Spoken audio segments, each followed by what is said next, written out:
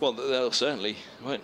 They certainly, certainly will hope they're not going to be out there for too long. Um, already 300 looks as though it'll be way too much for Middlesex to avoid the uh, uh, defeat. As Helm is in, he bowls, and that one goes through. Uh, doesn't get up outside of the off stump, looking to cut uh, Overton. A length delivery from Helm, and it's passed well underneath the bat through to the keeper, and off he goes to work on potentially a divot, as we're told in the track here. Yeah, it sounds like there's a, it's a little bit inconsistent out there, possibly. Um, you'd think James Harris, who's bowled very well this game, will, will steam in from this end. Jack Leach and Mason Crane shouldn't provide too much opposition. I, I guess the one thing just uh, reflected on this match before we go knee deep into the uh, into uh, the, the, many tweets that have come in this morning. Um, here's Helm. He's in bowls, and uh, this is played away into the offside by Overton, and there's no run. Um, one, the seamers got more assistance yesterday than they had done on day one. Um, it started nicely for Middlesex swinging around, then again in the twilight, but in, in between it went very flat. Um, I think it was flatter yesterday. Uh, I think um, there wasn't a huge amount of uh, assistance. It wasn't swinging a great deal, but the divots were causing problems for the batsmen. Um, uh, the one thing that perhaps has evened it out a little bit between Middlesex and the MCC is there hasn't been a great deal of spin as perhaps mm. um, we'd anticipated, certainly having seen that North v South game as we did where uh, Crane was really ripping it last week. Uh, but that hasn't been uh, a big factor between the two counties. The strongest spin attack of the MCC is in comes Helm bowls, and uh, that one lifts through to the gloves of John Simpson, uh, beating the edge of Overton's bat, and that wasn't too dissimilar to the ball that picked up uh, James Franklin yesterday. Actually, mm. the left-handed Middlesex captain. Um, on this occasion, the right-handed Overton, but a ball with bounce and movement, uh, having just seen one that didn't get up a couple of balls before. The thing is, if they do bowl spin to Overton here, you'd think that he's just going to tuck into it, as he did with Ravi Patel last night. He hit him three mm. sixes down the ground. But we thought, we, uh, well, certainly I thought, having seen that match last week, that it could be Crane and Leach uh, and Lyth who caused a lot of problems in the middle mm. overs um, or the middle of the day.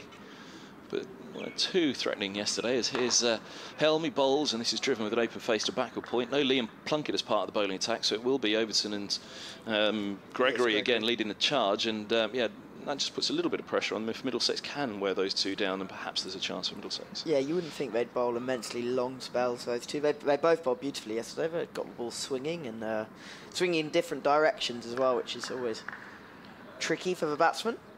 Um, but yes, you'd think Crane and Leach will have quite a lot of work to do, especially as the sun's out today, so it should be a little bit easier to bat. Helm to Overton bowls and uh, just withdrawing the bat inside the line of that one. It's the end of the opening over on the third day here, and the MCC are 145 for seven, uh, so leading by 298. Um, right, I've got loads of tweets to get through, but um, perhaps. Um, the tweet from Derek in Hurstpierpoint here, which is actually the latest tweet to come through. Um, sums it up best of the feeling of all, and we will go through the others because they discuss it more at length, all the issues that they have, and perhaps hopes as well for some uh, of the new competition. Derek says, glorious weather here today in West Sussex, lifting the gloom of yesterday's cricket news. Not me, I'm afraid, says Derek.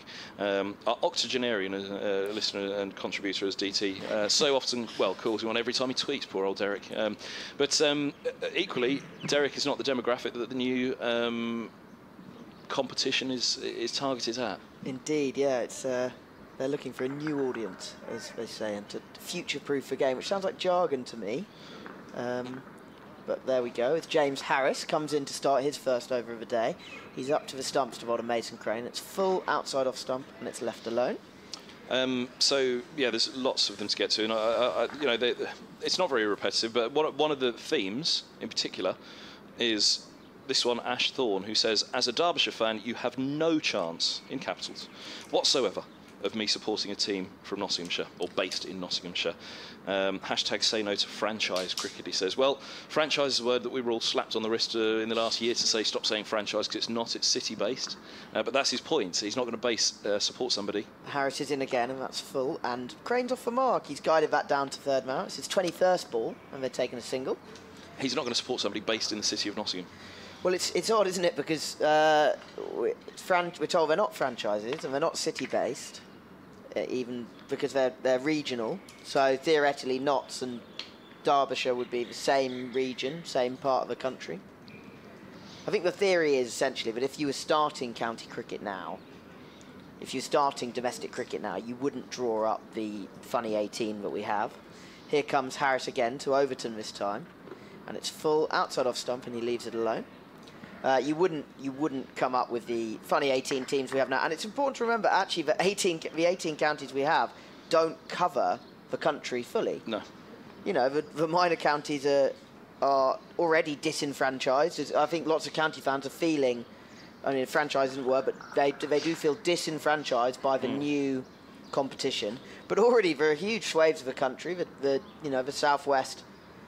The number of players from Devon who play for Somerset, for instance, because they're not a first-class county. As Harris comes in again, this is fuller and straighter. But Overton's just had a little drive outside off stump, and he's missed it. It's gone through to the keeper for no run. Um, so I mean, it's not like county cricket. The 18 counties are completely comprehensive across the country. The theory is that this will be a more TV-based uh, competition. That people will watch it on TV and then go along, and that everyone will be f- able to follow wherever they live because it'll be more readily accessible and available. Well, will it? I mean, that's one of the arguments. That's also one of the arguments against. As Harris comes in again to Overton, he's bat on ball for the first time to Harris this morning. He's just driven that back to the bowler. You know, the the, the let's say a team in the southwest is based at Bristol, for example. Is that Well, they're readily going, to be ba- they're going to be based in Cardiff. And Yeah. they'll, they'll play a game at Bristol. But that's not going to be readily available to those in Devon or Somerset. No, but Devon and Cornwall already aren't Mm. sorted, are they? They'd have to drive to Taunton. But the, what I'm, But what I'm saying is, what I'm saying is, mm. it'll be on TV. Yeah. So they'll okay. actually be able to yeah, watch so it. accessible in that sense. You, yes. you can watch it free, Eight eight games we understand is the desire. as Harris comes in again. He's beaten Overton outside off stump there, and that's the end of the over. It's 146 for seven with one from it. Um, let me give you a few more of the tweets because people have taken a lot of time this morning to respond to this. An enormous number that have come through. Mark, um, who's a Gloucestershire fan, some pundits are also strongly in favour. It must be remembered as well. The pundits certainly are. Um, definitely awaking passions for and against, says Mark.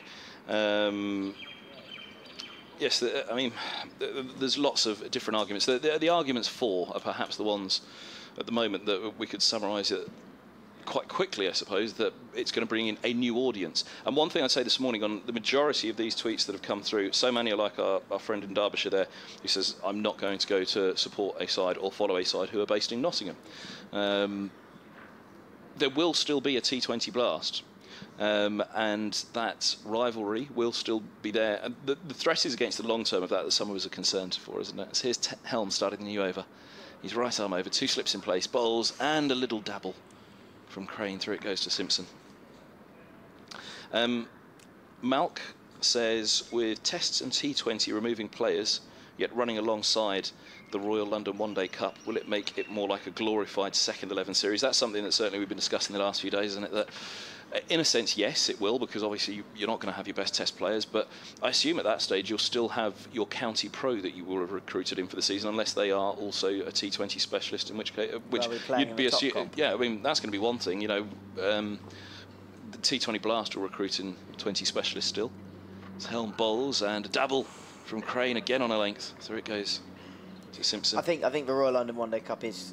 I mean, it, I already see it as a second-class citizen. It's not covered by the media, apart from BBC Radio. No one, no one's terribly interested in it. No one goes to watch. Um, that's the brutal truth. It's far. The attendances at Royal London One Day Cup games are far worse than uh, Championship. So it's not like it's summoning huge crowds. And I, I think the feeling is there's not much there left to defend. The problem is that England will want to win World Cups after 2019. so they're going to have to produce 50 over players somehow.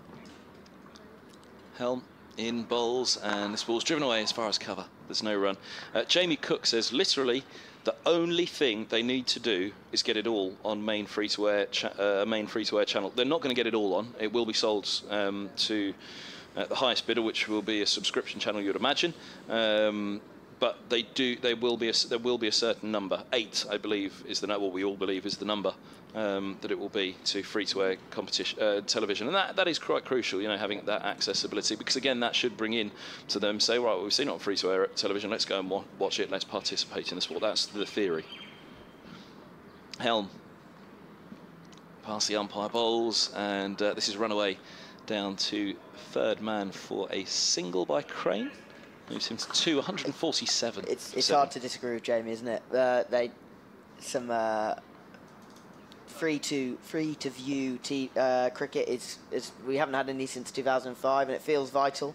Um, one thing I will say is it's 2017 now, and you, you, the scape, the, the sort of landscape of media is moving so fast. We don't actually know what whether people, are, you know, people are already turning off their TVs, mm. particularly young people.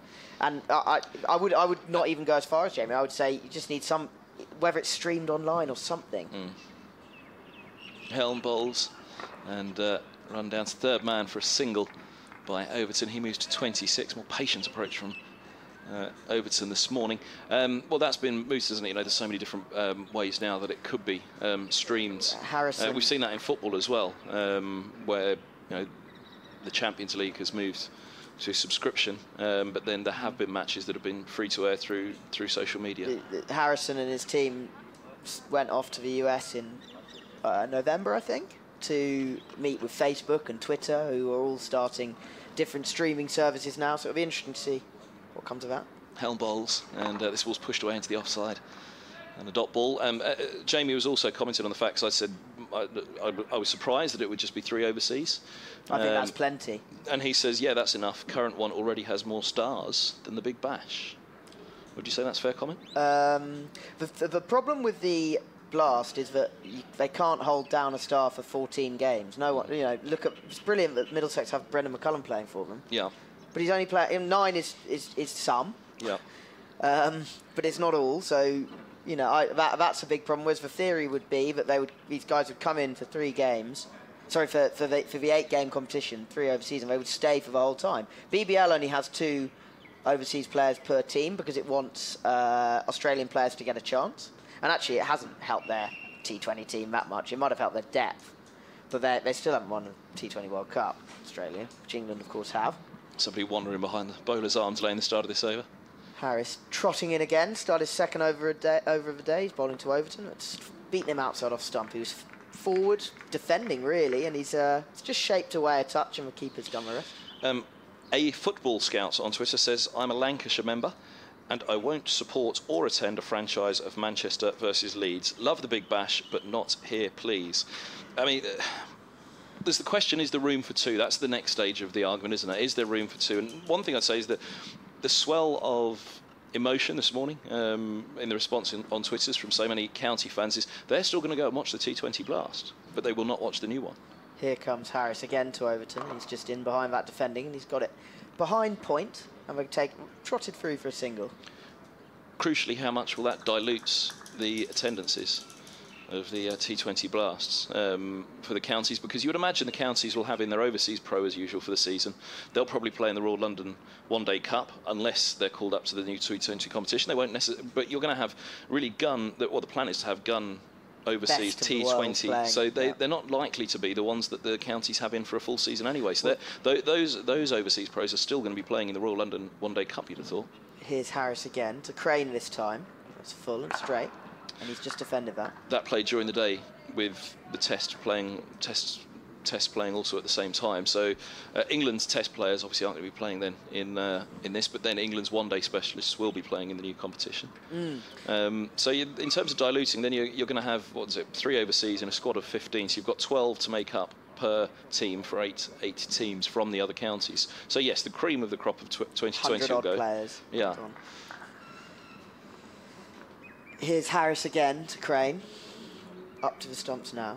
Balls, it's full and straight, and he's defended that to cover. And, and uh, one of the things about this is none of this is taking place until the year 2020. Uh, so there are three whole years to work out these issues. I mean, I don't know how squads are going to be made up by then. It's it's it's really interesting. I mean, how do you build a? How do you, as a county chief exec, sign up an overseas when an ECB run mm. tournament could then pinch them for, for four weeks of the I mean, summer. What, what, what, it'll probably see an end to is the T20 specialist for the 2020 Blast, you'd have thought. Mm. Here is Harris up to the stumps again to Crane, and he's just defended that behind point, and they've come through for a single again. Well, it will certainly end the cream of the crop for the T20 Blast um, because Yeah, they will be held back for the July-August competition. So it will be a second tier of overseas T20 players, which will still be a high standard if they're recruited in. Like Middlesex recruited in McCullum this year. That won't happen. The, the McCullum of 2020 will be playing in the new competition, so he's not going to play in the Blast as well. You wouldn't have thought. No, you wouldn't think Um, so. and it's also you- we a just, we major don't, we don't know these things at this stage. But I, I think we can assume that, though, can't we? Um, well, if you're a T20 specialist, if you're a pure T20 specialist and all you do is T20, then I don't see why you couldn't play in both competitions. The timing's right, as Harris is up to the stump, bowling to Overton, who's pushed him into the leg side for one. It's full and straight. Um, part of part of it is obviously bringing in these overseas to bring in the fans. If the T20 Blast thinks there's no point bringing in the overseas because they're not going to bring in more fans, the more fans are going to go to the new competition. The fans that are going to come in for this are the ones who want to support their county, their players. Charles Dagnall tweeted me on it as well about the only having three, not four overseas. Um, he said uh, you'll most likely get them for the whole competition as well, rather than the chopping and changing there is now. Well, that's absolutely true. So you'll have the Yeah, identity of those teams. That's, uh, you know, it was the classic example two years ago where Somerset signed Gayle for four games. He scored Hmm. 100 in one of them. One of them was rained off. No, not a single ball of it was seen by anyone but the 7,000 people who were in the ground. It Yeah. just, it just showed that it, it made, un- unfortunately, it made the Blast all look a little bit Mickey Mouse because Yeah. we had, they got this brilliant player in Somerset had done so well, and then no one saw any of anything that happened. Helm begins the new over, 151 for 70 bowls, and this is driven away only as far as point by Overton. Um, from a Derbyshire fan on a Nottingham-based team to a Nottinghamshire fan, Rob McGregor. I'm a Notts fan and am unlikely to attend a Nottingham City-based 2020 game, to be honest. Um, but, that, but again, that just goes back to potentially there is room for the T20 Blast then, if but it's got to be uh, uh, the T20 Blast is going to have to go back to the 2020 Cup model. Uh, of being a shorter regional competition, knock, uh, and a group competition, then going to the finals day knockout. I just don't. I, I, as someone who hasn't got a great allegiance to, I'll let you.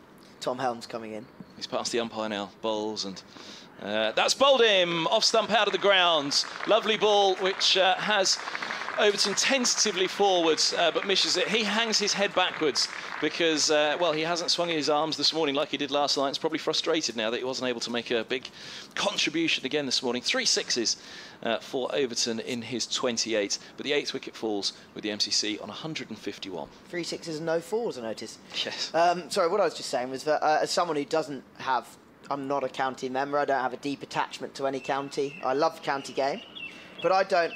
I just, I just see it as a new cricket competition. I find, you know, hmm. it turns up and I'll go and watch cricket. It's, it's cricket. I don't, I, I wouldn't go.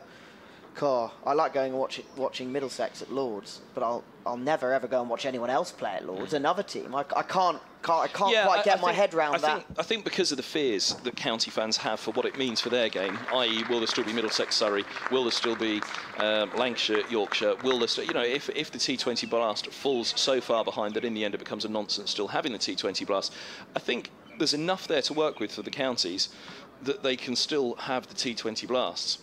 Yep. But it's got to be treated properly and not exhausted as it has been at the moment.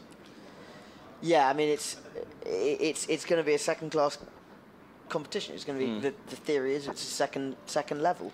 Um, Yeah. it's the problem is, as I've said, I, I I wouldn't have gone down this route. I would have gone two two divisions, but Yeah. uh, they. I, I just once once it starts as a cricket fan, I'm going to be someone who, who, who is getting behind it. I'll be there on the, at the first game. I'll be really excited by it. It's a long time away, um, but it's just it's, it feels it's such a it is it is sad, obviously, that people feel threatened by it. Helm to Leach, the left hand of the new batsman. He uh, has a little waft at that one outside of the off stump, where it goes to Simpson. Um, AD says, where do the England players fit into this? Well, the Test players won't. The T20 specialists will. Um, they'll be in the new one, and depending on you know, fit- Availability, availability, whether they're in the drop blast in for a game of the blast. The- no, the, I'm talking about the test players. Tests Yeah, are obviously going to be happening potentially they alongside might, it. mm. They'll drop in for a game or two, I would think. Well, it depends because you're not going to drop in for a game or two probably before a Test series starts, are you? Because you're not going to mix up the Well, your they, mindset. they drop in. Because that's one they- thing that they players do that in the blast, though. But players have told us that a lot that they do not like. As here comes Helmy bowls to Leach, and this is played into the offside. There's no run, 151 for eight to the MCC. They do not like mixing up red and white ball cricket, No, and that's don't. one thing that this whole strategy is supposed to eliminate. You have the block of Championship, then a block of 2020 Blast, then a block of Royal London, and then a final block of Championship with the new 2020 competition sitting in the evenings above the Royal London, um, which at the same time you're likely to have Test cricket played. Again, I mean, there's, there's, there's no scheduling done. But that's the, that's the best understanding that everybody has But worked from. if there's if there's two weeks between a test match, Here's a short one. It's pulled up into the air by Leach, and this will be the end of the MCC innings. He's gone, caught at cover. 151 for nine, and that is all out because Liam Plunkett cannot bat because of a uh, calf strain. So uh, let's just wrap up this innings before uh, we've got a good 10 minutes now to really get our teeth into it. Um, the tweets and more of the conversation. Uh, we will have Angus Fraser up with us at 12 o'clock, but um, as I'm sure you've heard by all the reports that you've listened to, the counties are un- under strict instructions at the moment. No comments, they've been told, uh, at this stage um, as to what it all means. Um, because, as you say, we don't quite clearly know exactly what it means, but we have a good idea. Um, but the counties aren't, aren't, aren't allowed to comment on that just yet, and the votes still got to take place. But it's understood that that will now be a formality um, because enough counties are on board um, to pass it through. So, um, the MCC here. Let's wrap up this card, and then we'll turn our attention back to the new T- T20 talk. Um, Marylebone Cricket Club all outs for 151. Uh, so that's a lead of 304. So not too much damage this morning for Middlesex. 305 the chase. So they've just got about time in this game. But we we did see indications this morning that the pitch um, is a little bit up and down. Indentations uh, is the suspicion from the players that's causing the uh, indifferent bounce. So Crane was left three not out, and at the last to go, Leach caught Gubbins off the bowling of Helm for a fourth ball duck. Uh, three for 30 for Helm from 11.5. He's been impressive in this match. He picked up two for 46 in the first innings. Um, wasn't the pick of the bowlers in terms of his return there or his economy, but just the general feel of Helm. He looks like he really is made to go on, as Steven Finn said um, yesterday. He repeated it, didn't he? You know, this guy's made to play for England. Um, you just so often you just don't hear that anymore uh, from players putting that kind of uh, praise onto young players' shoulders. So, uh, yes, it was a tricky start against the innings. 23 for two, the MCC found themselves with Lees, LBW to Podmore for nine, Alsop LBW to Podmore for a duck. Um, Lyth opening the innings, held it together for the most part. He made 42 before he was caught helm off the bowling of Patel. Uh, ben Duckett, um, a very brief cameo in this innings, having made a 50 in the first. He was caught and bowled Harris for 13 uh, from 14 deliveries, two fours. Uh, Clarke unable to follow up the heroics, the top score of 89 in the first innings. He was bowled by Harris for two. Uh, ben Cox, LBW to Podmore for 17. Uh, Lewis Gregory held Middlesex up last evening because there was a chance for Middlesex to really rattle through them last night and keep that well below 300 the score. But he made 32 uh, before he was bowled by Helm. And then Overton this morning uh, with a brief addition to uh, his overnight score. He was gone for 28 before he was bowled by Helm. Uh, Mason Crane not out on three, and Lord Leach. Uh, the last to go there caught by uh, Nick Gubbins. I don't think I've got the up-to-date um, figures in front of me. I can tell you that Helm was 3 for 30 from 11.5, bowling figures that is, and Harris 2 for 34. Uh, yes, there they are now, uh, the full figures. Uh, Podmore, uh, 9 overs, 3 maidens, 3 for 25. Again, very impressive from him. He picked up 2 in the first innings. Uh, for the young seam bowler. Helm, 3 for 30, 11.5 overs. James Harris, 10 overs, uh, 2 for 34, following on from the 3 for in the first innings. For Harris, I think he'll be pretty pleased with the way it was um, coming out here at uh, here in Abu Dhabi uh, after a difficult year last year. Uh, James Franklin, number 25 from 4 in the MCC second innings, and uh, just the 7 overs for Ravi Patel, 1 for 32. Uh, following on for his uh, three for 83 in the uh, in the first innings. So uh, yeah, just over 300 to the chase. You're listening to BBC Radio London and Five Live Sports Extra. Will Macpherson, the uh, young cricket writer of 2016, is alongside myself, Kevin Hand, um, and um, this gives us a clear break for a few minutes to, to go further in, into the conversation. indeed. Um, lots and lots of tweets, which I'll try and get through. Um, as I say, we, we've seen it from both sides of the coin there in in. In not, in a, for a Nottingham Bay side, neither Derbyshire nor Nottinghamshire fans, Fans both to, both yeah. saying that they uh, they'll attend, um, and understandable. Um, and plenty of messages. We've just discussed the uh, Royal London One Day Cup. Derek Payne, uh, little incentive for existing Royal London One Day Cup and T20 sponsors to renew for second-rate competitions. Well, that's what will have to come down in the shake-up, and there are ramifications for Middlesex as well, um, in a unique position that they are, where they play at Lords, and the MCC pay Middlesex to play at Lords, and then they take all the gate receipts, the you know so on and so forth. They look after the mar- marketing. All of these deals, deals will have to be renegotiated, and the, I mean, that's why, quite crucially, one thing I can talk about with Angus Fraser when he comes up is the 2020 Blast. And clearly, they've recruited in uh, Daniel Vettori. There's still three years to go. Nobody's going to give up on the Blast. They're going to try and win the Blast in the meantime. But, you know, there is a long term strategy that 2020 cricket is very, very important now to counties, and they're not going to give up on the T20 Blast themselves. They'll still be making plans to improve in that competition. What I will say is that, as you've just said, there's three more years of a Blast mm. uh, before the new competition comes in, and that means and, and the counties are going to want to win it. Well, if you if you feel this strongly, then go vote with your feet. Go show how mm. how much you support the T20 Blast and go along and watch. Yeah, which, they, which, which to be fair, they have been. The, argue, the, the, the, well, the, answer is well, we have. We've been going because the the increase we're hearing year upon year in gate figures for the Blast. Exactly. So the, the onus is perhaps on the county to make sure that they get this T20 model right. My feeling is my instinct is they've got to go back to the T20, the 2020 Cup model um, of a north south East and Midlands division.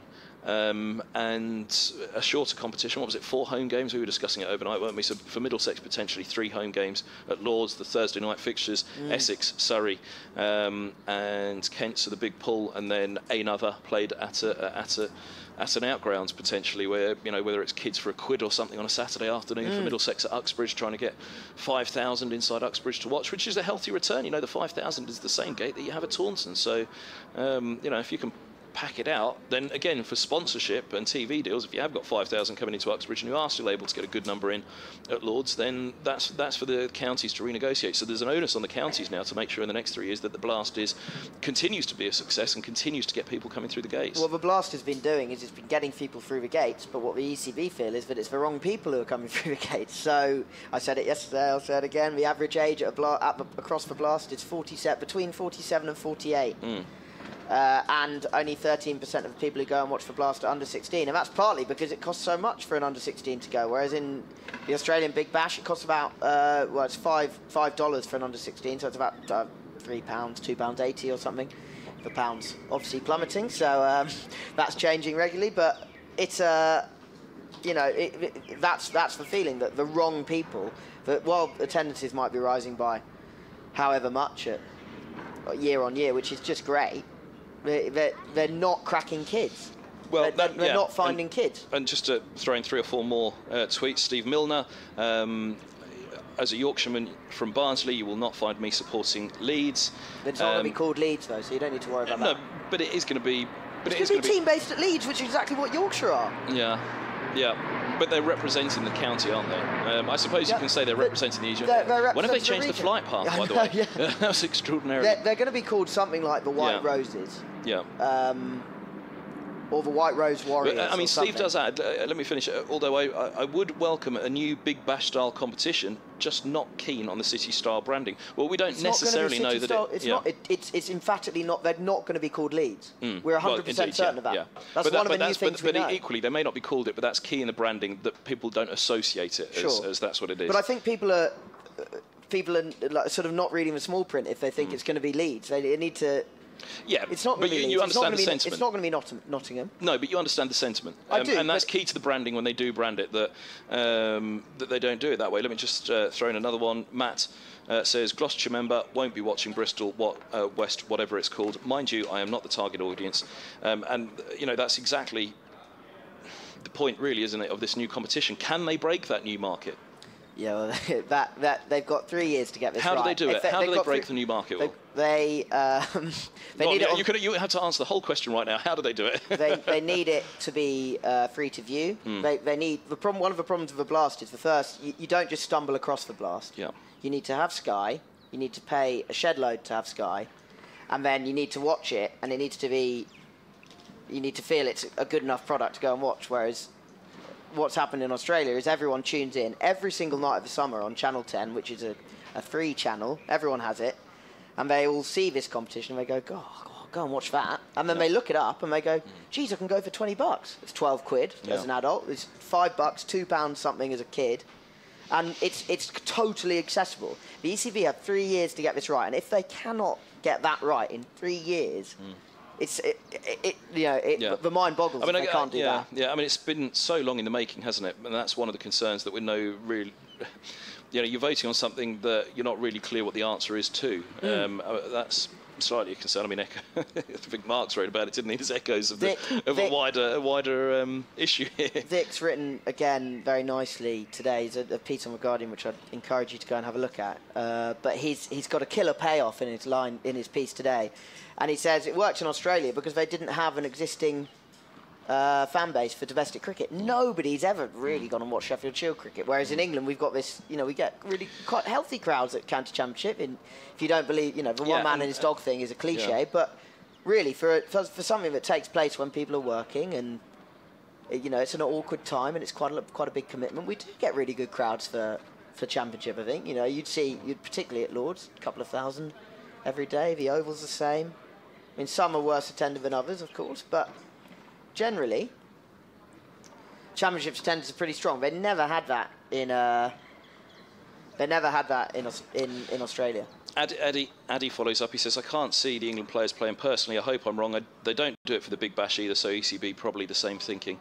Um, as you say, potentially there's drop in, but I, I'd, I'd agree. I think the Test players won't drop in. Um, I mean, maybe there's a there's the odd game because, of course, Roots and Stokes. If you want to really push your competition, you're going to want those guys playing. But that's that's all going to come out in the scheduling, isn't it? Uh, Football Scout follows up. Uh, I've yet to speak to a cricket fan who thinks it's a good idea. The success of Big Bash, Big Bash, is as much about the commentary teams, and I have to say, one of the things that I've always enjoyed has been the coverage. Uh, but that is that is all part of the branding that Yeah. they've got to work on. I mean, don't worry, the BBC will have that sorted. We got that sorted. Middlesex's second innings is starting. Lewis Gregory's running into Nick Gubbins. He's taking first strike. and He's driven that through the covers. He's going to get at least one, two, three, four. They're going to get. That's a beautiful shot from Nick Gubbins. Just 301 more to win. Indeed, the target is 305. Four of them are on the board, and that's beautifully played. Um, I've, I've had a tweet from from Leslie. She says, "Take a look at Surrey cricket prices for kids at T20 Blast, plus season tickets for adults. Great value." I would disagree. I've paid to go and watch Surrey on a Friday night in the Yeah. T20 Blast. Paid 30 quid Yeah. which is more than twice as much as it cost in Australia. And it's going to be that here comes Gregory again, up to the wicket to Boulder Gubbins. That's it, swinging into the left-hander, and he's defended that well. He's already got some movement there. Gregory, well, well played by Gubbins. I, I personally don't think it's great value, and I don't think there are that many kids there. I, anecdotally, that is. I, the, the crowd at Surrey Cricket on a Friday night is it, it's adult. I'll put it that way. It's adult and it's boozy, and, and I think that that is the story of the whole blast for me. Yeah. Um, possibly will continue to be. I, th- I, I don't think you're going to eliminate that boozy element of the T20 Blast, i.e., or that the other one becomes a kids' event. I can't imagine that because Thursday night at Lords is when they go in. So much like Middlesex will want to play Thursday night at Lords in the T20 Blast, so this new competition, it, should it be staged at Lords, which you imagine it will be, the number one ground, um, HQ, there'll be matches there surely. Then they'll they'll be looking to play Thursday night as well. Gregory's going around the wicket to Gubbins. He's got three slips, and he's that one's gone down the leg side. And Ben Cox has done well to stop that. That's swung across the left-hander, and there's no run. Um, Rob McGregor adds the population concentration of Australia um, makes point. the B, B, uh, the Big Bash um, much different beast to anything that we can have here. Yeah, uh, absolutely. We, we discussed this yesterday. 60% of uh, the Australian population live in the six cities that are covered by the BBL. But this is where this is where We're, the sorry, we're, we're going to have eight cities, or sorry, seven cities, as Gregory comes in again to Gubbins. And he's flicked that through the leg side and he's going to get four. Is an in swinging delivery to the leg, left hander, or is it going to just hold up on the outfield? There's going to be a race for the fielder and it's made it to the boundary. Sec- Gubbins' second boundary. Eight for none, chasing 305 Middlesex.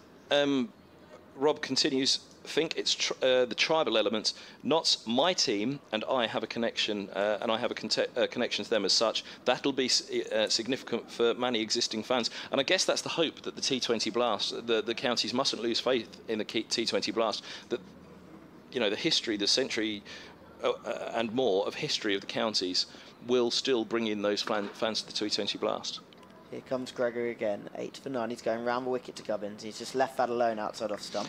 And to clarify, says the idea, uh, just for example's sake, someone like Lum being pulled out of the Notts team for this new competition is somewhat jarring too. Um, that, well, he won't be pulled out of the T20 Blast. He will be pulled out of the Royal London One Day Cup. So the cream of the white ball players, particularly 2020 specialists, will go straight from the Royal London teams and be put into the T20 competition. Indeed, Gregory is at the top of his mark. He's running up round the wickets. The last ball of the first over of Middlesex's chase, and Gubbins has just turned that to square leg when there's no run. Eight for none after one over. They're chasing 305. Will Robinson's been in touch. He says, "Hands on hearts, guys." Big question. Yeah. Do you really have faith in the ECB to get this new format right, Kev? Yeah, yes. Um, what, my, one of my biggest concerns in um, worrying about this new competition was not for the new competition, but for the counties and for the T20 Blast. I think by the reaction that you see a lot from the count, uh, from a, lot of the county members, uh, those that are taking the time to contact us, they're still going to go to the T20 Blast as long as it's not devalued too much. Um, now, it will have its own separate block. As you say, there's no reason why you can't recruit in a T20 specialist and a top quality T20 specialist for the Blast.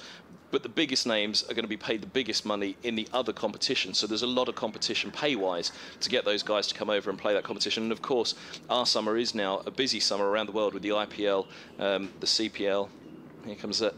Opening over from Overton, who is in to bowl to Sam Robson. His first ball faced. It's left alone outside of the off stump and through it goes to the keeper. Yeah, I think I think that's a good point. I think um, my my worry isn't so much about the new competition. I think it'd probably be great cricket. Um, the what the theory is what it means for the counties, as you say. Overton bowls outside the off stump. That's left alone. Wider delivery. Three slips, points, cover, mid off, mid on mid wicket and long leg. I've had a Leslie's been in touch again. Mm. Uh, it was Leslie who said that Surrey's prices are brilliant yeah. for T20, and I sort of knocked her back, and she's she's correcting me. She says I did say season tickets will 144 pounds for all home T20 and 50 over games, but the point is we need. We, that's a whole commitment to a mm. season. Mm. We need someone to dabble, turn up for one game, and then get hooked. Overton bowls, and that's edged along the floor down to the vacant third man. A thick outside edge by Robson pushing forward, uh, and the first boundary for him. So he is off the mark, and Middlesex are eight without loss. Uh, why is uh, Gubbins? No, no, sorry, they're 12 without loss. Gubbins is on eight, and Robson is on naught. That, that scoreboard's going to haunt me. that scoreboard will haunt me for the rest of my career. You need a nice clear Lord eight, scoreboard. Yeah, back, exactly. Eight, naught, three, nine. Uh, yeah, it's impossible. Um, yeah, uh, that, uh, uh, these are the things that they're going to have to divide up. Whether one thing I'm not clear on is just how you have a clear strategy between the two. Let's hear Overton bowls, and it's edged again by Robson out of reach of third slip. Uh, cry of anguish from Overton, and uh, that is four down to third man. Um, it didn't carry, but um, he was caught at third slip in the first innings, wasn't he, Robson? Was it Lees to Lees, catch? third yeah. slip, yeah. Um, I'm not sure it would have carried to a fourth slip, would it? Um, but um, nonetheless, a victory for think, the bowler. Well, the point I was just trying to make Morally. there is I don't know why uh, anyone would look at the blast and go, oh, I'm just going to turn up to that. Mm. Here's Overton, bowls down the leg side. It's when you when you can't find it, and then it costs 25 quid to go and watch. I, I if I was, I wouldn't, you know, take a sport that I'm not terribly interested in. I don't know, basketball. I've never had any interest in. I wouldn't go. Oh, you know what? 25 quid a ticket, I'll just go and watch um, a basketball team that are based in my house. No, I wouldn't do that. It's got to yeah. be cheap. It's got to be accessible. Yeah. In comes Overton, and this ball's worked through square leg uh, by Robson. Yeah, that's one of his key scoring areas, isn't it? Talk about the hard, fast tracks he grew up on. He's really good at working the ball. Timing's usually immaculate through square leg. He picks mm. up a mm. couple there. Uh, end of Overton's over, 20 without loss. And Robson has moved to 10 as Gubbins will have strike on 8. It's a cracking start by Middlesex. They're uh, four boundaries already. Plus that two for Robson there. It's just it's one of his trademark strokes. He's, he's an excellent player, Sam Robson, especially given he's sort of a bit like Alastair Cook. He's there's an economy of stroke play when it when it comes to Robson. He doesn't have he doesn't have a vast number of strokes, but um, the ones he does have, the flick through mid wicket, the cut, and the cover drive are uh, very effective for him. Gregory is just about to start a new over. He's at the top of his mark. He's going round the wicket to Gubbins again. He'll no doubt be trying to angle it into his pads. And there's a, there's a mid wicket quite close in as Gregory comes in. And that's Gubbins forward defending that, and I think it's just held up a little bit that because it's got him. He's defended it high on the bat. There's no run. Uh, Jonathan in Malta says, I've been a member of Surrey since 1972 and I will not go anywhere near this pathetic, dumbed down franchise rubbish. Again, franchise is a word that for a while word. yeah, that we've been told to take out, but again, the sentiments is, we understand. Uh, Laura says, lots of people saying the same. There's no consideration for how important your county is to cricket fans. Um, that, that, that depends just how relevant the blast can remain to be. Here's Gregory round the wicket. Gubbins to forward defending outside off stump. and the Royal London Cup because the relevance of that one is probably the one that will be hurt the most in terms of those players being removed. The relevance of the 2020 will be hurt the most in terms of it will be the second competition. Even though you'll still have your players as you would, um, they won't be affected. Um, Genuine question: Will 50 overs cricket still be playing? Being, well, it- being this is the in- point. in that, you know, there are a lot of people who are very, very upset about the fact that the list A is the one that's going to suffer the most in terms of it's going to become a second 11 competition. The one thing I'd say to that is there is hope for the Royal London. Gregory's in again to Gubbins round the wicket, and he's forward, prodding at that, and he's just missed it outside off stump. There was a couple of arms in the air in the cordon as as Ben Cox took it cleanly, but there was uh, there was no edge. And I wonder will there be any release of players? They're 15-man squads, aren't they? So That doesn't actually sound that many to me. 50. three uh, from eight teams, so three overseas, 12 players then brought together, whether it is from their region or whether it's some sort of I think it's in another be. way. Well, no. One of the things I think they're planning is for there to be a draft or an auction-style auction. situation, which will actually add to the drama. Yes, In theory, yeah, it's marketable that event. As Gregory comes in again to Gubbins, and he's flipped that through square leg. He's going to get two here. The man at fine legs coming round. It was a little bit uppish for a moment, but there was no one there to take the catch. So over not just this morning, but over a long period of time. I mean, there's a lot of reaction to the T20 itself this morning, but over for, for a long period of time now, people have been getting in contact saying this is you know disgraceful because of the list A. You know, you think of the Sunday League, how popular it was. Um, the 40 over competition sat nicely even in recent years on the on a Sunday afternoon. So the Royal London now is going to be in a block. Um, but it will still have a great relevance for the players, the Royal London, because if you're not in that T20, then you can make the step from the Royal London to the T20, Here's Gregory coming into Gubbins. He's in behind it firmly, defending up to mid-on. and also you qualify uh, as things stand at the moment for the uh, uh, through the MVP system for the North v South. That may have to be uh, have a rethink because otherwise the uh, North v South might not be as high a quality if all of the top white ball players Well, the in the north, country. the north v south as well is is is on the three-year. on the table till 2019, Yeah. and this all starts in And 2020. So, so I mean, who but knows? I think it's crucial for the Royal London Blast. Uh, the Royal London One Day Cup, that um, the North v South does continue beyond then to, to make it relevant. Mm. You know, you, you take it seriously because you'll be in the North v South. Here's Gregory, who played in that Royal, uh, sorry, that North East South series. He's been driven by Gubbins again through cover, and he's going to get four more Gubbins. He's playing nicely here. That was very full outside off stump, and that's four runs. The score is 24 for none at the end of the third over. and we think it was a su- success, the North v South, and it's got lots of legs in it.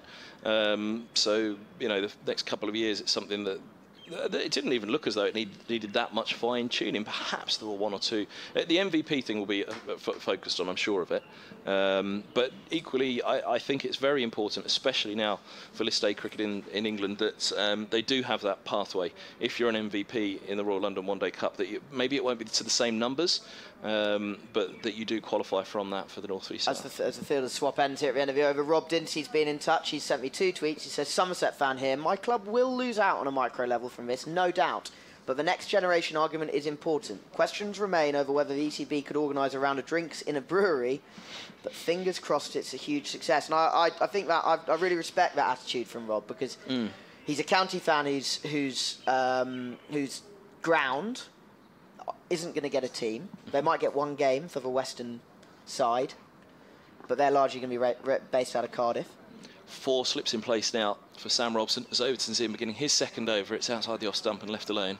Now they've got the covers on offer to Robson. I, I, and I, I think the, the point I'd make is that Rob, while while while Rob might, you know, Rob might support Somerset. Who knows who his who his kids will support? You know, whether they'll support the t- a team they see on TV and, and all these things. So, and you know, we've had lots of people in touch about, oh, I'd never go near that team, but I just. I wonder when it starts whether people will still be the same. As Overton comes in, he's been turned into the leg side by Robson. They're going to run one. That's good fielding at square leg. And there's one run. Um, Don Topley, good afternoon to you. Good morning in the UK. Uh, one thing I've not heard discussed 18 teams dilutes the product of a T20. Uh, the top eight make the quarter final, means 10 teams are infinite poor side, uh, poorer ability. Uh, having the best, playing the better players with top overseas means much better product, surely. It will be. Uh, our T20 wasn't great. Uh, no, it wasn't great. and. But, but the feeling it wasn't great was because again it was underfunded, it was mismanaged. Um, I think I, I, do. Well, the, the, interesting thing is, I think um, I think 18 teams is it's a lot, isn't it? Mm. It makes it difficult to follow. Overton, right arm over bowls and onto the pads. This is worked towards uh, quite an advanced backward square leg there, mm. but uh, no run. Um, but so just looking for that uppish little turn around the corner from Gubbins. But talk to um, players who've played in the BBL, for instance, from England, and they'll say, well, actually, the quality isn't that dissimilar. Mm. But what is dissimilar is the amount of pressure they feel playing each game. Each one feels like it's really important because you've only got eight each to get through to that final series. Everything matters, whereas you can coast a bit when you've got 14. Overton bowls, and this ball's pushed into the onside. No run for uh, Gubbins. Uh, Don Don Topley, um, Essex commentator and Hampshire. Um, follower as well now with Reece's move down there. It says less county cricket is a plus. Um, players are tired, um, the bowlers are worn out, and I know 70,000 members, a very small number, he says, are unhappy. You you wouldn't even fill Wembley, the big the football stadium, with a number of county members we have. Forward goes Gubbins to uh, Overton back up the track to the bowler, uh, and that's the point of the new competition, isn't it? That's the pro. That's the other side of it. Is the pro argument. The biggest concern is the, um, you know, this protection of the counties as well, um, because you don't want to lose all of that history. Um, no. you, as a T20 competition, you want the Blast to do well, and List A cricket in this country still to do well. Overton well, not in this country, but in the UK. Here's Overton bowls, and forward goes Gubbins, pushing up some mid off. I've had another really good contribution here from Rob Dinty, who's saying he's a Somerset fan who's, who's actually quite keen on the new competition a minute ago. He said, to follow up, I took my fiance to a Western Storm Kia Super League game last summer in Bristol. She'd never been to cricket before and had a great time. I'm now going to, to some of the Women's World Cup games this summer. This is what the new tournament needs to do. And I think Rob's exactly right. Mm-hmm. He's nailed it. Uh, Laura says um, it's not like we're uh, who uh, tweeted a moment ago. It's not like we're being old-fashioned. It does, just doesn't make sense for cricket here. Th- that, that's why I think the bigger gamble is on the new competition, isn't it? The only thing, how much you devalue the 2020 uh, Blast in the meantime um, for those outside of the uh, the members and the regular attenders, those that do come in on the Thursday night to fill Lords. Gregory is at the top of his mark at the start of a new over. It's 25 for none. I think this is the first time he's going to be bowling to Sam Robson. He's over the wicket and that's swinging, and he's defended it forward. He's forward defending, and that's well played into the offside. There is no run. Um, Rob McGregor again. Alienating existing fans means you need enough new fans to replace them and increase attendances. That is tough. Well, that's the crux of it, isn't it, for the new competition? Um, that's what they have to crack. They've got to find the way to do it. They've got three years, as you say, to work out how they're going to uh, get people coming through in their droves to watch uh, these new eight teams. In comes Gregory again. Four slips for Robson. It's up to the stumps, and he's just leaving that alone, and the keeper does the work. No run. Um, Matt Nichols has been in touch, says, disagree with Don Topley. Standard is comfortably as good as the IPL and the BBL. Mm. They look better because of the pitches. Uh, might be true, but one of the reasons the pitches uh, are dodgy in the T20 in the T20 Blast is because we have 14 games. Mm. Too much is asked of the pitches. They become sluggish and tired, and the cricket suffers. The weather also doesn't help, which uh, an, an inherent advantage of Australians as an Australian there, Sam Robson, or Australian-born Sam Robson leaves Gregory alone outside his off stump. Uh, Laura, county teams should be seen as a unique selling point to cricket here that BBL, IPL doesn't have. Um, is it really going to work? I really don't think they've thought it through, but we shall see. Um, I'd sooner uh, go to watch Middlesex any day. Um, Big news, actually, just quickly. on County Cricket News. Leeds Council have brokered a deal to save Headingley stand development and Test cricket and at the ground. Great news. In comes Gregory again to Robson. He's cut that hard. He was talking a moment ago about how he's got just a few shots, but he plays them all very well, and that's that's one of them. He's behind point. There's four runs. Well played. 29 without loss. Chris Read's going to retire as well at the end of the year. More big county news. An institution. That's sad, but very good news 20, about- 20 seasons. Yeah, uh, but very good news about Headingley. Um, excellent news. Um, you know, the whole structure of county cricket is certainly in the spotlight, isn't it? Mm. Gregory is at the top of his mark again. He's got two balls left of this over. He's coming into Robson. He's just hit him for four. Up to the stumps. And that's going to be one there. He's just flicked back to the man at mid-on. They've scampered through. Looks like it's Ben Duckett there at mid-on. He's been fielding at first slip rather lot. Oh, no, it's not Ben Duckett. It's uh, Jack Leach. One run, anyway. 30 for none. 305 the target for Middlesex. They didn't lose all last year. They would not be a happy bunch to lose this game. Even if it doesn't matter directly for the county championship. Um, uh, Laura has followed up. I first got into cricket by watching Test cricket on free-to-air telly. It's the accessibility, not the format, that's important. Well, We all that's I mean that, so that, many that of us. certainly is agreed. Exactly the case. will the T20, the new T20, be the right product to be on free-to-air? Here's Gregory, last ball of the over to Gubbins this time. He's forward defending very firmly. 30 without loss after five overs. It, um, you know, T20 does seem to be a strong way forward for bringing in kids because, of course, we all used to play T20 as kids in the, on, a, on an evening. It just wasn't this. It wasn't hitting wasn't a fours and sixes, yeah. yeah. Um, so undoubtedly, that will be one of the best things to come out of it. The, the argument is, did it have to be this way to put cricket back on free-to-air television? Could there have been a way of putting the NatWest on? But again, as you say, the NatWest didn't work. There's that Chinook that we've Two got. of Two of them, yes. Yeah, that we heard yesterday. We didn't spot them yesterday. You were right there. Your helicopter identification is very impressive. Double blade, yeah. Overton's in, bowls to Robson, and lifts that one past the edge. It's tricky out there again, isn't it? There is seam movement. Um, there is bounce. We've seen one or two keep low. A little bit of swing. We uh, into the sixth over, 30 without loss. Middlesex chasing 305. We're on day three here of the Champions match in Abu Dhabi. Five Live Sports Extra and BBC Radio London together for this one. Indeed. If you wanted to get in contact with us, it is at Kevin Hand BBC at Willis underscore MacP. As this ball's left alone by Robson outside of the off stump. No, it's great to hear from so many people, and it, it shows how much uh, is going on on either side of a debate, doesn't it? It's uh, it is uh, certainly inflaming passions. Yeah. You can see why.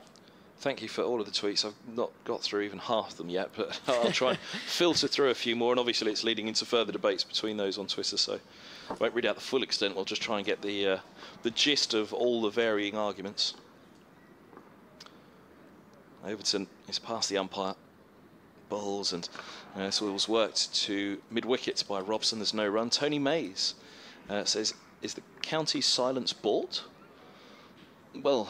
Uh, Well, I guess the answer really, uh, the the answer is yes, in the sense that it's their paymasters that have said it at this stage. We will not comment on it. This on Angus Fraser, who'll be joining us in just over five minutes. Um, but like all counties, um, he has been told quite strictly no comments, as I have been told, obviously by Middlesex. You know, if you can sit there and do a Paxman and Howard standoff uh, of trying to make him comment, but no comment's going to be the answer that will continue to come back. Uh, forward goes Robson, pushing up to mid off. Off Overton. Tim Jinkerson says, uh, any talk about which broadcaster will be picking it up? Does free to air mean BT Sport and their low bit rate Freeview channel? I think um, this is a good question. BT Sport, I think, look quite likely to get the rights because they have a very strong record of um, sharing. Mm-hmm. You putting Overton bowls, and this is cuts by Robson. Back at a point. Four more. putting bits 34 without of their uh, the stuff that they have rights for on free to air TV. They have they've got the rights to the Ashes this winter. They've got the rights to all Australian cricket, and I think some uh, who are better versed in sports uh, rights and the like see that as a sort of dip of the toe into the market before coming in heavy at the next rights deal, which expires in 2019, and going for you know the crown jewels. Um, here's a few more expansion points on it. Um, Daisy says regarding the new T20 competition, surely more, surely money would have been better spent improving the current competition over the next five years. That's uh, again for three years now underfunded, mismanaged. The T20 blast. Here's a, a bouncer from Overton ducking underneath it. Is Rob. Somebody left his back hanging slightly behind him, didn't he? He got Uh, very of the low down there, didn't he? He, was did. almost on, uh, you know, sort of on his knees. Uh, 34 without loss. Gubbins 14 and Robson 20. Uh, Theo Knott says, I am 23. I am the target demographic. Well, he, he is, but it's a new demographic. You're already a cricket fan. Yeah, if you're I tweeting no us, intention, you're already a cricket fan, Yeah, which have- Mm. means you're actually not the target demographic. I have no intention of attending any of these games, especially as a Somerset resident. Um, Yeah, so yeah, it's to get mm. to. Yeah, uh, Um, Matthew says, I thought they said significant free to air coverage. Eight games out of 36 is not significant. Um, I, I did think that as well because then, you know, what eight games is it? Is it the is it Tuesday night fixtures uh, deliberately staged for the free to air um, to have their games? I mean, yeah, I, I wouldn't say. I'd agree. Eight is not Mm. He significant, but it's says- also eight more than we have now. Yeah, that's true. He says it's more like a taster. Uh, we'll still have Yeah. to pay to follow the competition. Agree. Um, Liz Mitchell says cricket has been back on free to air TV with Channel 5 showing the Big Bash. Uh, did it engage new young players? And who had the rights? BT Sport. Mm. They they did a deal with Channel Five to get some of their product out on the uh, on free to air TV. We're going to see a change of bowling here.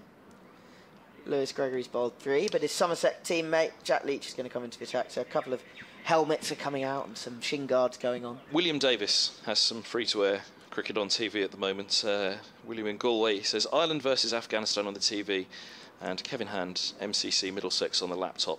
It's an audio visual overload. Who needs T20? He said. Also, who needs David Townsend? Because David Townsend's there Indeed. commentating for the ICC at the moment on that game. Which, uh, yeah, pictures of that one. There's pictures of this one, of course, available as well. But uh, uh, oh, well, he's got them both on, in fact. Yeah. Uh, ah, but he doesn't say who he's listening to. He's got both on, so it could be he's listening to DT, but Well, tweeting us if he's just tweeting to keep us us, sweet. he must be uh, he must be slightly thought so. engaged in Uh, the, in what we're chatting about. Trevor Morris, a regular tweeter. Um, but most, and I, I do apologise to regular tweeters because most of the ones I've read out have not been regular tweeters. But, but, but um, you know, obviously this is a much wider debate now. Um, ECB are clear they don't care about current fans. The feeling is mutual. Well, that's going to be something which will come out in the wash, really. Because how much is the T20 Blast protected? How much is the Royal London One Day Cup looked after? Because that's the current fans. Well, Um, to be fair, the Royal London One Day Cup, there are not many current fans going to watch it.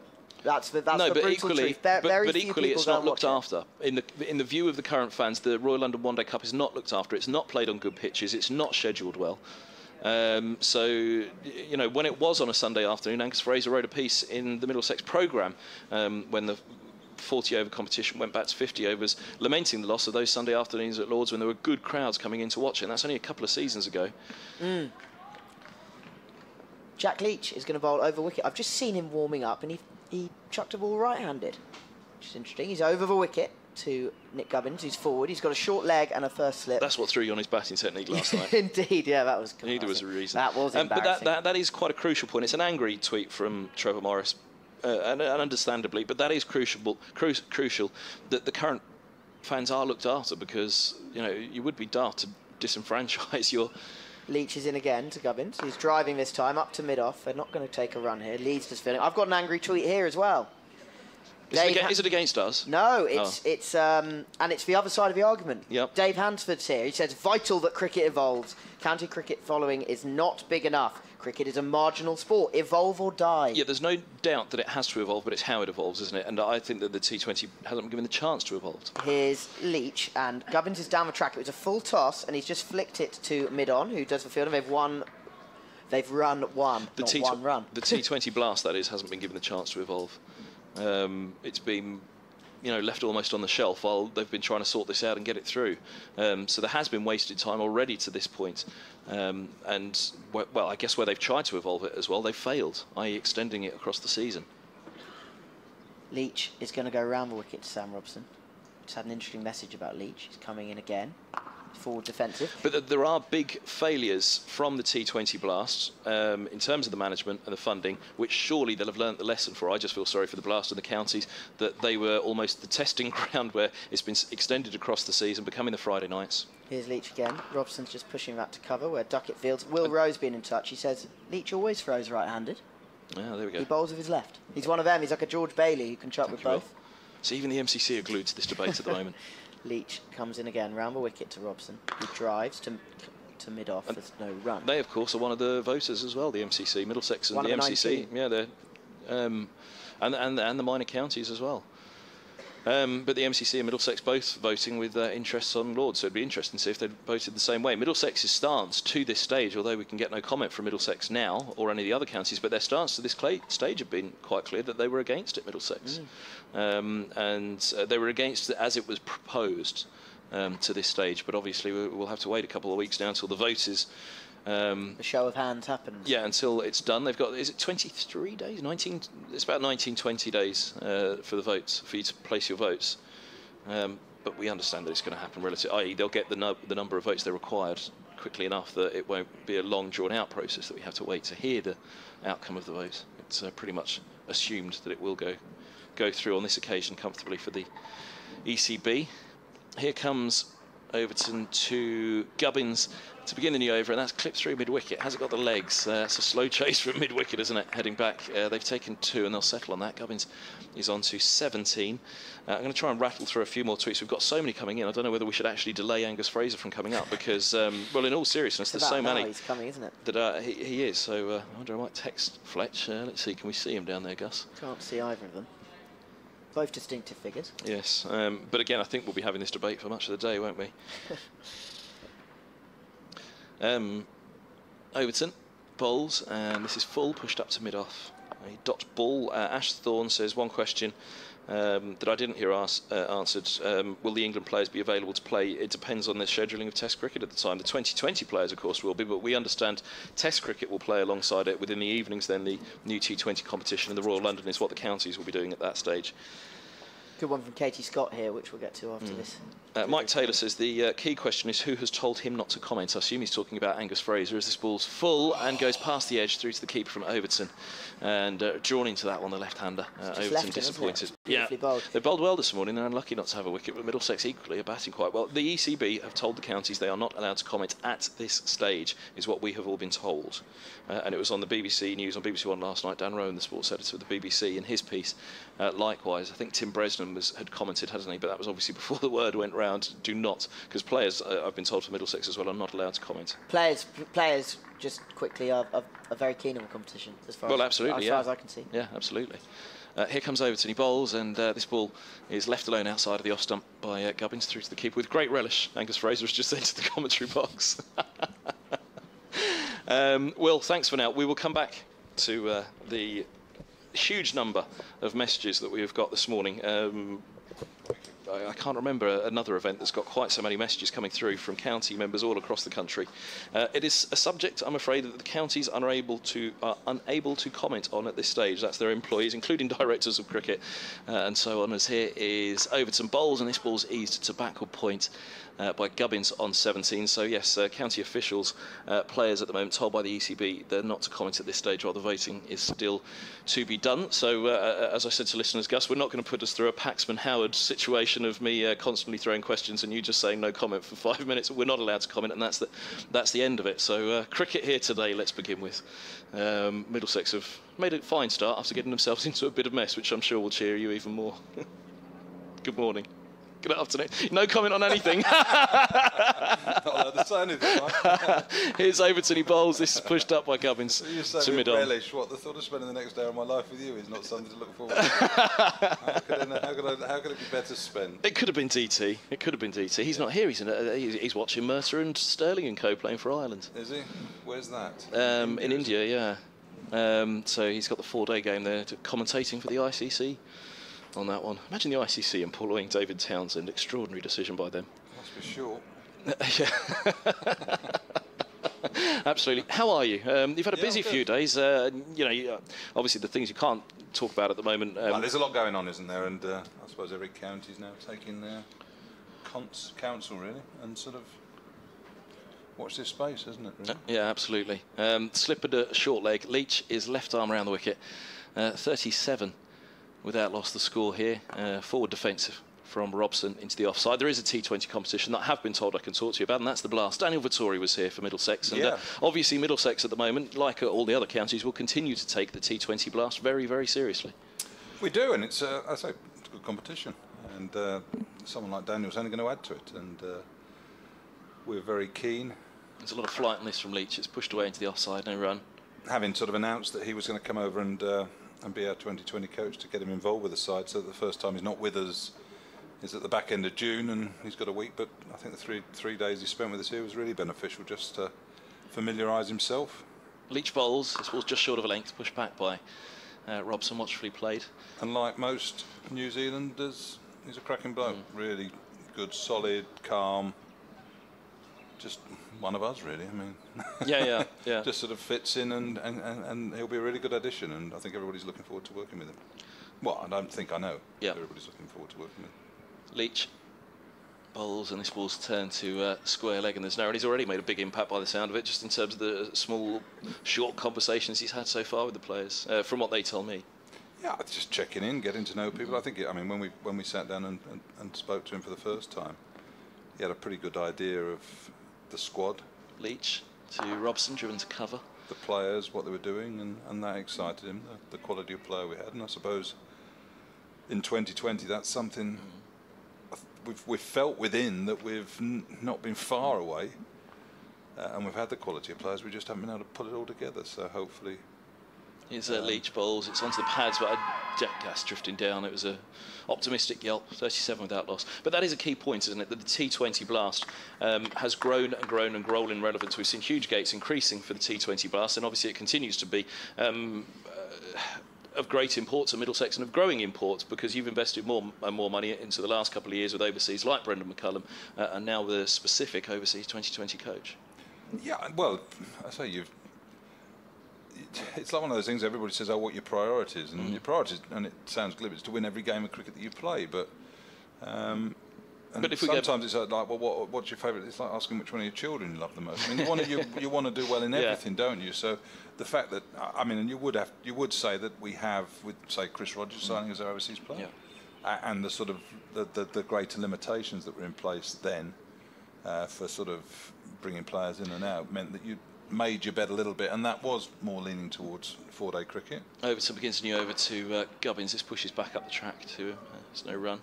But again, moving on from that, Adam Voges was with a slightly more um, a, a white ball record, and uh, obviously uh, George Bailey middle of last summer.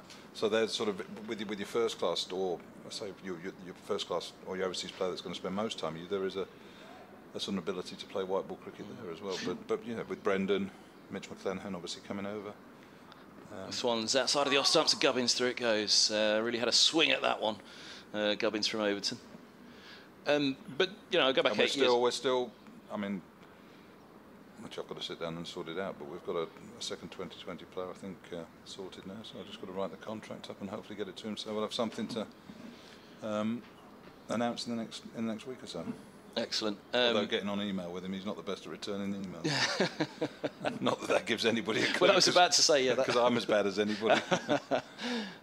Here's uh, Overton to the crease now. He bowls, and that's a length delivery left alone. I mean, take it back eight years. Middlesex's circumstances a little bit different, but when you first sat down with me, um, you know, Middlesex had come back from the Stanford Super Series back then. You know, in the, what was a growing era of 2020 cricket. You know, it was when the first competitions around the world were starting to pop up. That was going to be an annual event, obviously for uh, a great many different reasons. Uh, that wasn't how it turned out to be, but Middlesex were languishing towards the division of uh, the bottom of Division Two at that stage, and you said, right, first things first. That is, I'm putting a stop to that. Middlesex are going to focus first and foremost on getting Championship cricket right again because there was a lot wrong with it. As this is down the leg side through to the keeper, and a culmination of eight years' work saw Middlesex claim the title next year. So Middlesex have to pl- have had to play catch up a little bit, haven't they, on the on the on the 2020 in the last few seasons?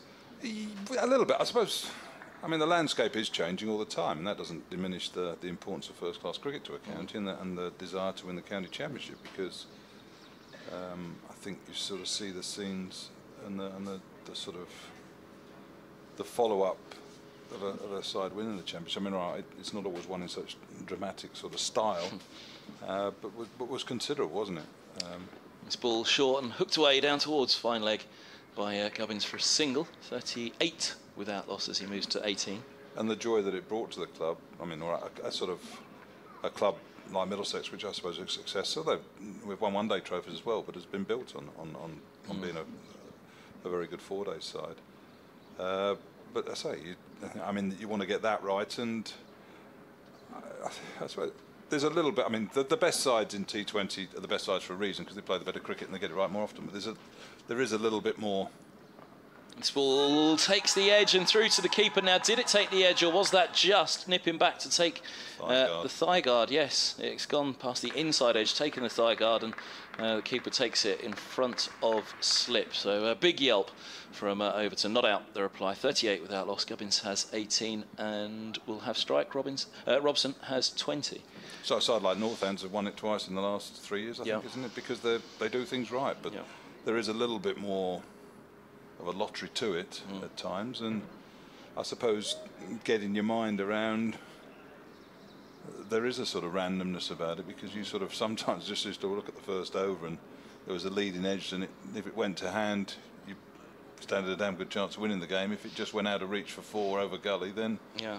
almost the opposition were away and little things like that seem to sort of set a tone for the next hour and a quarter yeah, which yeah, is which is which is what it can do so it's so instant so immediate um, and how you start Leach bowls down the track comes Gubbins this is lifted wide of the mid-on fielder and uh, it's not going to make it. It's going to pitch and stop um, just before the boundary. Out. Gubbins uh, moves to 20 with a couple more. Middlesex of 40 without loss. Uh, being positive in his approach to the spinner here. Gubbins was actually there was one of the biggest differences between the first innings of both of these sides was the positivity of Duckett, perhaps. Um, I think that's something we sort of had a chat this morning, and there was sort of, I mean, unfortunately, MCC are a bowler down, so Liam mm. Plunkett's not bowling, and if you put the spinners under a bit pressure, it means the seamers come back a bit earlier. And this ball's hit over the top. Now, mid wicket has just dropped a little bit deeper. Um, and to Gubbins' credit, he really did close the face on that one and work it fine at that deeper mid wicket for two more. You're a bit more convinced about that shot than I was there. it, well, he wasn't to the pitch, was it? And in the end, he had to work it more into the onside, or are you saying it was a completely useless shot? No, no, it wasn't. A, I mean, he's got two runs for it, but yeah. it might have been a bit more controlled than it looked. But yeah. But going back to 2020, I mean, with obviously sort of, I think, I think, time to struggle. You know, what's 2020 there for? Here's Leachy bowls, and this ball's worked to mid wicket by uh, Gubbins. Just beats the first fielder, and the second one, the deeper of the two, will collect as Gubbins gets a single, moves to 23. I mean, all you hear about 2020 is money. Yeah. That seems to be the sort of second mm. cent, the second word after 2020 is money, and it was sort of there as a format to allow counties to generate money. Leach bowls and forward goes uh, Robson. So what is your is your prime motive to, to, to have a successful tournament and get people through the door, mm. or to win it? What does success look like in 2020? And I think yeah. that's sort of it's still a little bit of a question at times. I sort of what are we what are we trying to get out of 2020? Are we trying to fill Lords? There's a bit of flight, and uh, Robson comes down the track. He's going to lift it over mid on. Is he? No, he's gone. That's a nonchalant catch at mid on. Fine catch indeed. Robson wasn't to the pitch of it, didn't get the leverage at all that he was looking for, or the power. And the first wicket falls for Middlesex. They're 43 for one as uh, Gubbins, uh, sorry, Robson departs for 20. Leach taking the wicket. Yeah, good catch that. Um, sort of, it's all about getting yourself in the right position, isn't it? If you sort of sometimes when you, have got to twist and turn, uh, you can sort of almost tie yourself in a knot. Uh, but uh, didn't panic. Watched the ball into his hands and uh, took a comfortable catch there. That was Lees, wasn't it? Took it. It was Lees, thank yeah. you. Yeah, we're just watching the replay down in front of us at the moment. Even still, the camera's just as far away as we are, so it's quite difficult to identify um, who it was. But um, you know, I'll take you back to a conversation that we had a few years ago that stuck with me as well, where um, you know there was a an expansion at that stage, I think, of the uh, T20. Even then, I mean, we had Gilchrist and Warner over, so yeah. we've sort of it's not something we've no, sort of paid lip service to. No, uh, but uh, and uh, you know, it's that was the beginning, really, wasn't it, of Gilchrist and Warner? I think where there was a bigger investment in overseas mm. players. Uh, it wasn't for the want of trying, I don't think, in the year or two before that, but that was when you got those bigger players in. Um, and like I say, it's still evolving now to the fact that Middlesex bring in a specialist 2020 cro- coach to uh, to work with the players, and it helps obviously now that it is in a block the T20, the the Blast. Yeah, I, I, I suppose there's greater expectation on everybody now, isn't there? Uh, more demand, uh, and it's very. I mean, all right, the- people might sort of say, "Oh, look at the the volume of cricket that you play now compared to what you used to play 30 years ago, mm. or the number of days cricket is less." But I say the pressures on the players are higher than they used to be because there's greater expectation and count members and pundits are, are constantly judging what you do, mm. and it's hard for someone to be fresh, upbeat, enthusiastic about every tournament. Um, and therefore, I mean, it's the same thing we sort of mentioned with the captaincy, having three captains last year, and so you're giving the captaincy to, to sort of different people, uh, so that they bring in their ideas, their energy, they're, they're more enthused by, and hopefully that sort of goes through the side, and the same uh, to some extent uh, to, with, with the coaching too. Um, it's never you get to a certain stage of the season, and, and sometimes, well, where are your priorities? You've got a four-day game doing well in the championship. You've got a 2020. You've got a bowler who's bowling a lot of overs. Leach bowls, and uh, this ball is turned into the onside by Gubbins. 43 for one. It's the end of the over. So Robson, it was uh, it was Lees indeed that took the catch at mid on off Leach. He went for 20. 43 for one. Compton, the new batsman. Shame that Robson looked good there. He did, yeah. Just didn't quite reach the pitch of it, did he? Because even the shape of the shot looked good, but in the end it was only a soft lob up, really. Yeah, and I think that well, the view, as I say before, we we do need to be more positive against the spinners, and and again, positive before the twilight comes in. Yeah. Uh, because uh, a lot more seems to have happened during that period it for whatever reason. David Lamb was saying yesterday it almost felt like twilight all day because of the overcast Yes, it conditions. was. It was a lovely day for bowling yesterday, wasn't it? Cooler. Because I, I, I was wondering yesterday whether it would have been the spinners because they, they do have a whole load of spinners don't they, in this side. Even Tom Alsop's been bowling out here, uh, not in this match yet, but I did wonder whether that would have been the uh, the difference. And yesterday there wasn't that much of a threat from the spin at that stage. It was the seam that did more damage. It'll be interesting today now, as you say, taking on the spin. Uh, whether they do find more success. Lewis Gregory has changed ends, replacing Overton. He's right arm over bowls to Compton. First ball played defensively to mid wicket. Um, he talked about the point of 2020, whether it's to win it, put the um, Well, obviously, I mean, you want to win, and so, but it's you sort of think, well, so are we getting players to get people through the gate, or are we getting players to win Yeah. a tournament? There, ca- there can be a difference. yeah. I'm not Yeah. saying we've gone there, but, but but you sort of think, well, yeah, oh well, we'll get him because he'll, get, he'll put another five thousand on the go. But actually, is Yeah. he the cricketer we're looking for in our side at that moment in time? Those are sort of some of the at times the decisions that He's uh, oh, on outside of the off stump to Compton. He looked to drive. In the end, must have just nipped away a little bit more from him as well. He was left searching for it. Um, 'cause, uh, you know, again, I go back eight years ago. Clearly, Middlesex uh, had just won the T20, so were in a decent position there. It was a unique coming together of players that team, though. You know, there was that bowling attack, the five-man bowling attack that came together of Nannes, and I wouldn't say more through luck than judgment because that does a disservice to you know those that recruited them in. But Nannes, Henderson, Murtagh, Cartigan, Udal, they were a big, big part. We had big hitters of um, Shah, the emergence of Morgan and Malan. As in comes Gregory Bowles. This is pushed up to mid on, and there's no run. But it, was really the key to. Um, to get the championship side, side right, because equally that bowling unit wasn't effective in the county championship seam attack particularly.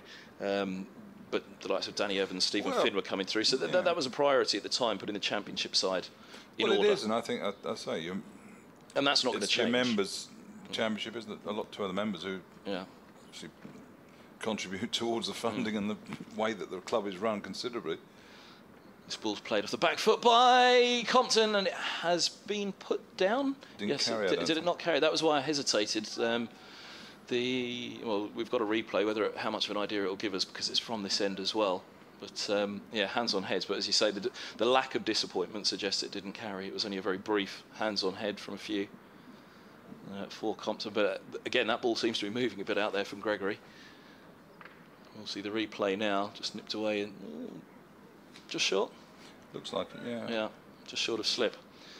Was uh, Compton playing well? Uh, Pushing uh, at a ball he could have left, really. yeah, here's uh, Gregory into the crease. He bowls and uh, full of one that Compton's forward to, driving to cover, and there's no run. Um, but, but like I say, there was a conversation equally at the time, whether it was that year or the year after, when there was some sort of expansion, whether it was in the T20 Blast, um, and we talked about you know the the growing importance of 2020 even back then, and you know whether one day you'd see a situation where 2020 took over from Test cricket um, as an important, uh, as the most important thing because of the money. I think it was probably the money we were talking about back then as well. Um, but it, certainly it's grown in importance once more since those days. As here's uh, full delivery and edged out of reach of third slip. I'm not sure how much he knew about it. It seemed from uh, Lees there that he got his hands to that, so it was a sharp one. Seemed to blast through his hands without Yeah, him did, particularly knowing a great deal about, uh, or certainly being in a position to take it again. We'll have the luxury of a replay in a moment. Uh, it has gone for four, and Compton's off the mark. It's the end of the over, 47 for one. Uh, our Middlesex chasing 305 to beat the MCC, and uh, here comes the replay now. Um, yeah, it was his right shoulder really. Got his two hands up to his right shoulder, and it burst through the fingertips by the looks of it. Yeah, the slip fielders are quite close. Gregory, say not a quick bowler, skillful swing bowler, uh, but the slips are quite close because the pitch hasn't got a great deal of pace and bounce in it. So, want to try and make sure, as we say, we, there was an edge, a couple of balls before that didn't carry to slip, uh, but that one he's flashed out hard and it's uh, almost ripped through the hands of the third slip and gone for four. Uh, so just going back to our point of what we were talking about a few years ago, the one question I'd ask you on that in terms of the importance of 2020 for bringing new fans in um, nowadays are all around the world. You know, you've seen the, the, the BBL. For the 2020 Blast for Middlesex as well, 2020 we see cage, cage cricket, street cricket. Um, here is Leachy bowls, and down the track comes Gubbin to this one. He's got enough on it to get it wide of the uh, mid-off fielder and go over the top. Again, it's going to pitch and stop, um, and they will take two. 49 for one as Gubbins moves to 20 through 25. Um, it is. So it- they're playing with a pitching wedge at the moment, Yes, an yeah. eight iron or a seven iron. well, they haven't quite made the made the ball, have they? They haven't quite made the pitch of the ball um, on a few of these shots, have they? Leach does seem to be doing well with the length. We're seeing the replay of that one again now, and he was closer actually to the pitch of it on that occasion, wasn't he? As uh, Gubbins works it to the deeper of the two mid wickets for a single, 50 for one. Middlesex 50 up in there at run chase, 250 uh, four more to win for the champion county. Gubbins on to 26 and Compton on to four. Uh, yeah, because back then it, it still felt as though the balance was there that first class cricket and test cricket was, you know, still a way to recruit um, new fans. But I think, you know, the younger generations now are going to be attracted more to competitions like the T20 Blast and the others around the world, shall we say. As uh, Leach's left arm around bowls and Compton down the track now just strokes uh, dot ball up to mid off. Well, I suppose yes, I, I think they will, and uh, I suppose short term form games, and again, when you're at schools and um, sports clubs or whatever like that, something where you can fit a game in quite quickly that gets as many people involved as you can. And I suppose 2020 uh, is far closer to the your cage cricket and your other new This was played off the back foot by Compton from Leach. forms that are sort of developed uh, around the schools and around the counties. Is, uh, sort of in, well, so many varieties. I mean, that's I suppose one of the good things about cricket. Tom Harrison was saying is the way that it can be sort of modified. Um, but Leach again. Balls down the track comes Compton, hits him back over his head, and that's uh, a nice shot from Compton, probably one of the better ones uh, against the Sooners one. Again, it pitches and stops. Uh, they've taken two as mid off and mid on. Uh, just retrieve the ball in front of the boundary rope just down below us. with these sand-based outfields, the ball doesn't bounce, does it? Sort of it's, it's like a sort of pitching wedge onto a green, isn't it? Just sort of dies. Yeah, it's interesting. Uh, But again, 'cause it I suppose a lot of the publicity in the game is, is aiming young people towards these forms. So Mm. To some extent, it's natural that they they sort of migrate there. Here goes Leach. Bowls and uh, this ball's pushed back up to mid off. BBC London have been fighting hard for the four class game, uh, the first class game. I think BBC London were the first to do the four day game because obviously there was always coverage of the one day, the, the Royal London Cup as it is now, the List A game and the T20. But um, yeah, the Championship.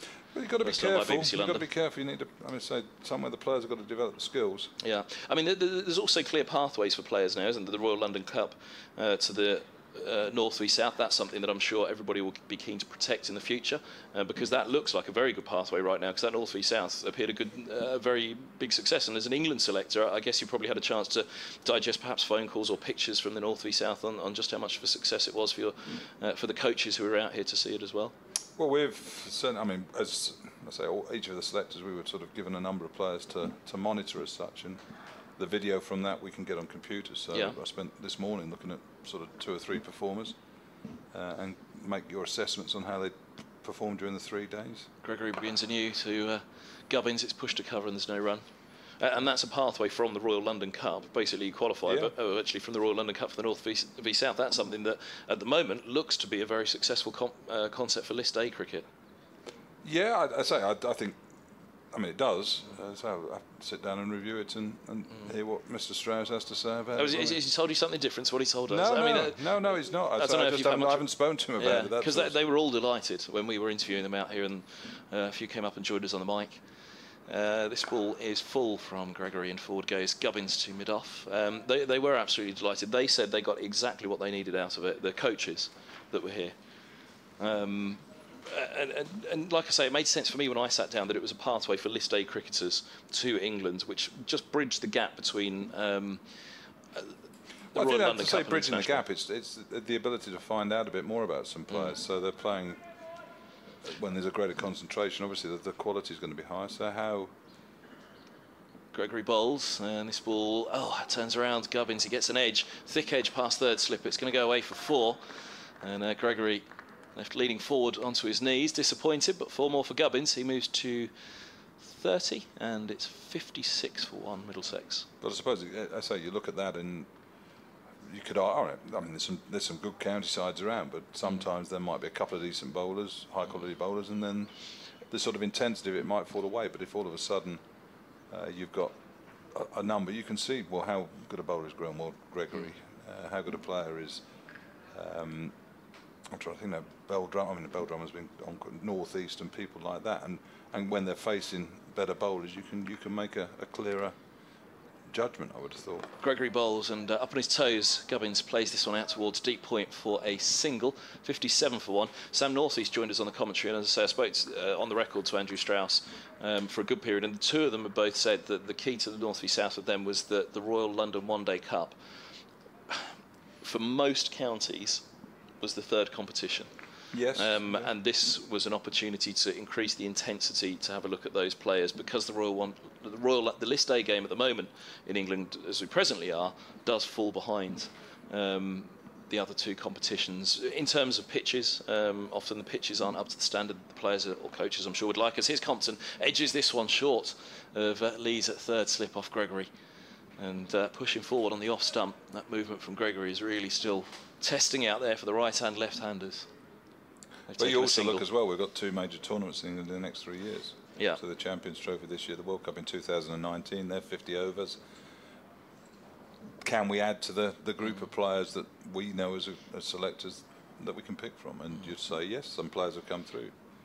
Um, more, let's say, someone like Dawid Malan. All of a sudden, he's uh, to say Middlesex centric here, but all of a sudden he's had the chance to play in the same side as Paul Farbrace, so he gets to know him.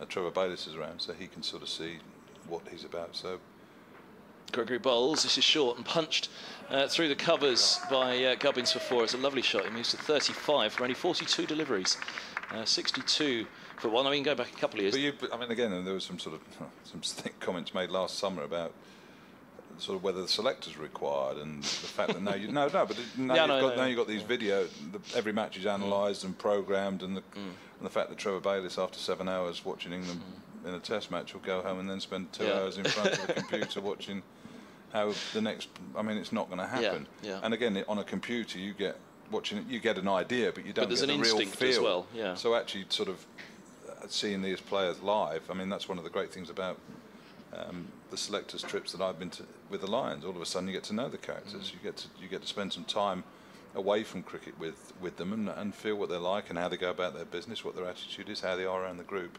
I mean, there are lots of things you can't you, you can't see Yeah. just on a computer Yeah. screen. But also, you know, you, you've been there and played at the highest level. There's an instinct, isn't there? When you're at a ground and you see a player, you, you get a feel for, even if he's not performing in that particular match, whether actually perhaps this guy's got something about him. Yes, and but you also His Leach, sorry, he begins the knee over to uh, Compton, a solid forward defensive. But you know, I say we're sat here now looking at the whole ground, normally just looking at down the pitch. What's the match situation? What's the environment? Is there a bit more pressure than you think? What's happened? You, if you're there live and you're watching, you see so much more than you do. Yeah. I mean, TV coverage is, is magnificent these days. Leach is around the wicket, he bowls, and this ball's uh, driven up towards the mid-off. How's his radio coverage, Gus? Yeah. Just for some, better for some counties than others. you can you can say no comment on that one as well, Gus. Oh, to be a not supporter. we could do a trade one, yeah. You could have Bracegirdle. I'll, I'll go off. Not just not while you're doing so well though. Otherwise, I missed out on Abu Dhabi. Here's, You're very good, Kevin. here's Leach bowls. Is cut away to uh, cover uh, 62 for one. If Dave Bracegirdle is tuned in, he's not going to let down let that live live that one down. That you selected Notts as well. Um, morning to you, Dave. Slip and a short leg, crouch down. Here comes Leach. He moves in now, bowls, and uh, this ball's clipped away towards mid wicket by uh, Compton and a single taken, 63 for one. Um, I mean, that must have been actually, from a selector's point of view, one of the hardest things to do, select for all London One Day Cup players, because List A has been marginalised to this point, hasn't it? Um, say marginalised, not probably not the right word, but it has. no. It, it hasn't had the same precedence in the last couple of years as the others. No, I suppose. I mean, 50 over cricket's not had a good, um, a lot of positive publicity, has it, in recent times? It's Leach bowls, well, that had a bit of bounce to Gubbins. He's played it well to short leg. It's deemed by many to be the ugly duckling. I mean, actually, Yeah. I mean, as far as days entertainment go, I think it's the best day of the lot because Yeah. uh, you can turn up to a day's Test cricket and you want to watch Brian Lara say bat. Mm. Leach bowls, and this ball's driven up to mid on for a single by Gubbins, 64 for one. But the West Indies are bowling that day. Yeah. Uh, you could turn up to a 2020 and you want to watch Brian Lara bat at four. Mm. The openers bat for 12 overs. He has to come in, has to have a hack at the first or third ball that he faces, and he, he doesn't get anything. Yeah. But in a 50 over game, you've got a good chance of watching players bat properly, sc- bat for 35, 40 overs, Mm. score 120. You see bowlers bowling the ball to, to get people out rather than hiding the ball, which is what you do in 2020. So I feel a bit sorry for the 50 over game because Yeah. Always, I, I think it's a really good game And, and equally, that is the one that the members do look to as well. Still, you know, obviously you get the big crowds for T20, but much like the Championship, it, it is, as you say, a day for the members to go and, and see that game. Um, there was some talk about a couple of years ago about that potentially starting over, overseas, wasn't there? Um, well, they the were talking about, yeah, it's sort of almost playing it now here, Yeah. wasn't it? Sort of to start the start of the every, every competition, side get some plays games two or done. three games yeah. here, so just create a bit more space in the summer. Yeah, which I guess would uh, potentially still be something for the future as well. Um, 64 for one, the score here. Gubbins is on 36, Compton's on 8. Cranes on. Uh, yes, a leg spin. How many overs have we had? 15. How much time have we had uh, this morning? Uh, so we've got 21 minutes until the interval, a 20 minute interval. Uh, It's sort of the, the games at this time of the year. They sort of follow up. I mean, like Middlesex bowlers, we're trying to get a certain work, workload into each of them as a build up towards the season. So, a lot of flight from uh, Crane first ball. It's worked by Gubbins into the onside. so it's it's part of the process to the 14th of April. Even though it's a first class game and you want to win it, but equally you, you realise your big games start in the in the middle of April. Um, you just wonder how Matthew Maynard um, sort of he's got three of his Somerset bowlers Yes, this ball's turned back to the square on the leg side by Gubbins for a single off Crane. and Yorkshire understandably. Well, you've been up against the Yorkshire openers and the Somerset. Well, yeah, but, understandably, sort of Yorkshire have been very protective of Plunkett with a calf strain Mm. this time of the year, and they've got a couple of other injuries to bowlers at the moment, so I gather. Uh, so I'd imagine Matthew Maynard would sort of look, yep, okay, but we don't want them to be flogged really. We don't want Gregory and Overton to be flogged in this game because Yeah. they're working towards their start of the season too, and they haven't been so far. So Crane bowls and uh, on the back foot, Compton works this one away. That's deep mid wicket for a single. They've got the four spinners. There's uh, still Lyth and Who's the then Alsop, fourth? Alsop who bowled left arm spin the other day for uh, the MCC. I watched him. He bowled very well. Sorry to tell you. bowled some. Uh, I'd never seen him bowl before, but yeah, impressed the other day for the MCC. right. You're not so impressed by him. Well, he bowled, he bowled in the UAE, and it wasn't. Well, he'd probably get three or four wickets now. Be careful. having said that. Crane bowls, and this ball's turned out to deep mid wicket for a single by uh, Gubbins. Moves to 38, 67 for one. In he was bowling the, one of the power plays the other day in the T20. Uh, bowled quite early on. Did, did well in that. Did he? Oh, yeah, good. Are you telling me you're not going to be selecting him as a left arm spinner anytime soon? uh, here's Crane bowls, and this is pushed into the offside. And there's no, no, I mean, he, very much is a part-time bowler, but you know, Middlesex had um, Malan and Robson as two and three, didn't they? So. Uh, I know when Robson came on the other day, I thought, blimey, it's a bit early for this. isn't it?" Yes, yeah, yeah. Yeah, I'm not suggesting But he's been bad. The silly thing is that Sam used to was a leg spinner Crane bowls and uh, forward defensive from Compton. when he was playing grade cricket. I think he was first picked for grade cricket in Sydney as a leggy, and then his batting's come through. But it's just because his action was so ridiculous. the run up and everything. He's modified that, and he's Yeah. been bowling quite a lot of overs in the winter actually for Eastern Suburbs, got playing at that beautiful Waverley Oval. And Paul Stirling is coming back as a leg spinner as well, bowling leg spin at the moment against Afghanistan and uh, throughout the winter. Gone from off spin to leg spin. Liam Livingstone's gone the other way, hasn't he? From uh, Well, he, leg spin he to off bowls a bit of both, doesn't he, Livingston? Yeah, but it, by the sounds of it, this winter now he's really settled onto uh, onto off spin. I think, well, I think some of it depends on whether you're left-handed, right-handed batsman. So he's, he's bowled at quite a lot of left-handers, certainly in Sri Lanka. But, uh, yeah, maybe that's been But his Leach to Gubbins, a forward defensive. Stirling is is such a shy young man, Mm. but he seems unbelievably talented. Yeah. Whatever he seems to put it, I mean, he just runs up. It's always bowled off spin, comes above his leg, he's got six for him. You think, Leach bowls. This is pushed into the onside by Gubbins. Single taken up to mid on. just sort of wish he almost put his shoulders back and sort of, Yeah. here I am. But he's Yeah. so sort of, uh, um, sort of shy about what he achieves. And again, he's watching bat at times and play strokes. We were talking about him last night, Mm. um, in in that hotel, and he's he's a talent. He is. Leach is around the wicket, he bowls, and uh, Compton uh, with a nice use of the feet. He's got enough on that one, but again, it's going to pitch and stop uh, just down below us long off, mid off, retreating. Compton's taken two. He moves to 11, 70 for one.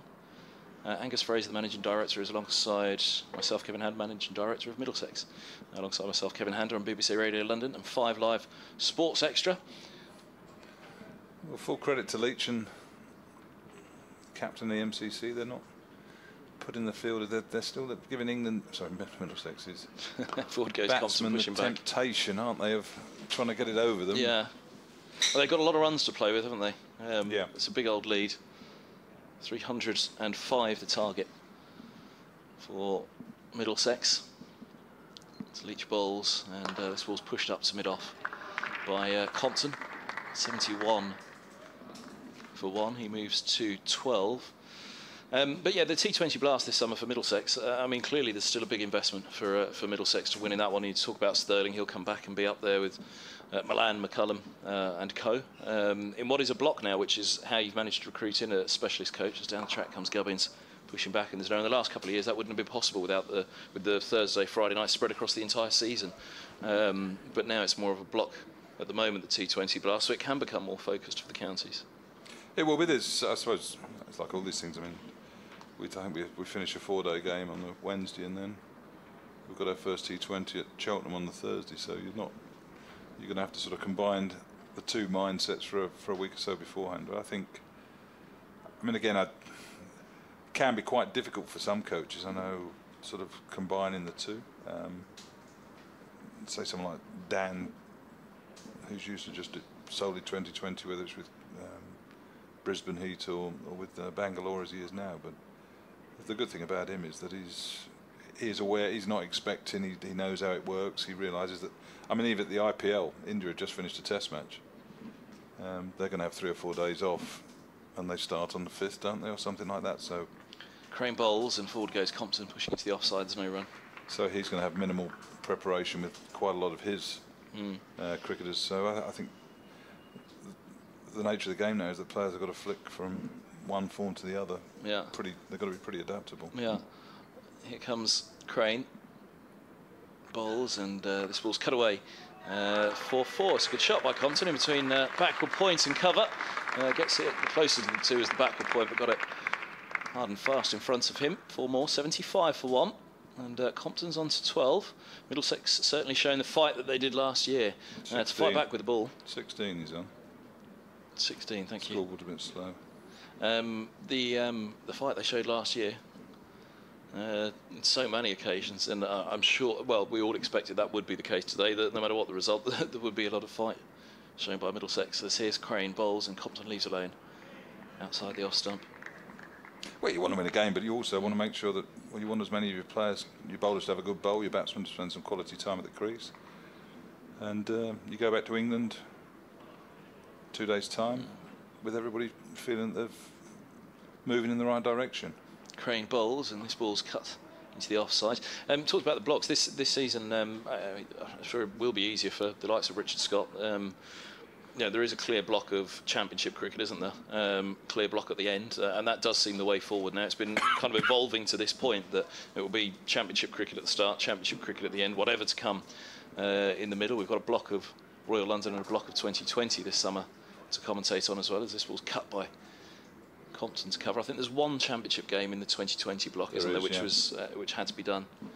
Um, but otherwise, that that does make more sense because for the players and for everybody, because it was becoming quite of a mix-up as uh, Compton bowls. This is turned to mid-wicket, a quick single, 76 for one. Compton's on to 17.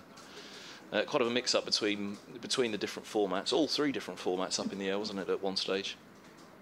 And, and again, that comes with expectation, doesn't it? Um, so your, your your members and people want you to be competitive Yeah. in all three competitions. I mean, when I when we were playing, there was often a Sunday league game in the middle of a three-day game, and to be honest, it was a bit of a jolly at times. Yeah. It was a bit of fun, and the members and everybody didn't seem too perturbed if if you weren't performing in that, as long as you did in the others. But now people want you to do it in everything. So I mean- the fact that you have got this ability now to focus on something helps. The downside to the um, to the to the block of list A this summer is you know there might be those later in the summer that think well actually I quite fancy a bit of list A but it's all done and dusted. and April- it's sort May. of again, well, looking at our thing. Uh, obviously, Ireland are playing during that period. England, they've got two games against England, and then all of a sudden, every, all the sides are into their preparations for the Champions Trophy. So uh, there'll be a number of high profile. So we'll, we're going to lose Owen for most of it. I would have thought. Well, he's going to go Yeah. back to the IPL. Well, it's difficult, well. isn't it? Because there is the concern about it almost being a second eleven competition. Well, it won't be that. Here's, here's Leach, he's left arm around. There is a delay, sorry, I thought he was about to step in. Uh, Compton settles over his bat now. Short extra cover, cover, uh, and a wider, deeper cover as well. Here comes Leach bowls, the first of those cover fielders, there's no run. Mid off's been pushed a little bit further back, hasn't he? Yeah, Man on the drive. So Um, no, it won't be that. But it, it, again, going back to what we were saying earlier, it doesn't quite have the rele- say relevance. Uh, this ball's uh, cut to cover. It beats the Backward fielder. point. Backward points, and uh, yeah, four more for Compton moves to 21, 80 for one.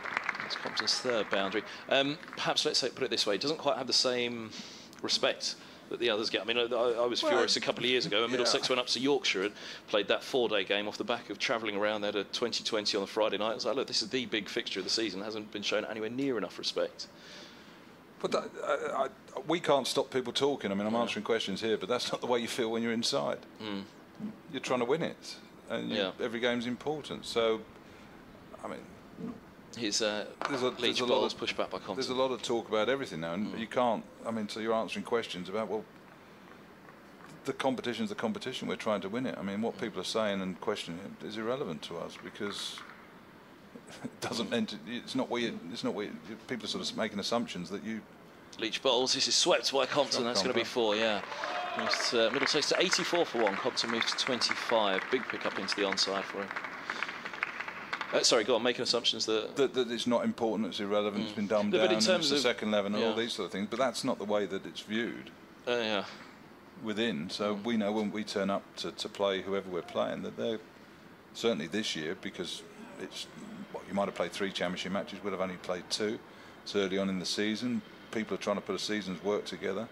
Uh, they're keen to sort of continue if, if they're in good form in the championship, they want to continue that form in the one day, in the 50 over stuff. A little bit of lift there for Leach past the edge of Compton through to the keeper. if they're not scored runs in the early championship games, maybe the freedom be down to go there and play some shots will. Mm. Uh, but you're going to find that all everybody, I mean, all our squad want to play. Yeah, yeah. Here comes uh, Leach. Bowls and this ball is pushed back into the offside and there's no. And I think I said to you the other day, but uh, actually just got off the flight, so I don't think you're too interested. But the um, I mean, not interested in what you've got to say. Never. um, that you know it really um, sat into place when I sat here watching the North Three South just how um, it complements the Royal London because a lot of people were saying well, it means nothing. I said well actually sitting here looking at it, it Well, does. said- but that- I Uh, mean, you but know, I again, mean, follow, uh, followers of county cricket um, saying well who's interested That's in why it's difficult in my position because someone says it means nothing. Well, so what? Yeah. I don't. I'm not worried what they say because Yeah. it means something to us. Yeah, uh, but clearly sitting here, I could see, you know, Yeah. for the players as well, such a clear pathway from them, and it gave even greater relevance to the Royal London Hmm. um, for that reason. uh, which, as I, as I say, Sam Northeast saying about the pitches, Andrew Strauss saying that in, in planning, it probably is the third competition that counties plan for. Uh, so this ball from Crane comes back into Gubbins' turn to mid wicket, no run. I suppose, I mean, last year it was in two blocks, the 50 over competition, so I'd imagine the pitch at the start of the season would have been um, fine. Uh, it's just that when you, you come round to, I mean, I think all clubs have got problems when you get into Ju- July, August, sort of trying to work out what. This ball's down to the legs. right. Oh, has he nicked it through? Crane looks optimistic. I didn't think so. No, uh, might have just clipped a bit of the pad on the way A through. few caught down the leg side, and there's going to be three of them. Has, I don't really see many. The bounce has been a talking point on this pitch. Um, it's been a little bit of extra bounce in it with the divot certainly yesterday, wasn't there? Yeah. Our pitch guru, Richard Johnson, didn't get this one right. What did he call? Well, no, he sort of said, oh, it looks flat to me. And it is, it's a good, it's been a good pitch. Crane bowls and uh, worked into the onside by Gubbins for a single 85 for one. But he's got a f- sort of thumbnail like a screwdriver and sort of puts it in it to see whether there's any moisture there. Mm. He said, no, no, it's hard. And I thought there was a bit in there, but it has dented, so that's why maybe the odd little bit of indifferent bounce where it sort of hits the edge or the side of a, of a dent. And no heavy roller to roll them out. Crane bowls and uh, forward goes Compton into the offside and there is no run. 85 for one. But uh, Scotty, Richard Scott was saying he was sort of prac- sort of almost doing a bit of a study in the net, sort of whirling to some of the batsmen and changing between a pink and a red ball. Mm. And the trajectory off the surface of a pink ball did seem to be different to that of the red ball. This ball's played off the back foot by Compton to uh, Crane. There's no any the red theories ball on sort that. of skids on. I mean, I think it's if you listen to the wipe. I mean, listen to the ball on the bat. Certainly, when the players have been doing their fielding drills in the morning, the yeah. The pink ball's got a more a deeper sort of more like This ball is cut by Compton. He played that well, Compton. He's only just getting a single for it, but it's a decent shot. Made room for himself for a single.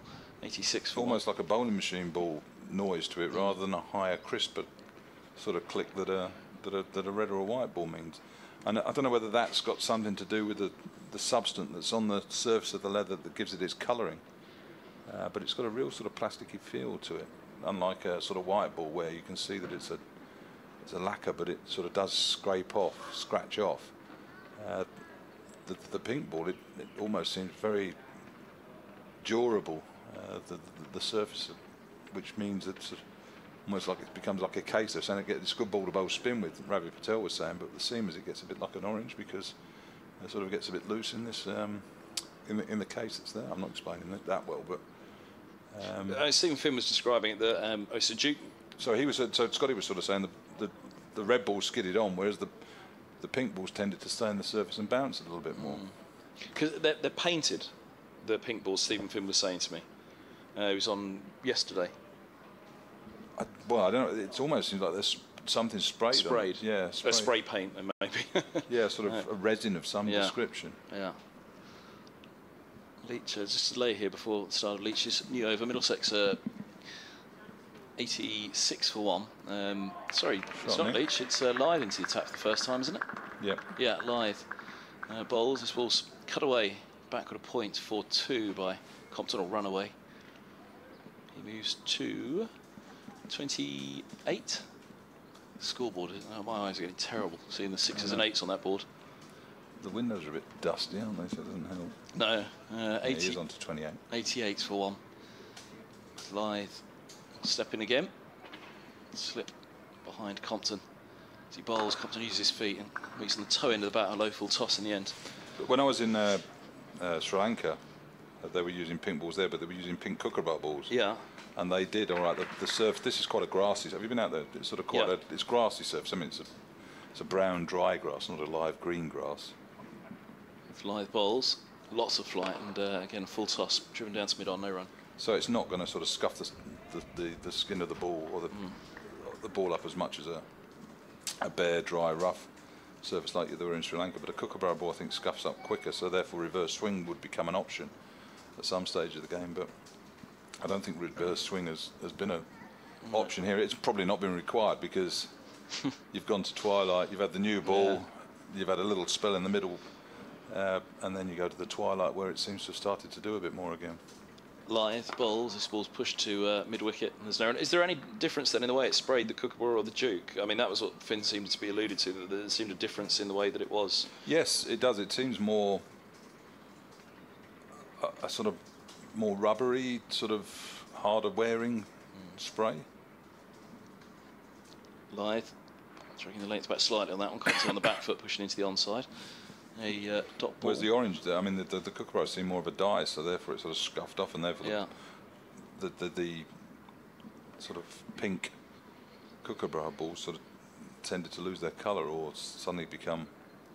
Forward goes Compton turning into the onside. No run into the over. Uh, 88 for one. Like white balls get a sort of scabby green colour, but just caused by the, the abrasiveness and the dirt and the, the grass and the whatever else getting in it. But these things haven't sort of uh, lost any of their colour whatsoever. Uh, and Middlesex have a day nighter at Essex this year. Uh, Final thought from you. I mean, it's, uh, it's the first day nighter in county championship. Uh, Chelmsford for Middlesex. And this is a, a good good example for us to sort of get used to it. I think you chat with the players, and it's it's a completely different experience playing.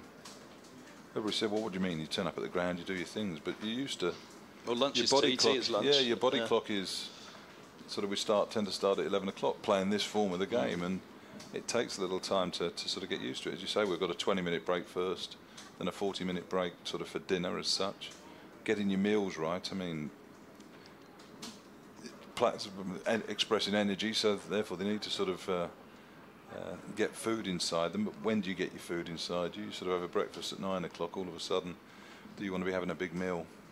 Crane bowls, and this is uh, worked up to mid on by Gubbins. There's no run. a big lunch at one Yeah. when you're in the middle of your warm ups. Yeah, I've seen a very stressed physio uh, looking at what they're all doing. But then you're sort of not having food for four and a bit hours Yeah. potentially, which all right, uh, you can live without it. But Mm. for a, for a sportsman, when you're trying to Forward goes uh, Gubbins pushing into the offside, especially in this heat. you're bowling out there and sort of getting rid of how many thousands of calories. Yeah. you, you you need some food. But Well, the difficult one for the physio is ideally it would be an early breakfast, a lunch, then the game starts, and then a light snack, and then the dinner in the 40 minute break later. But then equally, they want them to have a sleep in um, so that they're not tired by yeah, the evening session. because you come back, to the back from the hotel, you're buzzing, you're hungry. Yeah, so they want to, yeah. So you're looking to you're not getting back to the hotel till 10, Mm.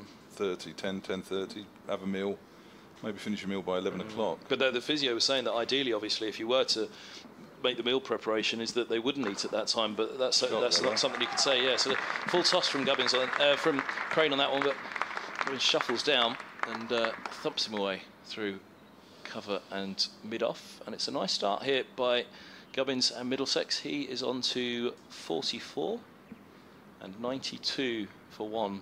I'm tentatively staying as the score just in case Yeah, that score right, is right.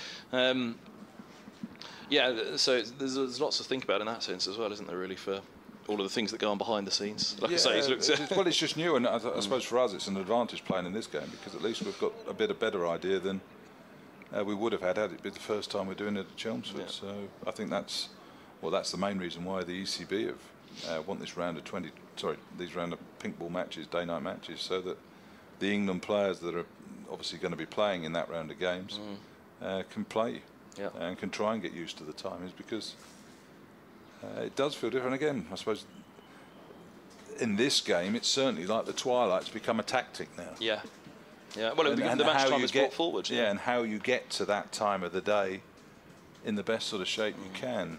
Uh, I don't know whether that's intriguing, whether that's a good thing or a bad thing. I Yeah. suppose it's something to sort of think down and contemplate at the end of a game. But should a, an hour, an hour and a half period of the game be different, sort of considerably different to Crane bowls, and this is uh, punched off the back foot out to uh, towards. Uh, in fact, it was a little bit more edgy than I realised. It's down towards a five third man. Um, deep points retreating to collect. They've taken two. It should be that more different to the to the rest of the game. But there again, I suppose cloud climatic conditions change in England. All of a sudden, it's sunny. The cloud comes over. It starts swinging. So is it any different to something like that? Really? Yeah.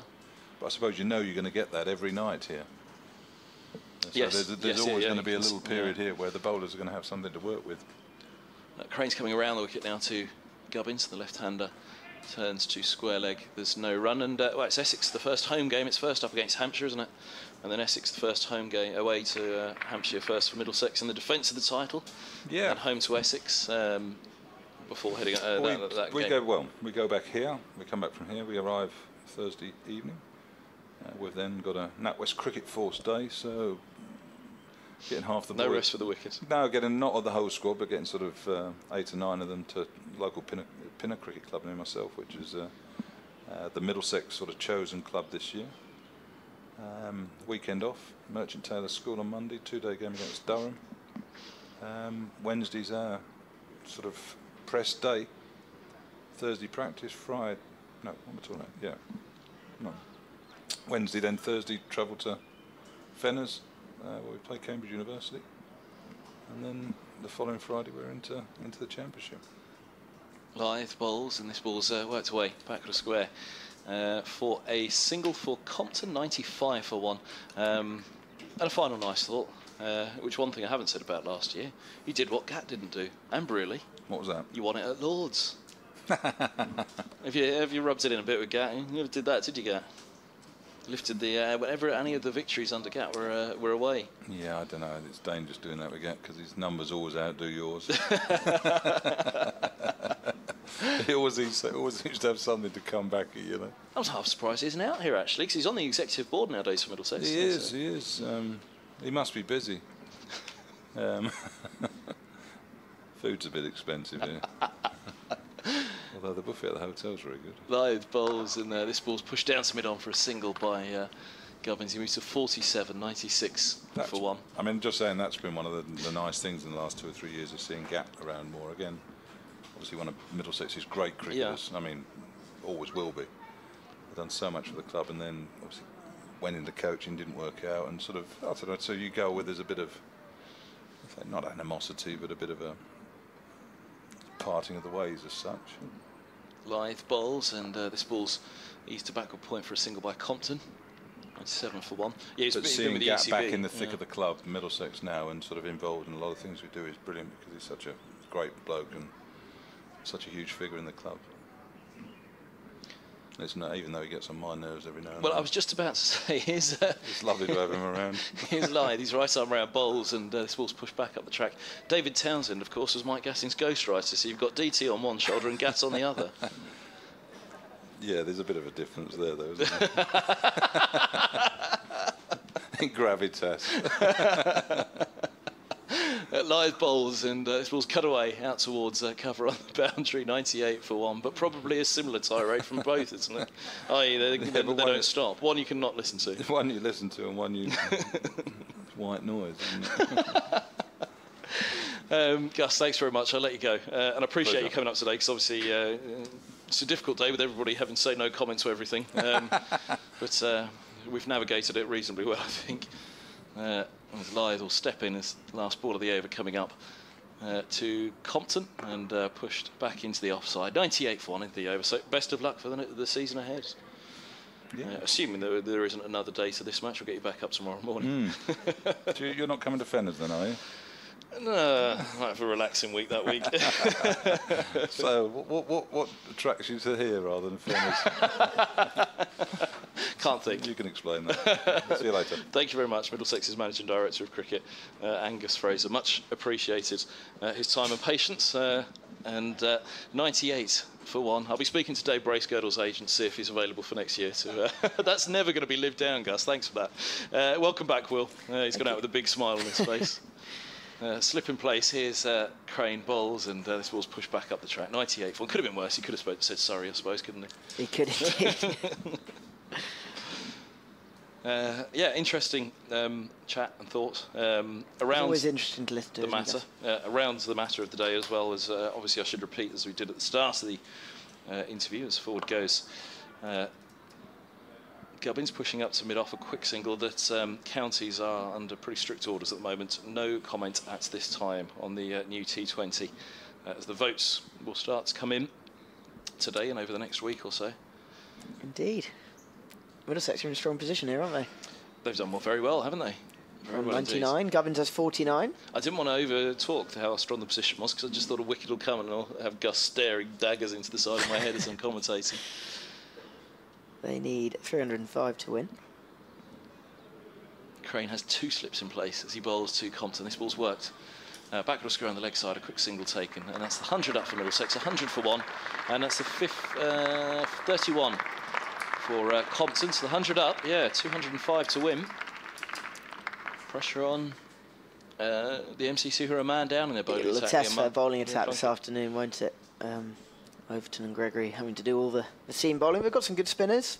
Leach got the one wicket so far. He, he's looked very tidy.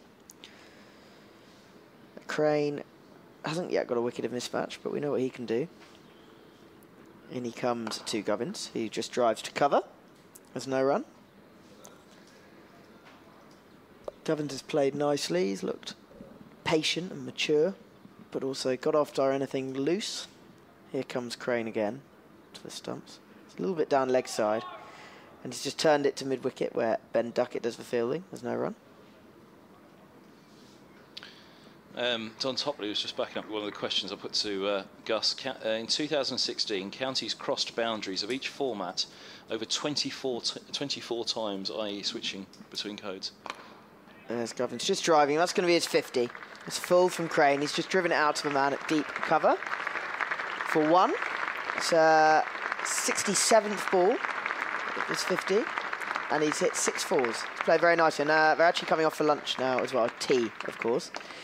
Uh, the, the first break of the day is uh, they're coming off for now. The score is 101 for one. The champions in a very strong position against the MCC. They need a further 204 to win to uh, chase down 305, which is a quite a tall target, hard ask, but they've made a very fine start. Nick Compton comes off with uh, 31 from 46 balls. He's been in a sort of fairly sprightly attacking mood, Compton. Gubbins has 50, brought that up with a final ball of the session. He's played very nice. He looked the, um, you could argue he looked the pick of a batsman in first innings as well, but he, he gave his way, wicket away in uh, uncharacteristically loose fashion. Uh, he obviously was the leading light of the Middlesex batting lineup last year. He got he made 1,409 runs, I think, off the top of my head last year. Nick Very good. Four hundreds in that, having never made hundred before. Um, and he'd, he'd dearly love one here, I think. To uh, Middlesex didn't lose last year, and Dawid Malan was quite bullish with us last night, wasn't he? He wasn't. Um, he said they're, Yeah. they're, not going to lie down here. It might No. not be a, a championship game, this, but they uh, they hold that unbeaten run quite Yeah, dearly. they're, they're not stressing, are they? But as you say, they're not going to lie down. I think was exactly, yeah. Was a summary on what It's, he said. it's a record they want to hold on to. For sure. Uh, well, thanks very much. Um, we'll hear from you after lunch, um, immediately after lunch. Sorry, Gus and I were knee deep in things there, weren't we? But uh, now, during this interval, we can hear from England's new Test captain, Joe Root, who will uh, captain his first match in July against South Africa. Last night on Five Live, he spoke to Phil Tufnell, Michael Vaughan, and Mark Chapman, who asked him if he noticed any differences in the way his teammates treated him since becoming captain during the recent West Indies one day series.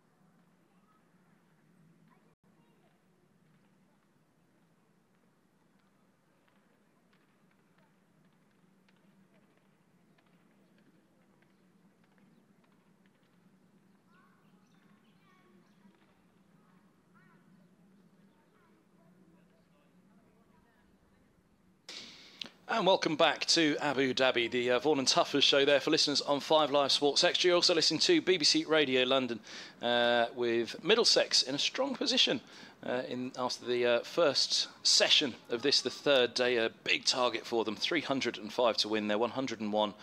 4 1. Nick Gubbins with 50 to his name, brought up just before the interval. Nick Compton with 31. Sam Robson, the man to go this morning, uh, caught Lees off the bowling of Leach for 20 after uh, Middlesex uh, wraps up that uh, MCC first innings for 151. Liam Plunkett unable to bat and uh, also unable to bowl due to a calf injury after a strong first innings from the MCC of 332. Uh, I'm Kevin Hand. I'm delighted to say John Stevenson's alongside me, and I'm very guilty as well of never having John Stevenson on anywhere near enough when I'm at Lords because um, we always say it. We pass by each other at the back of commentary boxes, say hello, and say, "John, you must come on soon," and we never do. Um, so uh, it's taken me all the way to uh, it's taken me all the way to Abu Dhabi, but I've eventually um, got you up onto the mic. So uh, good to see you. How, how's the trip been?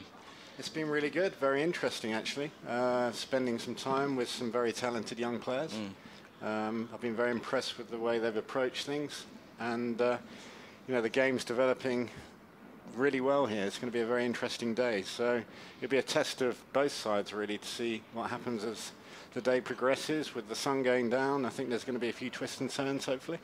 Well, well, absolutely. You've got the uh, the three spinners. Four. I was telling um, Gus with Alsop as. Cause bowled in the uh, the Emirates T20 for you the other day. Gus was looking at me out of the corner of the eye. You know, they've got three spinners, not four. Yeah. uh, but yeah. he bowled well, Tom Alsop. But yeah, that that potentially when I was looking at the lineups, I thought this could be the biggest difference the spin options that the MCC have. Yeah, that was potentially one of our mm. strong suits. Um, we've we've had a bit of a setback, obviously, with Liam Plunkett mm. playing virtually no part in the game. Yeah. Um, and that really influenced our decision last night to bat again under mm. lights. I think in any normal situation we would have stuck Middlesex back in yeah. and had a go at them. But uh, we backed ourselves, yeah. thought we'd have a bat, and uh, obviously we couldn't keep putting pressure on the, the, young bowlers. So we're in the situation that we're in now, and um, I think it's going to be an interesting finish to the game. How many years have you been leading the MCC out here now?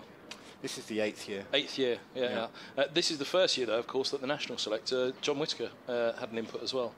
Yeah, we decided. Uh, James, sorry, James Whitaker. Yeah, yeah, we decided we were going to approach things slightly differently, collaborate with ECB, uh, pick a team uh, out of some of the players from the North-South competition because mm. they're already out here, and a few England Lions. But the original lineup has changed significantly, and uh, we brought four or five players in from elsewhere: Lees and Lyth and Overton and uh, actually the team has remained pretty strong anyway. Yeah. So I was very pleased with the team we put together, and uh, the fact that they're so young and talented has been a bonus. I mean, it's just great to see these young lads progress. Well, they're giving the undefeated champions of 2016 a real run for their money, aren't they? And actually, going into that uh, innings, we're looking heavy favourites, I'd say, the MCC. But Gubbins, uh, who has been a star for Middlesex and bailed them out, and likewise Compton. You know, they were two of the big, two of the big stars when it came to Middlesex having their backs up against their wall, the wall last year. Naught for three at Nottinghamshire springs to mind. Gubbins coming back, uh, and Compton uh, likewise, doing a, a, good job in the chase at, at Trent Bridge that day. So, um, yeah, the,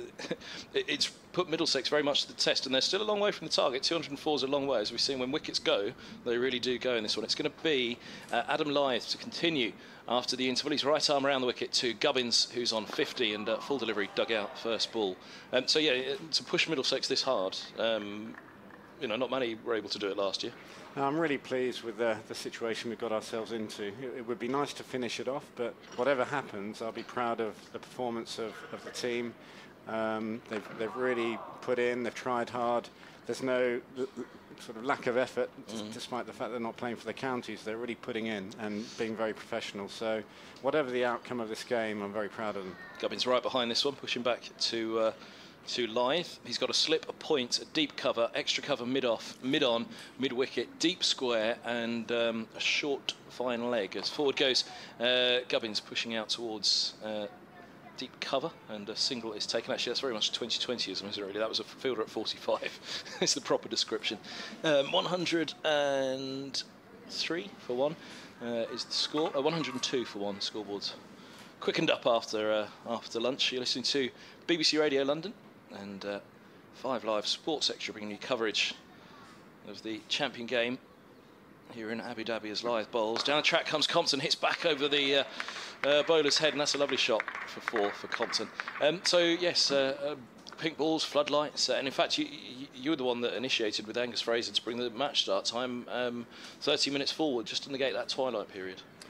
Yeah, when I was reflecting on the start times, um, and I thought, well, if we're going to if we're going to reflect what we're going to do in England and what they're doing in Test match cricket day night, let, us start at two, switch the intervals around, and um, and just um, try and mitigate that. Oh, Compton looks to use his feet again. He's got himself in trouble here. He's going to be stumped, is he? Oh dear, that's a horrible mess. But I think he is okay. It looked, for all the world, and as they all continued to look at the square leg umpire, I think the MCC did think they had Compton there. He gave a little shuffle to Lyth, having done so the ball before and hit him back over his head. Lyth dragged the length back on it.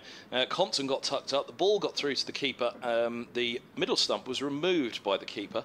I wonder, had he removed the bail in, in getting around? Is that what was the reprieve for Compton? Because it did look, even though from a very bad angle that we're at, that um, Compton was out of his ground. Uh, what say you, John Stevenson? It's a bit of a mess, that, wasn't it? Yeah. I don't think we'll ever know. Um, but uh, we need a little bit of luck, I think. Um, breakthrough, 106 for two would look a lot better. But um, Lyth bowls again. Compton works into the onside. There's no run. We might just get a replay of it now. I think. I think this will be the uh, delivery. We're quite lucky out here with the replays. No, that was the shot down the ground. Uh, no, I think we're going to be denied a replay of the uh, the attempted stumping. Uh, we shall endeavour to try and find it if we can. There's a replay system available for this game, which is absolutely brilliant. Imagine how much easier my life would be at Lords if I had this. Uh, 106 for one. Uh, one day county cricket, I'm sure, will uh, come towards having all the technology uh, that is available. But um, yeah, so um, the twilight period was the uh, was the issue, wasn't it, to bring the game forward? Yeah, well, the two nights we practiced here, I noticed that twilight was around 20 past 6 to 7, the, the real twilight zone. So to bring it half an hour forward actually dealt with that, and it all made sense. Switch the intervals around, as I say, and it seems to work quite well. Yeah, because clearly in that period, running up to the second interval of the day, um, ball's doing a bit, uh, Yeah, it is which is the beginning of twilight. So if they had, if it had been an extra half an hour there, it could have been done by now in this game, couldn't we? Yeah, which is not what anybody would have wanted. No, I think that actually the Duke pink ball has done a little bit more than uh, the Kookaburra Mm. pink in the past. But also, there's a little bit of grass on the pitch. We left a little bit of grass on, and um, it's a really good pitch. And it's actually made it very, very interesting. Um, we've got Dilip coming in up in a little while. He's the managing director of, um, of uh, Dukes, so he's behind the, the pink ball for this one, which uh, will be used for that round of matches. Will's going to have a chat with him uh, in just a little while. As here is Gregory opening up after the interval, and it's left alone by uh, Gubbins outside of the off stump on on 51. Um, is it eight, uh, uh, I said, how long have you been leading the MCC out here? Is it eight, is it eight years out here now? that- Yep, this is the eighth. year. yeah, yeah, yeah. Um, that is a long time, isn't it? 'Cause obviously, there's been a lot of talk about it as well, and you know, based at Lords as I am for half the season, there's always talk about, oh, I wonder will it move next year. Mm. There has been some talk, hasn't there, about whether that might be a, a possibility that it will, it will be on the road elsewhere. Yeah, I think we're going to go back after this game and have a, a re- review of the game and, and the destination, mm. and uh, we'll make a decision once we also talk to ECB as well because of the collaboration with North South. Mm. Whether they Which itself is on the move by the sounds of it. yeah, that might be on the move. So Yeah. I think it's a discussion to be had when we get back to Lords, have a chat with Andrew Strauss and Gus Fraser and see where we take it. Could Gregory come back bowls, here, this one outside the off stump. could go elsewhere. So Yeah, yeah. I think it'd be interesting. It's an interesting concept. Yeah, absolutely. And 'cause part of the concept is spreading cricket where, where it is, which clearly has been done here. Um, you know, even on arriving the day before the North-South game last week, um, there was a lot of talk about the cricket academy that's out the back here and the nets that 300 kids on a Friday night, I think, um, 300 more than that, uh, plenty more than that, that turn up to the nets out the back locally. It's developed massively. I mean, I'm just looking out here. this um, one's uh, full and driven away out to a deep point for a single by Gubbins. Eight years ago, none of this was here. Mm. Uh, they didn't have the two ovals over there, the, no floodlights over the academy, um, and all the counties that come over here. Um, so, I mean, when we first got here, there was no one really playing much cricket. Yeah. So it's developed massively. It has, yeah. Um, equally, the ICC Cricket Academy is down in Dubai now, isn't it? And that's um, you know massive again for the amount, the the, the, pa- the participation there. Um, but certainly, there was a lot talked about the participation here that it really has had an effect. Because one of the theories with the Caribbean was actually that perhaps the Caribbean needs a little bit of a jolt itself, and maybe the MCC could help with. Uh, taking the match there, um, but up, up, up for review because the North v South, by the sounds of it, it, wa- uh, it's here this year because it worked for it to be here this year. But it's again that one is very fluid as well. That could be that could be going to a number of destinations by the sounds of it next year because there's a few tours around as well uh, this time of year. I think next year Yeah. um, that it might tag onto us. Here is uh, Gregory bowls, and this was pushed to point. Uh, by Compton, 107 for one. Um, but it has been a success here in, in, in the UAE. There's no doubt about that, is there? Definitely, and it's helped develop the whole concept of pink ball cricket, day-night Test cricket. W- without this, there would never have been any, any even any inkling of day-night Test cricket with the pink ball. So we've made some pro- progress, and I think helped the game. Uh, and I'm not saying that day-night Test cricket with a pink ball should be played everywhere, but I think it it will certainly help stimulate attendances in certain areas of the world, and that's what we've, we've been aiming to do. Gregory's in, bowls full to Compton. There's a thick outside edge races along the floor to points. Gregory's just about to go up uh, in great excitement on that front. Um, and there will be a pink ball game this summer, won't there, for the county championship as well. Middlesex will be at, at Chelmsford, so not for Lords just yet. No, um, but as you say, there'll be a round of championship matches in June, and then the first day night test match at Edgbaston in August, which really re- it's really really exciting, and the ticket sales for that have been excellent so far. Of course, for Lords, if it was to happen there, there is the agreement with the local council, isn't there? So it would have to be thought through quite extensively if there was to be uh, the day-night one. As uh, this ball's dug out by Compton up to mid-off. Mind you, I suppose the floodlights are allowed for Test matches, aren't they, at Lords? So um, theoretically, there Yeah. wouldn't be uh, an issue. Theoretically, we could do it, um, but uh, we have 14 daytime permissions, which we use for, for Test cricket. Yeah. Um, and we have 10 nighttime permissions. Quite a few of those are used for T20. Mm. Uh, but in theory, it could be done. But I think see Lords sells out Test cricket anyway Yeah. uh, during the day. Yeah, so yeah, yeah, of course. No, at the moment, it's not really on our radar. I guess I was more thinking well, when I started the, the conversation. I was more thinking of Middlesex. Had it been Middlesex, you know, that round had Middlesex. I mean, obviously it was worked out that it, they weren't, but in years to come, potentially Middlesex could. But then that would, uh, I suppose, take away from their uh, their day-night fixtures for um, one-day competitions. Yeah. yeah. Uh, so it's a tricky one. perhaps not just yet then. conditions. No, Perhaps not, just yet at no. Lords. Um, yeah, one again. There will have to be uh, worked out. Um, slight delay before the start of the new over here. It doesn't look as though it's going to be live. Is it going to be Mason Crane changing ends? That- Yes, it looks like Mason. yeah. Um, conversation with the uh, over the field at the moment. We've got a slip for Gubbins, a point and extra cover.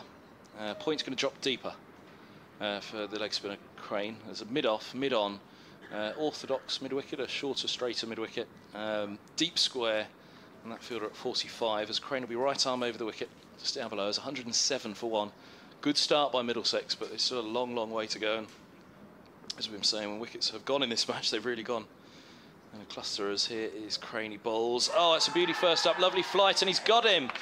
Well, forward goes Gubbins. Big forward defensive battle, long way ahead of the pad there, um, but uh, unable to make contact. And I have to say, it was a very confident appeal from Crane as uh, as Gubbins pushed forward. He's gone LBW for 52, 107 for two, and that's a huge wicket for the MCC. That really is. We- needed that. Uh, Gubbins was looking very dangerous, and I'm, I'm very pleased for Mason Crane because uh, he's a lad with a lot of potential, and Mm. that will give him some confidence. The flight was beautiful on that one, wasn't it? First ball for a leg spinner, that's the bane of the leg spinner, isn't it? Dragging it down or uh, full tosses as well, but that was an absolute beauty of a first delivery. He's such a natural leg spinner. His, his action is, isn't copied from anywhere. He can see that uh, the way he approaches his bowling is so natural. He bowls at a good pace. He lands it in the right areas. But also, equally as impressive is the way he thinks about the game. You talk to him about cricket, he's got some plans. And for a 19, 20 year old, it's pretty impressive.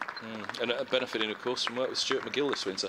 Absolutely, yeah. I mean, he's just got to be left to bowl, bowl and bowl and bowl. And I think he'll, he'll become a star of the future. Yeah, uh, again, he bowled beautifully in that North v South match. You wouldn't have seen that, would you? Would you have been in, were, you, were you here for the North v South? You weren't, no.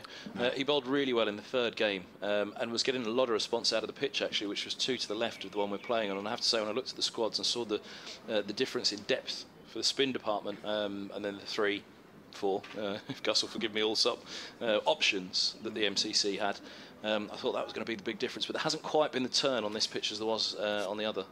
No, there hasn't been much turn. It's just an excellent surface, and I don't think it's really going to turn much as the game pr- progresses, mm. or how much is left of the game yeah. anyway. So our spinners are going to have to bowl really well and tight, do a little bit of a holding job until the sun goes down, and then we'll see what happens. Yeah, and that was the story for Middlesex on the first day, wasn't it? A holding job by part-time spinners as well, uh, Malan and, and Robson. Here is Dawid Malan, so it's another lefty for Crane to have a look at. Uh, same field, slip, going to crouch down. Looks like that mid wicket's just moved a little bit sh um, shorter in, closer in for uh, Malan as Crane is in, bowls, and uh, Malan forward pushes back to him again, beautifully flighted and well landed by Crane. This is his sixth over, one for 19, 107 for two. Crane moves in again.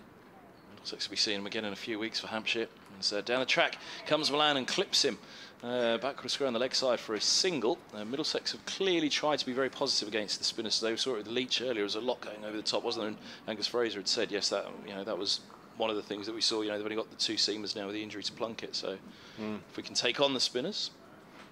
And we're aware of it, but what I've been so, so glad to see is Alex Lees leaving mid on and mid off up. You know, yes. I, I, think it's a really good gamble to take. You, you see the mid off or mid on going back straight away these days, and I just think you know, give it a go and Compton and Gubbins chipped a few into the outfield mm. and took a chance. Yeah, yeah. It's good cricket, and that's and, and that was motivated by the fact that the mid on and mid off were up. Yeah, Gus was impressed with that when he was up here. Uh, here is Crane. Oh, he does drag that one short. Um, real long hop, and it's a little tuck around the corner from Compton on the sweep to uh, move to 36, 110 for two. Um, yeah, young young side, as you say, um, for the MCC, uh, but an exciting one. Had, they have really played some good cricket because in the Emirates T20, they went down their um, two-day competition now with uh, three matches on day one, three matches on day two. As the fixtures came out, the MCC would play their two matches on the second day. As this ball swept, uh, you know, it's almost hooked away, wasn't it? That one by Malan for a single out to deep square, moves him to two. Um, the MCC managed to qualify for the final, three matches in a day. Um, so they really have, and it was quite a strong competition that day. And there was Lancashire and Durham and uh, Warwickshire and the two teams from Pakistan as well, Lahore and mm. the Zalmi Foundation.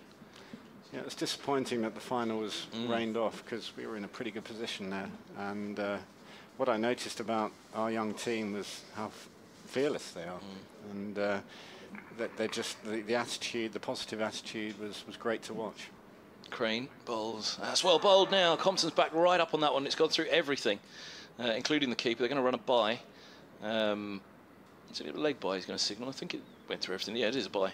Uh, 111 for two. The score, that is the end of the over. Compton remains on 36. Malan has two. Uh, one more over, John, but uh, we'll step aside um, for Will. Um, you, Ryan Higgins was called up late. You mentioned the chopping and changing at the MCC side. Ryan Higgins was called in the Middlesex uh, all-rounder and impressed greatly from a Middlesex point of view. I'm sure that uh, listeners would love to hear how he got yeah, on. I, I, I, really like Ryan Higgins mm. as, a, as, a, cricketer. He is a 100%er. He's got a big smile on his face. He batted brilliantly for us that day, bowled well, lots of variation. Um, and uh, I mean, these days to have a, someone like him in your team who can bat high in the order fourth seamer, third or fourth seamers. Yeah. He's going to have a good career. He just needs to be given the opportunity and a great attitude. Yeah, yeah. Um, that's the thing. He's got to. I mean, really, he's got to put pressure on the skipper, hasn't he, James Franklin, uh, for Middlesex at the moment for that role. Um, Eskinazi next in line for the bat for Middlesex. He talks about his variations as here comes uh, Gregory beginning his seventh over. There's three slips behind Compton, who's down the track and thumping this in between cover and mid off. Imperious shot that by Compton, 115 for two. Um, bold approach from Middlesex. Compton's on to 40. You mentioned his variations, Higgins. It's the accuracy of his variations that's key, isn't it? Very impressive. yeah, he was uh, he was probably our best bowler on the day, and as you say, every variation he tried was mm. was spot on. Yeah. Um, so we, we enjoyed having him in the team. We also had to recruit Jack Burnham from Durham yes. when Liam Plunkett uh, fell ill that day. So yeah, we, we had a few challenges that mm. day, but managed to get to the final and. Uh, as I say, it was a bit disappointing we couldn't finish up, finish the job off. Gregory bowls, this one pushed to cover by Compton, and there is no run, 115 for two. No, a shared trophy there, wasn't it, between yourself and Lancashire? But uh, an opportunity here. Another couple of wickets on this scoreboard now, and all of a sudden, what was a strong position at the interval for Middlesex becomes extremely nervy with twilight approaching. I love the ebb and flow of yeah. day-night Test cricket or four-day cricket Yeah. with a pink ball. It, it's uh, it just adds an extra Mm. dimension to the game, and, and today is going to be no different. I mean, I, I, even if Middlesex go into twilight two down, we'll still have a chance, depending on how many runs uh, there are to get, and uh, it will create another He's Compton on the back foot playing into the offside. challenge for both bat, bat, batting side and bowling side. Mm, absolutely. Uh, Gus actually, as far as Gus is ever enthused, was quite keen about uh, watching it. A, the learning curve of it. Obviously, you've seen it for eight, uh, you know, for a few years now. It didn't play last year, did they? Uh, the day night when it was a- just a daytime match. But uh, I think Gus has been very interested, and obviously it gives Middlesex a step ahead ahead of uh, the first ones this summer. Yeah, I'm glad he, he's enjoyed it because uh, I mean I've seen all sorts of scenarios over the last eight years of day-night cricket here, and you know I've seen Oh, Compton, he's down the track again, drives this one. Uh, cover drive, which uh, this time he was more to the pitch of it, so it's all along the floor for four, but still expansive from Compton nonetheless. He's on to 44. you know I've seen the ball. Um, the, the bat dominate the ball at twilight here um, in the past. If you got Really? two, yeah, why, yeah. why so? Well, because the pitch was flat, two, Yeah. two men in, um, a tired bowling attack. So it depends on the situation of the game. Because Malan was saying yesterday it felt like a twilight almost all day because of the overcast conditions. Yes, it did. Yesterday was extraordinary. I mean, the, the weather has been very strange this time. It's usually like this every day. Yeah, and today has been the best day for batting, probably, hasn't it? Yeah, Uh, in terms of overhead. Uh, here But, comes um, a foolish one from Gregory and a quick single drop by Compton to cover my word. Well, it's his grandfather's name there, wasn't it? As he pulled, called that single, it wasn't there. And uh, fortunately for Dawid Malan, the throw misses from Overton at cover. Otherwise, that was easily three down. 121 for two. Just Yeah. mind their work. That uh, that's disappointing. That didn't hit. 120 for three would have looked like very nice. Yes, yes, it would have been a problem indeed for Middlesex. Um, yeah, because day one, the pitch perhaps uh, the pitch played its played better on day one than it did on day two. I'd suggest for the batsman. Um, there was a bit more movement in it yesterday. Maybe that was due to the twilight. I think the the cloud cover was the main factor. Day one, it just stuck in the pitch a bit, and Yeah. I was really really glad that we got those runs on the board, considering Yeah, because uh, it was a little bit tacky the day before with the weather we'd had. Um, here's Gregory bowls, and this ball's uh, turned through square leg by Malan uh, for two off Gregory. I think the pitch is at its best now. Yeah. to bat on with the overhead conditions. Uh, but as I say, over the years, I've seen all sorts happen. Uh, bat dominate ball under twilight and lights, and then the reverse. Uh, but it all depends on whether you've got batsmen in and the situation of the game. If you bat first, get 500 and stick the opposition in under twilight day two, you're in a good position with a new ball. Um, but uh, you know, I think it's, it's, it's great to watch and, and something different. John, thanks very much. Uh, end of the over here. Um, thank you very much for the time. Uh, well done. It's been a very entertaining tour to watch. Thank Uh, you. So we'll see you. We'll see you at Lords. I'll get you up at Lords soon. um, Will's going to sit down alongside me. 122 for two. The uh, score here. So Crane to continue just down below us. Uh, one for 22 for Crane so far, and Malan has four. Compton has 45. Um, as Crane's in, I'll just start this over, and uh, Compton eases away into the offside. Uh, after a few words from Will, it's going to be Dilip who will talk us through the Duke Ball uh, and the pink Indeed. Duke Ball that's here as well. Uh, Will Macpherson. So Crane's at the top of his run again. He's into his seventh over now. He's got got Nick Gubbins a short while ago. He comes into Compton, who has thrashed him to mid wicket there, but there's no run. Straight to the man. I'm just being joined now. Very delighted to say, I'm being joined by Dilip Jajodia from uh, from Dukes, who uh, of course provided the ball for this game. As Crane comes in again to Compton, and he leaves that outside of stump. Dilip, welcome.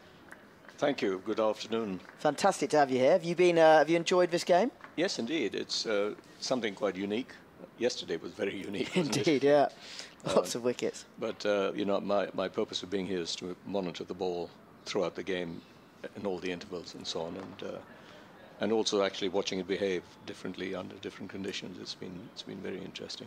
Crane's just knocked, been knocked by Compton out into the deep for a single. Have you? So you've been delighted with how the ball has uh, coped. It's the first outing of the Pink Duke in this game. Absolutely. And, uh, you know, I think it's interesting. The, the, the challenge is to produce a, a pink ball that will work in all conditions.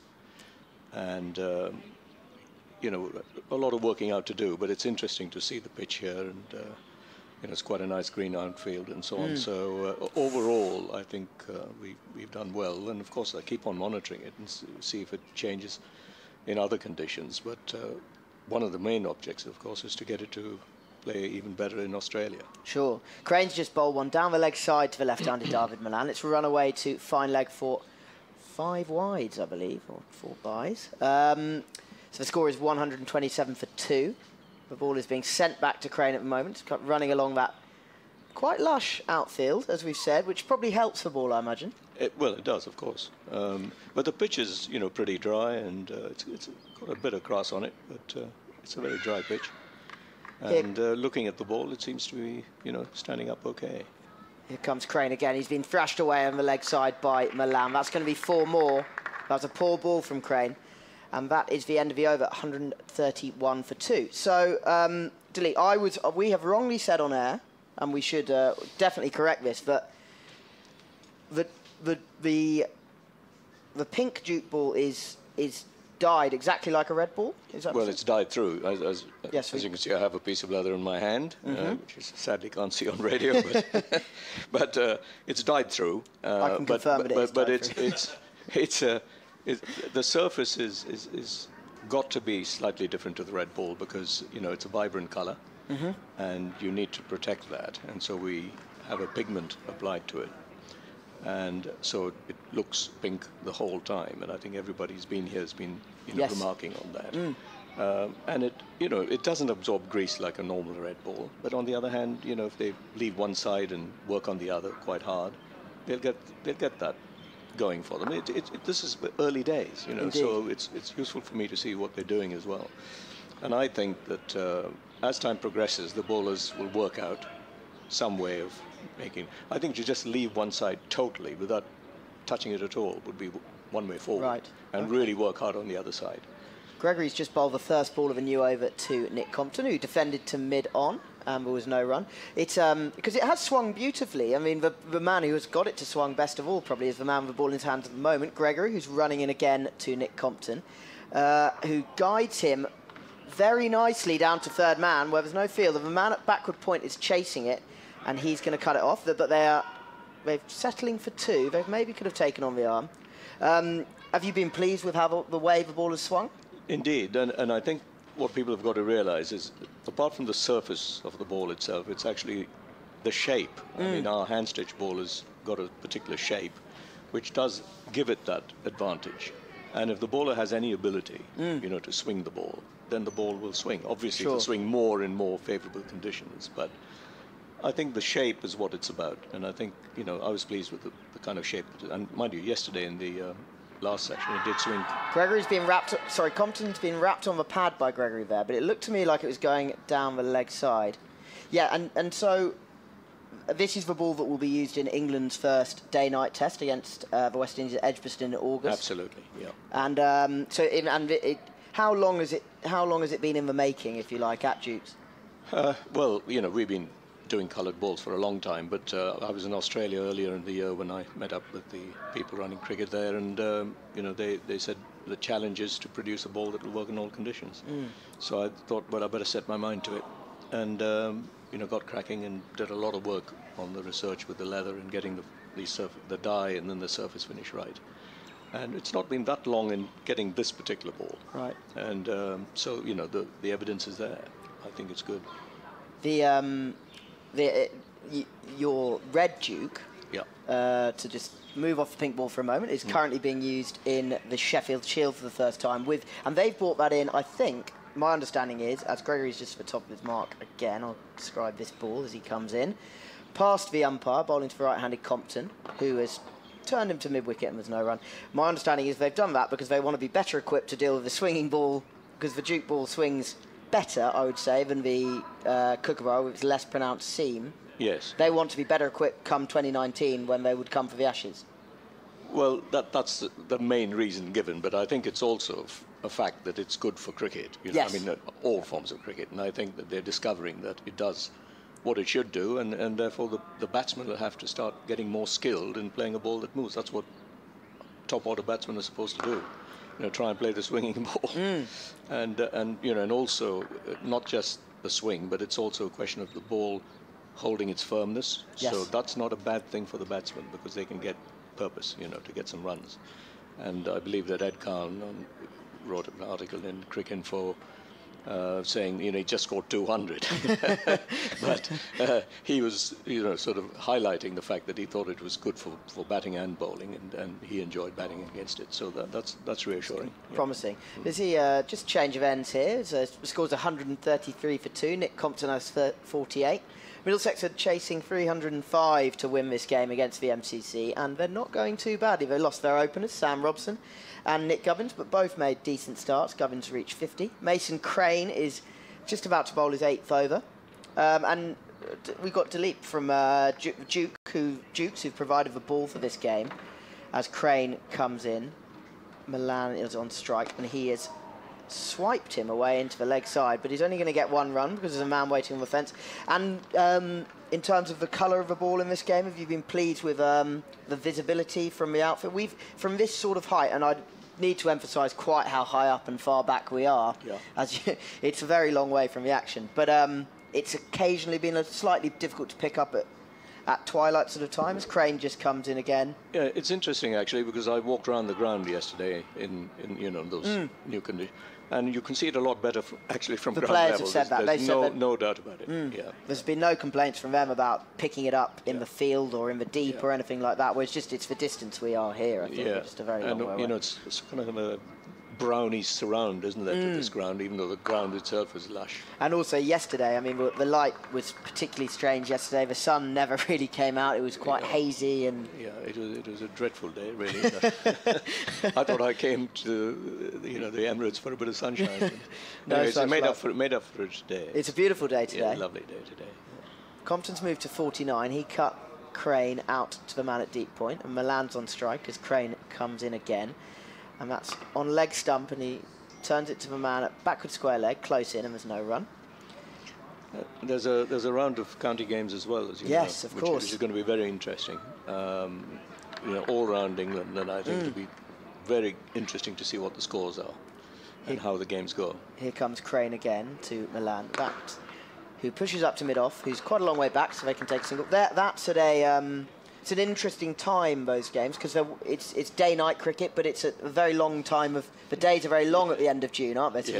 the, the the night element isn't going to be p- No. that No. prominent. It's, were, right. were you? What did you make of that uh, you know, decision to ha- have it then? Uh, well, I think in general terms, uh, probably the cricketing authorities wanted the players to have an experience playing with, with a pink ball, you know, in whatever light. But I guess it's interesting here, the tactics, you know, who do you bowl when is emerging now. That's 50 for Nick Compton. He's uh, he's got down on one knee and he's swept Mason Crane out into the deep. And the man, it should have just been one, which would have taken him to 50 anyway. But the man in the deep on the uh, on the cow corner boundary has let it through his legs. So he's got four for that, and it's uh, that's his eighth four. He, he's got 53 now from 72 balls. Middlesex are 140 for two, and they're doing rather nicely here. As uh, that's the end of the over as well. End of Crane's eighth over. He has one for 34. Yes, it's um, those games are going to be interesting to see how um, the light works, um, whether it gets dark at all. Yeah.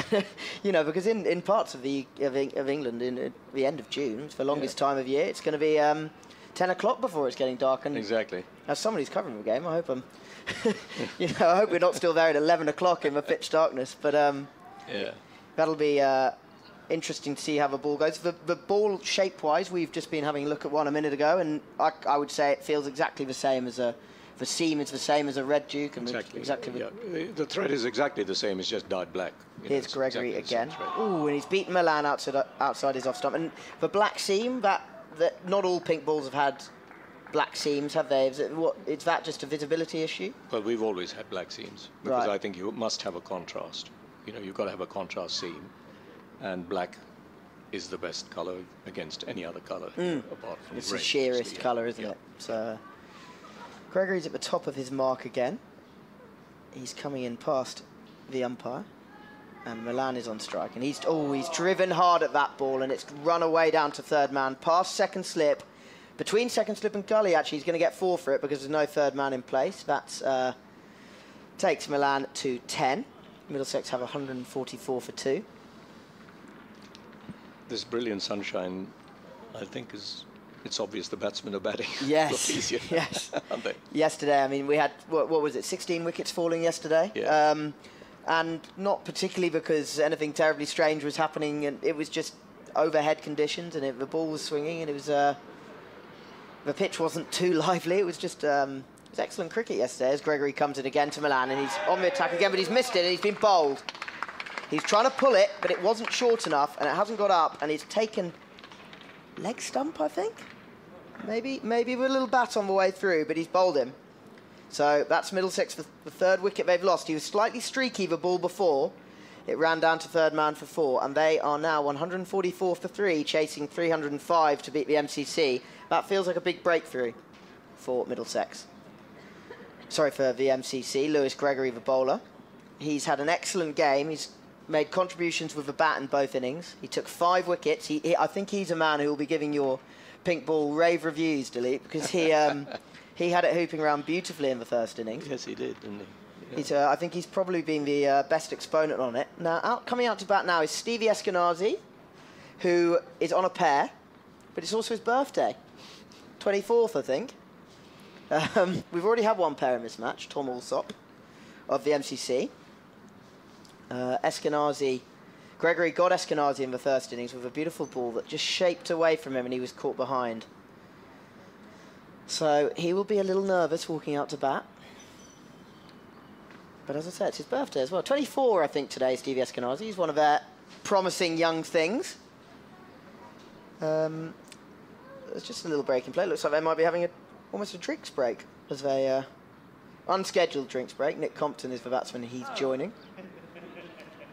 We're joined, joined by Dilip from Dukes, which is fantastic because uh, it's great to hear about how these balls come into being and uh, the, the, the work that's gone into them. And of course, the, the big day, I guess, for this pink ball is is August, when or the big month when when England play the first test at Edgbaston uh, with a pink ball against the West Indies. Yeah. They've already played a pink ball test uh, against Pakistan, I believe, in the uh, actually maybe even in this very ground. Yeah. Certainly in the UAE. Yeah, certainly, yeah. Uh, I think it was here. Eskinazi's just taking guard. Gregory has three three balls remaining of this over. Um, yes, I think it does. It just takes a little bit of adjusting, doesn't it? I think it's more not so much for ball, but the actual idea of batting at twilight uh, as the sun's going down. Yeah. I, I think as time goes on um, and more experience, you know, people have more experience of all the conditions, they'll be having different tactics um, to take advantage. It's, certainly they bring the quickies on as soon as the lights The come lights come down, yeah. You can, and you see the ball swinging Yeah. around a little Yeah. bit more. It's diff- more, slightly more difficult to pick up, possibly. Yeah. There's just a couple of adjustments happening to the field here. There are Eskinazi's on a pair, and he's got four slips for company. There's no man at fine leg. There's no one at third man. There's a backward point, a mid wicket, mid on, mid off, and cover. In comes Gregory past the umpire. Eskinazi's first ball. He's left it outside off stump. There's a nice bit of shape on that one as well, just away from the right hander, which is the delivery that Gregory bowls. It, uh, it's been a it's been a very promising start, hasn't it, for this uh, this pink Duke or Dukes? Yeah, I'm, I'm, I'm very pleased, and I'm now working pretty hard on a white similar technology. Right, to get it dyed all the way through rather than just Yeah, and to have, uh, you know, so you can have one ball for 50 Sure. overs. Yes. I think that's an important step forward if you can do that. Here's Gregory again coming in. Eskinazi's still on a pair, and he's let that one go as well. There's one ball left in this over. Yes, because of course at the moment the uh, in white ball cricket or 50 over cricket at least, there's uh, there's two white balls. At, there's one from each end, which. Do uh, do you have bowlers coming to you and saying that they think because I think the people always complaining it's a batsman's game these days, isn't it? Particularly white ball cricket, and that, that just sort of keep the uh, Gregory's just about to bowl the uh, last ball of his over. It keeps him interested, doesn't it? As he's just coming in past the umpire, Alex Wharf at the other end, Eskinazi. Oh, he's beaten outside off stump. That's a beautiful delivery. I think it's just left him. Just what we're talking about. Eskinazi's faced three deliveries and he's still on a pair. Um, yes, the bowlers. That is uh, replays just running through there. It's a beautiful delivery. The um, yeah, but bowlers. You'll always hear bowlers say it's a batsman's game, won't they? So the sight of a ball swinging around nicely in this game will certainly encourage yeah, them. Yeah, I, you know, I think the, the evidence is there. The scoring, the, the scores are going up and up and up in the one day in, the, in the white ball game, both T20 and 50 overs. And I think uh, we're not we're not trying to tip the balance totally the other way. We're trying to say the bowlers need a little bit of encouragement, and if there's a bit of natural swing in the in the in the ball because of the shape and so on, that's a good thing. and Crane's just coming in to start a new over. Apologies. And Nick Compton's thrashed him away into the leg side, and he's going to get four for that. It's gone between mid wicket and mid on. Compton moves to 57. That's his ninth boundary. He's playing very nicely here. He's um, I don't think Nick Compton wants to come back tomorrow. Is my sense. I think he's in a hurry to get this done today. Middlesex are getting towards halfway towards their target of 305. It's 148 for three the score. Nick, Mason Crane is at the top of his mark again. He's coming into bowl the second ball of the over, and that is driven off the back foot by Compton, but only as far as the man at point, and there's no run. Crane is into his ninth over. He has one for 38. The scoreboard is a long way away, and it's just a good test of the eyes. I think Kevin Hansby struggling a little bit. Here comes Crane, and Compton's defending that into the leg side, and he's going to pick up one. It's just a nudge. Mid wicket comes round and does the fielding. Is this the first time you've been to this ground? Philippe, it is week? indeed, yeah, it is. and did you um, have you been to the any of the other day-night tests? Have you been to either the the test match in Australia? No, unfortunately not. Um, I'm looking forward to attending one. And certainly, the one at Edgbaston will be the first one. Yes, I think it's a very exciting development. Be- I think tickets are flying for that They are. that event because uh, Edgbaston is a famously uh, raucous crowd, and the uh, the Birmingham locals don't don't need any encouragement to watch some of the uh, cricket in the evening there. Here comes Crane again. He's got two slips now for Eskinazi, and he's off the mark. That's beautifully played. That's a that's a sweep down to fine leg. It's very fine, and he's going to get four. That's a nice way to get yourself off a pair. He just preempted that almost. He stepped forward, down on one knee, and got a chunky bit of bat on it down to fine leg, and he's got four runs. He, it's his birthday, Stevie I said, so it's nice for him not to bag a pair. That would be a horrible way to spend it. Crane is at the top of his mark again. See, and he comes, still two slips, and that is cut, but only as far as backward point. There's no run. Kevin Hand is uh, re- getting ready to come back and join us. Perhaps at the end of this over, there's one more ball to come. And Crane's just delaying it slightly. He's drying his hand on the surface, which probably hasn't turned quite as much as we thought it might on after the first day. It's been a good track. I mean, certainly Middlesex are halfway to chasing 305. It's now 153, so 153 for three. So it can't be that bad. Here comes Crane again, and Eskinazi's just defending a full delivery straight back to the bowler. Dilip, thank you so much for joining us. It's been great to hear about the pink ball, and it's been a, a very successful first outing, I think. Thank you very much indeed for the opportunity No, not at all. to make thank sure you. that everybody knows that the leather is dyed through. Well, we've been we've been peddling misinformation for two and a half days, so it's important that we uh, we put that right. Thank you very much, Thanks, thanks again. So, the end of Mason Crane's ninth over. Uh, Middlesex are 153 for 3 in their pursuit of 305. Kevin Hand is settling back in next to me. Kevin, welcome back. Hello, that was very interesting. It was fascinating. Did you enjoy it? that? I did, very much so, yeah. It's very interesting to hear. Dilip's got a little box of tricks over there, his Duke balls. Yes. Duke's balls.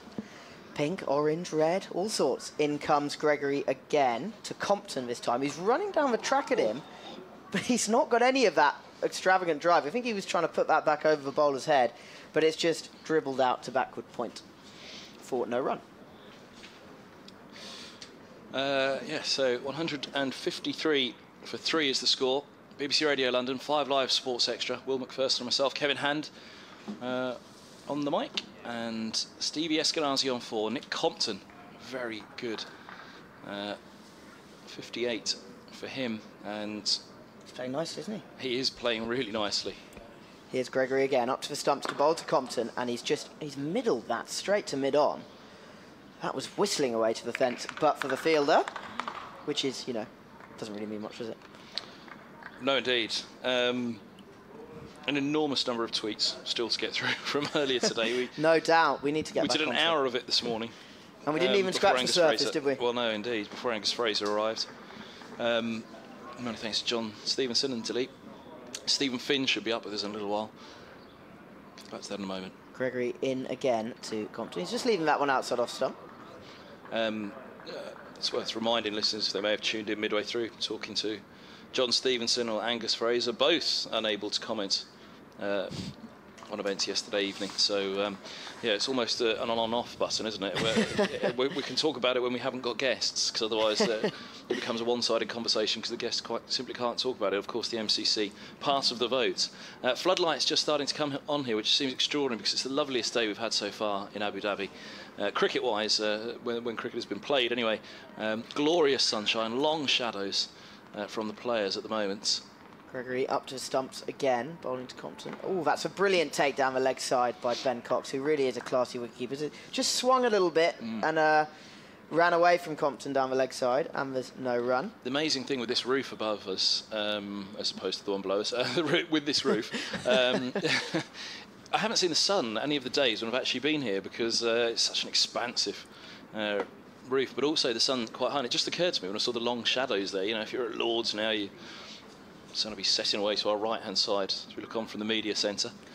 Gregory up to the stumps again, past umpire Wharf, bowling to Compton. Oh, he's tried to leave that outside the off stump, but he's very nearly played on as he withdrew his bat from oof, over his head. He just caught a little bit of a ball and it nearly hit the stumps with some ums and some ahs from the MCC fielders. Lewis Gregory almost set off in celebration when he saw Compton's bat make contact with a ball. He's, he's now, he sort of walked beyond the cover fielder. I've had a tweet from uh, Angela Gillam Hello, Um, Angela.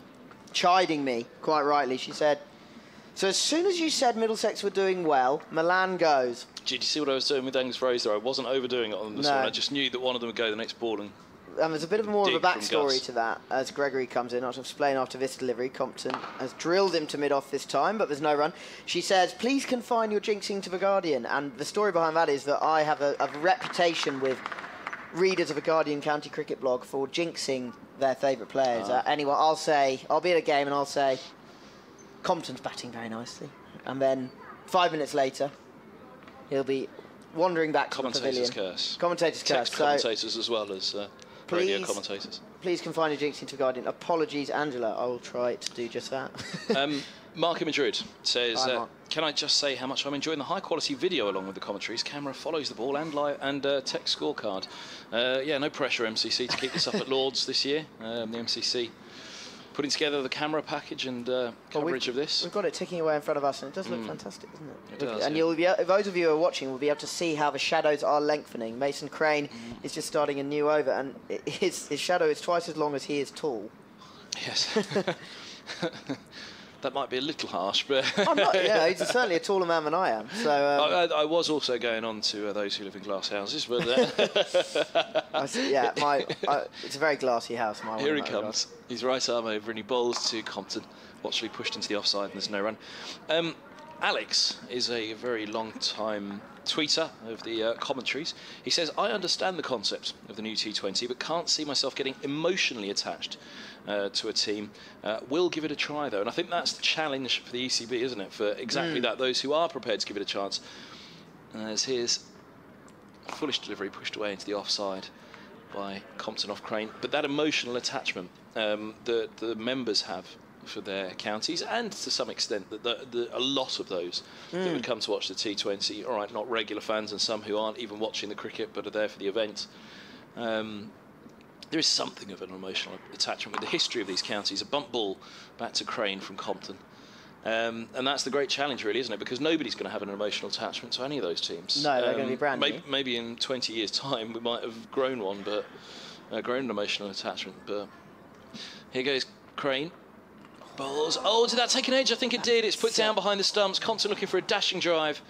Um, I think that's dropped. yeah, I'm pretty sure that we heard two noises there. And the effects might have edged and very quickly Look at it now. Well, the bat speed too quickly for us to tell. Certainly, Adam, Adam Lyth's reaction at first first slip suggests that Ben Cox might have dropped that. Compton survives on 58, we think, as uh, this ball's full and driven down to mid-on. 153 for three. Had an email sent through to the uh, TMS inbox, which has been forwarded on to us by Adam Mountford. I'll have a look at that one in uh, just a moment at the end of this over. Got three balls left of it.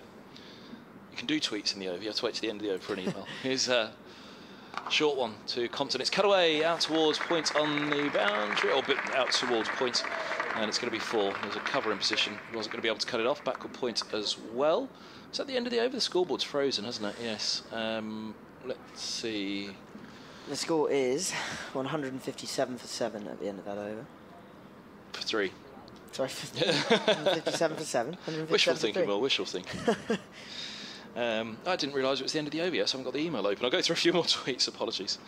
Um, Paul Howden says they have three years rebrand to rebrand this, but as old people are stuck in the past, and I am 55 and only support Middlesex. Um, again, that's why I think the T20 perhaps does have a still a future because there will be those who will not let go of their uh, emotional attachment to the counties, uh, whatever the format that it's in. Uh, also interesting hearing from Gus on list A. Obviously, was restricted in the questions that I could ask, but uh, I was pushing him on on the relevance of list A um, and the. He, he gave a good defence of a, the, he the did. format, didn't he? Um, and uh, I think he was getting a little bit frustrated with me in the sense that I was pushing it so much. But obviously, there were questions that I couldn't ask. so, um, yeah, to get um, to get a little bit more of an extensive answer on the relevance of list, list A as it currently is, because of course that's one of the areas that well stands to lose the most Mm. with the new T20 in, uh, new 2020 in the evening. But um, yeah, he was a staunch supporter of list A, and that's where the England ODI players are going to come from. Craig Overton is into the attack, replacing Lewis Gregory. He's bowling to Nick Compton, who has turned him to the leg into the leg side, but is only going to get one run.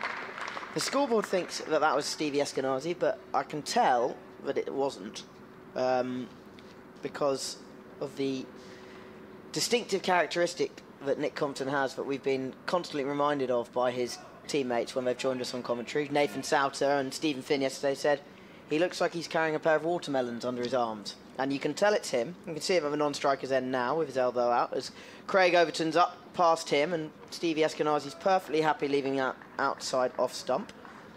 Is that Finney down there at the moment doing the MCC? It is, yes. The the, uh, the the the the video chat that we were talking about last night is uh, Is it going to be another 20-minute documentary from well the MCC's Will Rowe? he Possibly. Dan Vettori before he got up here. possibly I might have arranged that the man sat ne- stood next to him, Steve, uh, Stephen Fletcher, as I'll tell you more after this ball.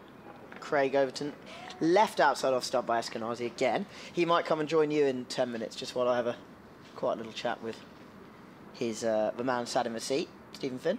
Oh, Fletcher's going to join us. I think possibly I might have Ah. I might have set you up with another guest, Ah. another Middlesex man. You might have uh, look at that. You might have set me up with a guest.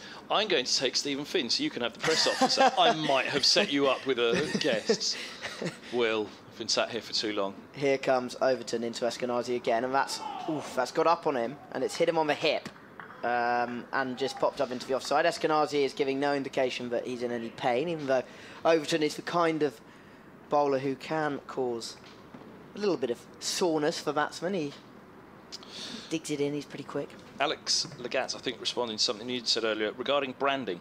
Uh, with no city regional connection, uh, don't you just end up with anonymous team names, e.g., Dolphins, Titans in South Africa?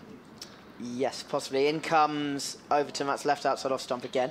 Um, He also adds, um, and is that going to encourage people to go and see them? Personally, I think a team needs some kind of identity, which goes back to the emotional attachment, which was uh, another Alex, actually, uh, a different Alex that had just put a moment ago on Twitter. Yes, it, it is. That's a very interesting point. Um, the, I mean, I think that the idea is they're going to be represent regions, but not necessarily be identifying, you know, identified by name. So Oh, and here's a nice point from Paul Howden as well here comes delivery. Paul. Here comes Overton first. Oh, Paul will have to wait just a moment. That's feathered by Eskinazi, but Ben Cox has got across well and prevented any runs down a fine leg. That's the end of the over, I think. And the score is 158 for three. Uh, Paul says if three Middlesex players play for each London side, of potentially, of course, there could be three, you know, an East London, North London, I think it's going to be London. north and south.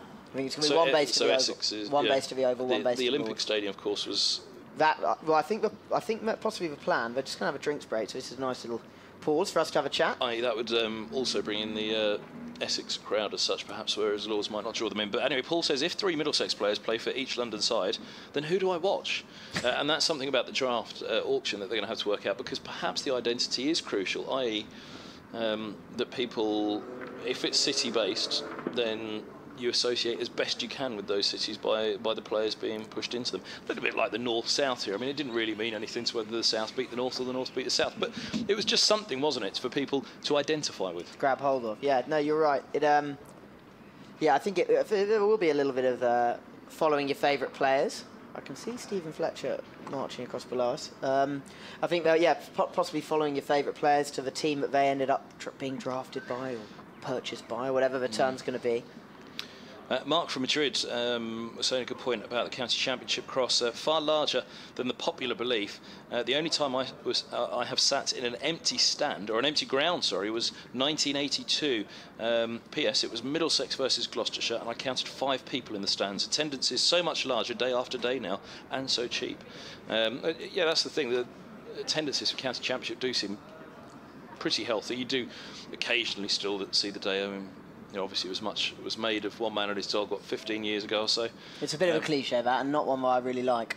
Well, no, exactly, and it's not true anymore. Yeah, it's just not valid. Yeah. Um, you know, there, there was an element, you know, of a time where the, certainly the attendances could be a little depressing around the around the stands, but um, you do see such good numbers in for the championship now, um, which we had another. it, one thing on that, it will be very interesting to see how um, the timings of championship games. Last year, largely games began on Sunday.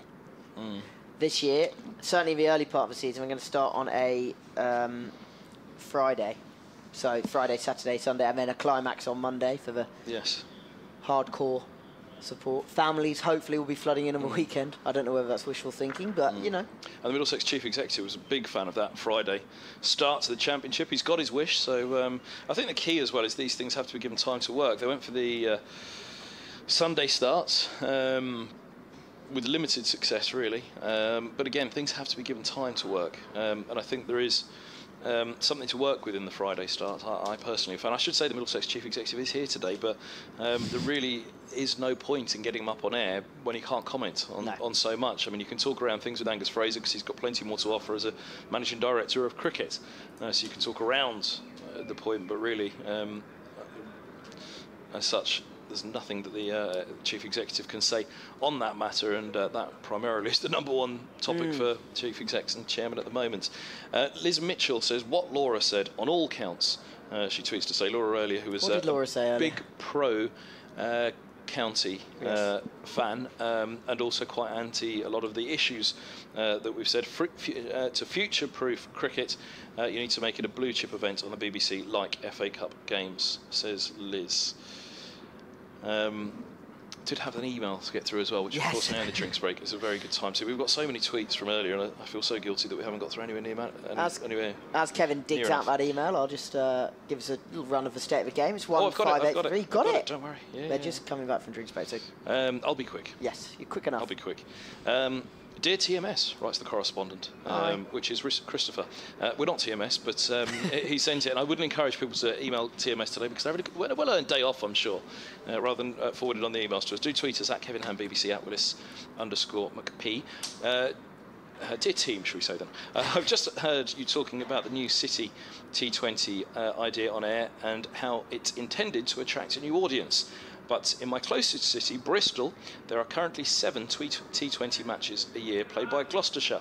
So how is it that people who aren't interested in cricket currently are suddenly going to become fanatical cricket followers simply by having a local T20 team called Bristol instead of the current Gloucestershire team? It makes no sense to me at all. Regards from Christopher, uh, Somerset member and supporter. Here comes Crane. Uh, oof. Eskinazi's missed a cut there.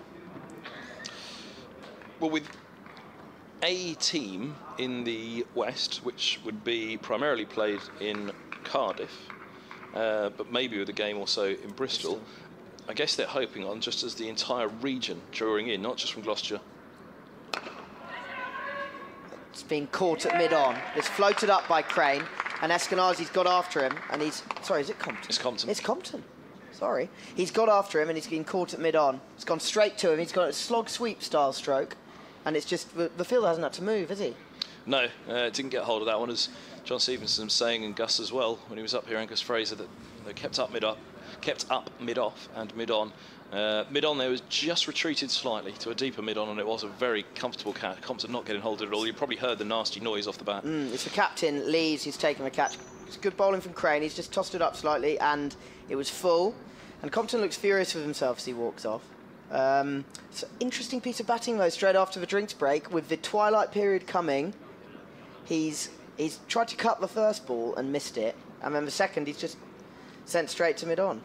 And it's gone for 59. So two Middlesex batsmen have failed to kick on after getting 50. Nick Gubbins made uh, 52, and he also was dismissed by Crane, LBW. John Simpson comes out at number six, the hard-hitting wicketkeeper batsman. Nick Compton's not happy with himself, unsurprisingly. No, such a good innings, wasn't it? He was he was very attacking, uh, but that's a big blow to Middlesex. You still need uh, another plenty. Wait one moment. They've got they're on 158 for four now, and they're chasing 305. Um, so yeah, like I said, it would be a region, wouldn't it? So they'd be hoping that they could make, they could recruit in um, families from all across. And the, well, I think the main thing they'd be hoping is that there there would be some translation from the competition being on television to The new, to uh, to fa- fans wanting to go along and watch. But uh, as we as was discussed earlier, one of the tricky points about this is right now, from what we understand, there's only going to be eight games of the 35 would be on or 36 would be on TV. So you know that, that's that's a palate wetter rather than a uh, rather than the whole competition like the Big Bash or the IPL. The rest would be behind a we we expect would be behind a uh, a paywall. So the left-handed Simpson is awaiting Crane, who's at the top of his mark. With one slip, a short mid-wicket, a cover, backward point, mid-off, mid-on. As Crane comes into Simpson, first ball, and he's down the wicket first ball. He's trying to drive, but he's only got it as far as the bowler. It's going to be a tricky period to bat this. it's still a long way, and it's still a long way to go, isn't it? Yeah, Um, in this run chase. So uh, 52 overs remain after this today, so 16 more until tea. Here's Crane again to Simpson, the left-hander, and he's back and defending into the leg side. Simpson batted well in the I'm first. thinking old school there. Sorry, 20 more overs till tea. Uh, Simpson, yes. 20 Uh, overs till tea, you say? Yeah. Till dinner. Till dinner we've Dinner. had tea, haven't we? We've, Yeah. had, we've had our tea. It's uh, it's 20 past five, 21 minutes past five now, local time. So it'll be dinner next. It's taking some getting used to, I think, particularly for the players as Crane comes in again. And he's turned by Simpson, who's off the mark through square leg for a single. The man on the fence does the fielding. And there's one run. Uh, MB tweets to say, uh, why would you take away the context of a tournament that already has support? The IPL and BBL were dull TV for UK viewers with no geo investment. Um, as a Hampshire fan living in Geo Scotland, investment. i.e. their um, locational investment, um, Here comes Crane again to Eskinazi, the right hander this time, and he's forward defending, very nicely played. as a Han- Hampshire fan living in Scotland, what is the re- relevance of this tournament to me? Um, I, at least he was a Hampshire fan living in Scotland who was invested in Hampshire, uh, an interest in Hampshire. Um, but that, again, that, that, that's the evolution of the argument. Now, that's the challenge that the ECB face with uh, what they have. Um, Vincent, oh, it's another Hampshire fan who says, I am excited by the new league. I am a Hampshire fan, and I think we need more kids getting into it, or the fan base will die off. Well, Hampshire, are obviously, I say obviously, Han- Hampshire are traditionally one of the teams that have struggled to get a big T20 audience, aren't they? Um, you know, They you've got are. the Ageas Bowl, you've got this wonderful. It's great uh, ground, but it's seven miles from Southampton, and yeah, it's well, nowhere near a equally, train that's, station. that's somewhere that you would have thought, um, with, you know, across the coast there, actually bringing them in if this uh, city base works, city base team, because you'd base one there certainly. Uh, here's Overton into the attack. He bowls, and this ball's pushed to point, and there's no run. Um, this was one that came through just before the break, and apologies couldn't get to it then. Uh, Pierre says, uh, the last time I watched Middlesex bat, Lyth and Lees were bowling. It was brilliant. Best day of my life. Hail the champions, says Pierre. Well, apparently, um, Alex Lees was heard yesterday saying uh, that he might bring himself onto bowl at some stage because he's got two first-class wickets. I think they're both playing in this game Some bowls, and uh, forward goes Simpson pushing into the onside. There's no run. for Middlesex. So um, possibly he could be on as a as a specialist. I see James Harris down below us. He's bringing his pads out into the cage. Here's one for you that I don't think is quite true, but I'll let you answer it. Uh, lack of exposure, i.e., little or no terrestrial coverage over recent years, means cricket is now a niche sport in the UK. It's still the number two sport, and it's the second cricket. cricket Here's that over to bowls to Simpson. It's pushed up to mid off. It's the second uh, quickest growing sport in the world. It, well, it is, but I, I think you personally, um, I much prefer the game of cricket to rugby union, which I also occasionally cover. But I would say I think you'd struggle to argue that cricket in the UK was a bigger sport than rugby union, given the fact that it, rugby union is a six-week period where it, in the spring every year, where it's sort of the uh, much talked about with the Six Nations, whereas cricket doesn't have that period. It has it sort of every couple of years with the home ashes, maybe. Around the wicket comes over some bowls, and this is pushed up to uh, mid on for a single I wouldn't. I wouldn't go as far as to say it's a niche sport, but I certainly think um, it, its relevance is declining, and that's uh, there's interesting parallels there with uh, the Australian introduction of the Big Bash. One of the reasons Cricket Australia was so compelled to bring in the Big Bash was because they did a study, which found that. among kids, it, it, the, the game had slipped, I think, to the seventh most popular sport among children in Australia, even where we consider it the national sport. Here's Overton, he bowls, um, and this is left alone outside of the off stump, 160 for four. Uh, every time we mention this, the Twitter inbox goes through the roof. Um, people really do want to have their say on this today, and we will continue to try to get the balance right between play and the tweets and our guests as well. Uh, Dan added, "I fear that the uh, that even with the new T20, with its presumably free-to-air coverage and big stars, it may be too little, too late." Um, i.e., rivaling the IPL and BBL. Well, too little, too late potentially for that competition. My fear was that it wasn't too little, too late for the NatWest T20 Blast if done properly, as is Overton outside of the off stump and uh, left alone by Eskinazi, one of the heroes with the bat last year. Uh, Katie Scott says current fans aren't just attendees. It's all the people who listen, follow, and would attend if scheduled better. But I suppose as well, you know, we've been pleased, very pleased with the radio figures for the last few years, uh, how they've grown and grown and grown, especially with the five live sports extra coverage added to that uh, of the BBC local radio coverage of the counties, and the figures have um, literally blown us all away at times. I think that's- just how much following there is. So there is the interest there. People just can't physically get to the ground. Actually, so I think there's a re- that's a really good point from Katie that the, particularly Championship cricket rather than Hmm. the List A or T20 stuff is, is has a huge following remotely, but it's just very difficult to get to. And you know, there's a lot of days of cricket to fit in, and I don't envy anyone who'd have to make the schedule. Um, here's Crane bowling to Simpson, who's turned him round the corner. Pass the man at 45. They're going to come back for two. Will they get a third? No, they don't look like they fancy a third, so they're going to settle for two. Uh, and actually, the end of last season with that extraordinary finish between uh, Middlesex, Somerset, and Yorkshire was was a little view into quite how popular the competition was. You had 10,000 people pouring into Lords, and we, you know, all the websites who cover the competition and uh, had their broke their records, and the same with the BBC commentary. Here comes Crane to, uh, to Simpson. He's wrapped him on the pad, but I think that's just going down the leg side, and the umpire agrees. He's given a leg by. They've scampered for for a single because it just popped up into the leg side. No, one run it takes the score to 163 for four. Um, well, when we started doing these commentaries, everybody said to us, "Are you mad? Look at how many people are in the ground." Uh, you know, it was said to us quite often. Wh- Why? Why? You know, 13, 14 years ago when it, the internet uh, championship commentary started. Um, why on earth? You know, you know, there's barely a thousand people in some of these grounds uh, watching championship cricket. Who on earth do you think's going to listen to it? Here's Crane again to Eskinazi, right hand of his time. He's coming down the track to him, and he's just driven to cover when there's no run. That's good fielding. but how wrong they were because Mm. there's been a huge appetite that has grown with the technology. Uh, I mean, the figures back then on a county by county basis, I think, were bigger because there was only Surrey and Middlesex doing it, so everybody had to listen to those two counties. Here's Crane again to Eskinazi. He's just defending in front of his front pad. But overall, the uh, figures now, especially with the sports extra coverage added on top of it, uh, ha- have really grown dramatically. So, uh, afternoon from Madrid says ZK, uh, ZK Go can't see how new T20 will attract new fans if they've decided Blast already isn't doing so. Here comes Crane again, and Eskinazi's using his feet again. He's drilled this to mid-off. They're going to run one. Good fielding, I think, by Craig Overton there. It is Craig Overton. He's the biggest in the MCC team by some distance. Um, T20 Blast needed to be backed more by the ECB. Sad they've decided it's not the way forward. Well, that was certainly Well, I think my feeling. I, Uh, th- I think what's happened here is that the ECB have just decided to take it out of the county's hands Hmm. and do it themselves. Here comes Crane again. Simpson's driven him down the ground. It's a beautifully timed shot. He's only going to get one because Lees is coming across from mid-off.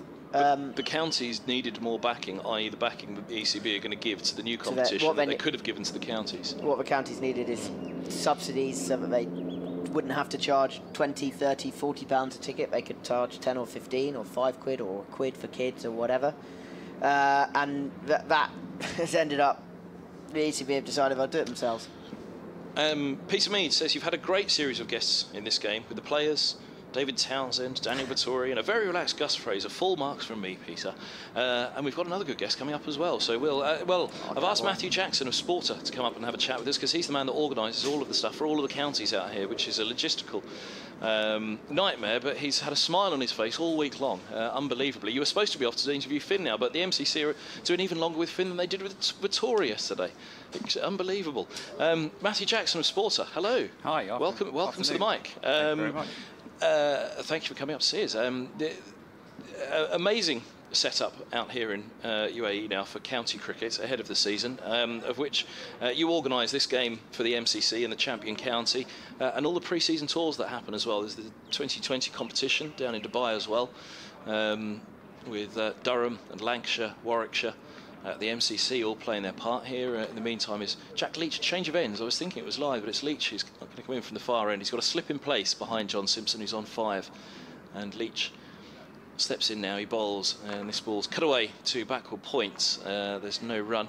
Uh, so yes, uh, quite the operation, and um, Yep, it started yep. much smaller than this for a little while, but it's expanded in a great way now with the pre-season here in the. UAE. It did. I mean, you said we it's a nightmare organisation, but it, it's actually been a dream this year. The, the counties have been very easy to look after, but as you say, we've, had quite a few out here. Um, uh, I think probably we've had uh, Here's Leach. He bowls. This ball's pushed to uh, cover by Simpson.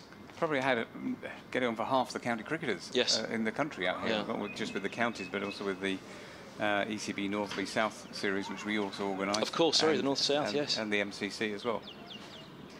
Here's Leach, bowls, and Simpson's on the back foot pushing back. Because, uh, yeah, the day I arrived, just before the final, uh, or two days before the final North-South game, uh, you know, you walk into the hotel and you thought, well, if you're an autograph hunter, you've got half of county cricket out here and, you know, a good few England players as well. Uh, as well as the England management. Uh, we had Yes, Trevor Bayliss Strauss, and uh, yeah. Strauss and etc. So yeah, Worcestershire, Warwickshire, Essex, Yorkshire, Lancashire, uh, obviously Middlesex, Yeah, yeah. um, all out here. Um, so uh, county cricket really does. For the first couple of weeks of March, uh, tend to decamp out here, and we Hmm. we run them all around and and uh, and look after them. Has it mainly grown from the uh, MCC's um, championship game moving out here as Leach moves in? Uh, bowls to Simpson. This is driven wide of uh, mid off for a quick single, 166. Uh, one, yes, 166 It's, uh, for five. The, the MCC coming out here coincided with the first counties coming Eight out here, so ago, they've, yeah. they've, they've sort of grown side by side. Yeah. Um, and obviously the MCC tend to, to pick their side from county cricketers that are out here as well, um, Mm. which they just extend their their, their pre-season to, to join the MCC. But yes, it has grown. Ten years ago was our, our first. Ten years ago this week was our first county sides coming out. Essex and Sussex came to this very stadium and played each other in a couple of games, and that was the start of Yeah. county So it was just two teams. That was that was before the MCC came out. So it was, It just two yeah, teams came right, out and yeah. played a, a, a four-day game before the start of the No, season. No, they played a, a couple of uh, 40 over games. Forty-over was the uh, was the format of the, the one day games then, and that included a, a young Alastair Cook 10 years ago, uh, Grant and Andy Flower. Here's a Leach around the wicket. A reverse sweep from uh, Eskinazi. Fine shot for four. Back at a point. Uh, He moves to 13. Third boundary for Eskinazi. 170 for four. Of course, your son was on the books with um, Sussex. That's Callum, right, yeah, Callum Jackson. Yes, he's been, and he also played uh, for Kent last year. So uh, he's been out here. Has he got a contract with Kent this year? Not at the moment, no. So uh, uh, yeah, he's out there looking for a county at the moment. is, that's right. Yeah, he's, he's, a, he's a, a batter keeper, uh, top of top order batter, and uh, and keeps wicket. So. Yeah, here's uh, how, how long was he at Sussex? I'm sure I saw him play against Middlesex. This here is uh, Leach around the wicket, bowls He- to Eskinazi left alone. He played against Middlesex this year at Lords uh, on Ladies' Day when there was a, one-day game, 50-over Ah. game between. Uh, uh, Were you there for it? Oh yes. You brought the missus along. It's a lovely day, ladies' day at Lords. Whole family came along. It was a, it was a great day. It was a nice day weather-wise as well. So, um, yeah, very good. So uh, yes, um, but we don't just bring county cricket clubs out to. Uh, uh, the UAE. We uh, next week we start uh, uh, one of the largest international schools tournaments Mm. out here. So we have 18 schools coming out first week of April, playing 48 games, uh, mainly from the UK. Top independent schools. Uh, Alastair Cook's old school, Bedford are here, uh, Bradfield. Uh, teams from the UAE uh, and, and from around the world coming to play here, in, in so we, we moved from the pros to the uh, to the schools in, uh, in the space of a week. Yeah, absolutely. I mean, one of the reasons I asked you to come up and have a have a chat was, um, you know, because it, is an expansion, the county summer now, isn't it? It expanded to the with this county championship match coming out here, but the pre-season is incredible. Pre-season starts pretty much in November, doesn't it, for counties now, which then evolves through to uh, uh, some warm season pre-season trading as this ball's hit down to mid-on by Simpson for a single. Off Crane, a change of end for the leg spinner as well. I think Um, there's only so much uh, they can do in the indoor schools. Well, indeed, and, indeed, I but- think getting out here to, to play in some nice warm conditions uh, we, makes we, a big difference. we had John Stephenson up here um, just after the interval, and uh, you know, uh, as ever, there's always rumours about this, that, and the other, but potentially that this um, championship game could move to the Caribbean. Uh, it's been mooted for a while, um, as this ball's given a bit of flight by Eskinazi, easing away into the uh, offside, which should hold no fear for you, I'm sure, because you just moved the whole operation to uh, right, wherever yeah. it goes, having worked with them so long on that one. But you know, there's the potential it could go to the Caribbean, um, and also, you know, there are other options. The North East South game, yeah, Sri Lanka was also mooted, wasn't it? Um, but the North East South game is highly likely to be somewhere else next year, uh, as this is pushed back by uh, Eskinazi up the track, 171 for four. And again, it was uh, you that the ECB came for and said, right, look, we need this. Can you help us get it set Right, up for yeah. this year? Because obviously that happened in a relatively short space of time in the terms of organisational. It was, it was, and, and we did everything from from as soon as they leave the UK, we got them on flights. Down the track comes Eskinazi, hasn't quite got hold of it. Mid-on's backtracking, he's not going to take this one. And they'll pick up two, just pitches and stops again. Uh, Eskinazi moves to, I think that's going to say 15. Uh, but I'm not trusting those rounder numbers on, on the scoreboard over there. It's a long, long way away. It is 15. Uh, 173 for four. Yeah, we, we, so we, we moved the whole group out Mm. to uh, the UAE, and some were coming in from Sri Lanka, Yeah. hotels, transportation, food, grounds, the umpires, the, the whole works. Here's uh, full delivery.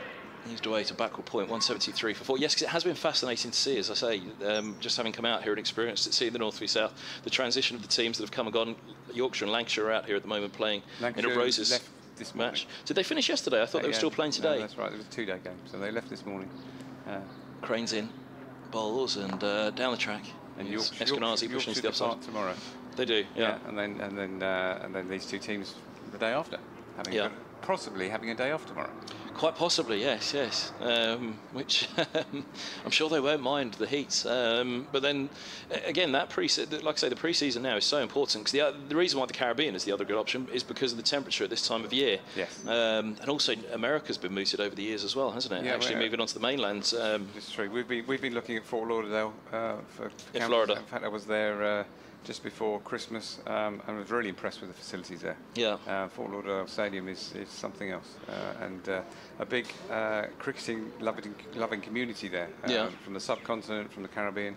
and do you have somebody who goes and inspects the pitch, inspects the pitches for you as well? Yes. So Maybe we- your son Callum, you bring him with you. no, no, no, not him. No, but we uh, we, we do have people, um, um, and we have testimonials from other teams that have played on, on, the, on the wickets and what have, you. So Mm. Yeah. that's the most important. and the part. Fort Lauderdale track in Florida, would that be capable of hosting the Champions match if it did certainly, move? they had a T20 between India and uh, New Zealand uh, at the end of last year. His Leach, his left arm over, bowls, and this ball's played away into the offside, and there's no run. Uh, Which sorry, uh, between. West Indies and uh, They uh, did, didn't they? That's Yeah. right. Uh, West Indies and sorry, it was um, West Indies and India. Yes. And uh, it was the highest uh, scoring T20 international Yeah. in history. Yeah, yeah. It was 220 played 220 or something. Was that the first international played on that ground as this was pushed into the No, outside? they've, they've had a few, Simpson? but uh, not of that no, level. no, yeah, that level. so- the championship match obviously been a first class game, four day game. They'd Yeah. look at the pitch as well for that, They wouldn't would, they? In they terms of how Yeah. how it would play, because the Caribbean was the first one that was mentioned, but yeah, the mainland uh, in the US as well has been. A trip to Fort, Fort Lauderdale next year. Come on, Gubbo, you need to win the title again next year. Here's um, Nick Gubbins is at the back of the commentary box as this ball's pushed away into the offside. But 173 the, the, for four. the key for counties is not just the weather; it's that 22 yards of, of, Yeah. of, of wickets they play on and the and the uh, and the nets, and that's what they've got right out here. The push up the track by Simpson back to. certainly all first-class facilities they get. Yeah. Um, along with the, the top-quality hotels and airlines that service the place. It really the other one that Fort La- Lauderdale's a possibility for is the North v South. I know for next year is uh, Yeah. you know potentially that's one that could move to there as well as forward goes. Uh, Simpson back into the offside, or played across both actually, the Caribbean and and Fort Lauderdale. possible you have to move people from Ireland to uh, the mainland. Yeah. we could do that. Yes, yeah, I'm sure. I'm sure. Here goes uh, here goes Leach. He's in bowls. And this ball's turned away into the onside. What's the, what's the most difficult part of staging? I mean, virtually the first part of the, the county season. Gus was up here earlier, and um, the ECB had obviously been thinking about starting the Royal London competition. So actually, a professional competition before the start of Yeah. uh, uh, the summer, starting overseas, starting possibly here, um, and then playing the second half of the competition in the UK in two different blocks. Yeah. Well, as, as, cricketers are happy when they've got full bellies. Yes. So making sure the food's right um, and getting to, and from the ground. They're much time. like the press, aren't That's they? right, yeah, like- the food's so okay. We're happy. It seems simple, but transportation Yeah. and the food. Yeah. Um, but that takes a bit of planning and Yeah. making sure. And we generally have 20 or 30 bus movements a day, which makes sure everyone gets to the ground on time and, Mm. and uh, they eat well, and and the rest takes care of itself. Yeah. Almost. Yeah, yeah. Um, how many teams in total has it been from the counties out here this year? Eight, nine? Yeah, so including the two Pakistan Super Leagues, we have 11 teams out here. So we had two teams from Pakistan Super League, North v South, Mm. um, plus seven counties. So.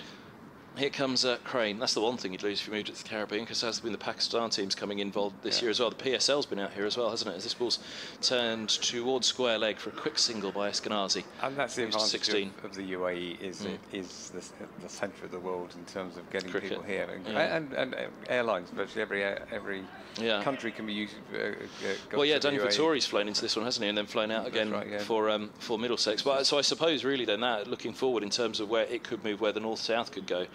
Then for England, as you say, coming one way it's the it's the UAE, the other way it's America, isn't it? As this ball's That's worked away out to mid wicket by Simpson. He moves on to eight, 175 for four. Uh, Matthew Jackson, I'm going to let you go because Nick Gubbins is sat behind us to come and have a chat as well. Uh, good me. luck to Callum as well. Um, I'm sure much. Sussex fans and uh, Kent fans will look on see how he gets on this season and uh, where he's off to. Yeah. Um, but uh, yeah, hopefully see you soon, whether it's uh, Fort Lauderdale or, or the Caribbean. here goes here goes Crane bowls. This is pushed down to uh, mid on, and there's no run. Thank you very much Thank to. Matthew Thank you. Jackson from uh, Sport, who basically uh, are the company recruited in to organise all of this, um, the logistics. Uh, so on and so forth, and just where possibly the North v South game could go next year, or possibly even the champions, uh, the champions match. Uh, I know Nick Gubbins' eyes lit up there when he heard Fort Lauderdale. Fort Lauderdale. Uh, here goes Crane bowls, and uh, Simpson pushes this one to point. There's no run. 177-4. No pressure to win the title again next year, Gubbo. Yeah, good evening, Kev. Thanks very much. Yeah, it's, we actually had a trip planned to Cape Town this year because that's where we went last, Last year, yeah. I mean, if we could go back there again and have this game at the, New- at the Newlands, that'd be fantastic. Okay, yeah, I suppose there is that potential as well. Uh, I mean, part of the remit for the MCC in terms of having it here or moving it to the Caribbean, potentially even to Fort Lauderdale in Florida, is this ball's an attempted sweep now. He's going to be in trouble here, is he? Uh, no, he's okay. Eskinazi, I thought that the line might be. Well, it certainly gave the umpire something to think about, didn't it, as he went for the reverse sweep? Just coming to that period now, twilight period, as we've spoken about. Mm, there's a long way to go still as well It's a for long way- Middlesex, isn't there? Yeah, this is um, setting up to be a bit of a grandstand finale. well, Middlesex like those. Yeah, we're pretty pretty accustomed to those by now. Here goes uh, Crane. Bowls, and uh, that's nicely pitched again, an appeal, but uh, on this occasion, Eskinazi was back and actually a long way across the extent that um, I don't think the umpire had much to think about on this. Uh, 177 for four, Eskinazi has 17, Simpson has nine. Nick Gubbins, the Middlesex opener, is alongside me and uh, got it off to a good start the last two days, um, but it, it, it is tricky out there. It's uh, yeah, it's a bit nicer when you bat in the day. Um, a bit selfish of me to bat in the day and, and leave the lads to bat in the twilight here. So, um, I guess uh, it's Yeah, but the ball's that, that pink ball is nipping about. We had Dilip up from uh, uh, Duke, who's the man behind the pink Yeah. ball and the uh, technology of it. It's a it's a strange one because when you bat, usually you, you get through the tricky period and then it gets easier. Whereas actually, all day in my mind, I've been thinking, score your runs now because it's only going to get harder when the lights come on and twilight comes in later. So it's a bit strange. You know, the game's kind of flipped on its head and everything kind of happens the other way around. The spinners start and then the seamers come into game. Um, so yeah, without obviously Liam Plunkett, the MCC have lacked um, that extra third seamer, which you know they may have been forced to follow on if if Yes. Plunkett was fit. Yeah.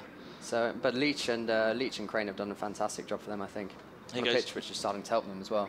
the spinners. Hmm. Uh, here goes Leach now, balls, and uh, this ball does get a bit of bounce on Simpson, who turns to square leg, and there's no run. Yeah, because on the first two days, that was the one area Yeah. that I thought this could really be crucial for the MCC, that they've got the depth in spin. Um, with all due respect to Darby, Dawid Malan and uh, Ravi uh, uh, and Sam Robson, Yeah. um, but they're not. Um, Leach, Crane, and uh, Lyth, as this is cut away down towards deep backward point by Simpson. They'll think about two. Back they come. Simpson's on to 11, 179 for four. Just seeing Simpson cutting away out there like this in a run chase, it brings back memories of last year, doesn't it? It does. I was actually quite surprised I didn't get a ball myself, Kev. I'll be honest. I've been working my leg spin in the net, so when he turned to Sam Robson on that first day in the 50th over, you know, I was Four or five overs as well, yeah, Robson, I, wasn't it? I, I couldn't believe it. yeah, have you had a word? Here- here's, uh, here's Simpson on strike. He drives the to single down to out, long on. I was trying to work out what I'd done wrong. Yeah. I've been trying to bowl my leggies a bit quicker in the net. It's a bit like Rashid Khan Yeah. Afghanistan, yeah. Oh, yes, lots to talk about him at the moment. No, he's a he's a superb bowler. We played him here against the Afghans in November, and he, he ripped through us. Yeah. Um, it was a bit like England overseas um, of old. So Here comes uh, Leach. He's around the wicket bowls. This is pushed back uh, into the. Just making sure I wasn't going crazy. That was the Lions uh, that you were uh, playing for at that time. Here goes Leach around the wicket again. Bowls and uh, push back into the offside. And there's no. Go on, tell us about the Lions experience. um, well, yeah, the Afghans here. That was quite fruity. That was quite a fruity contest. Um, 'Cause come- Ireland are playing them day today, aren't it was more more like war rather than cricket. Really? Yeah, they were they were absolute madmen. Leach is around the wicket, he bowls. this ball's eased backward a point by uh, Eskenazi, soft hands, no run.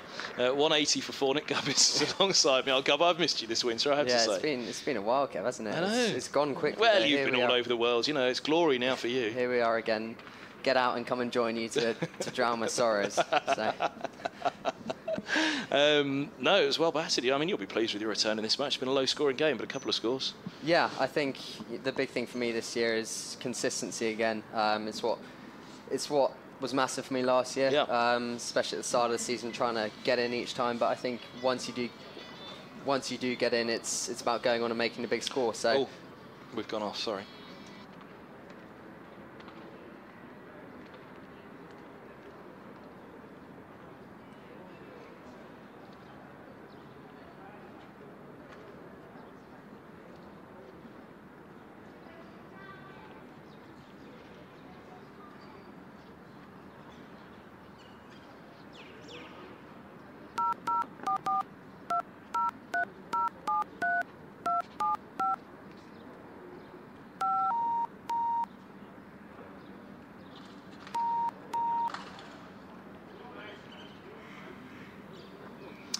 And welcome back to UAE. Apologies for the uh, interruption in broadcast. I'm not quite sure what happened. Um, one job, Kev. one job, I know. One job. I know. Are you sure you didn't kick a lead under the desk No. there or something?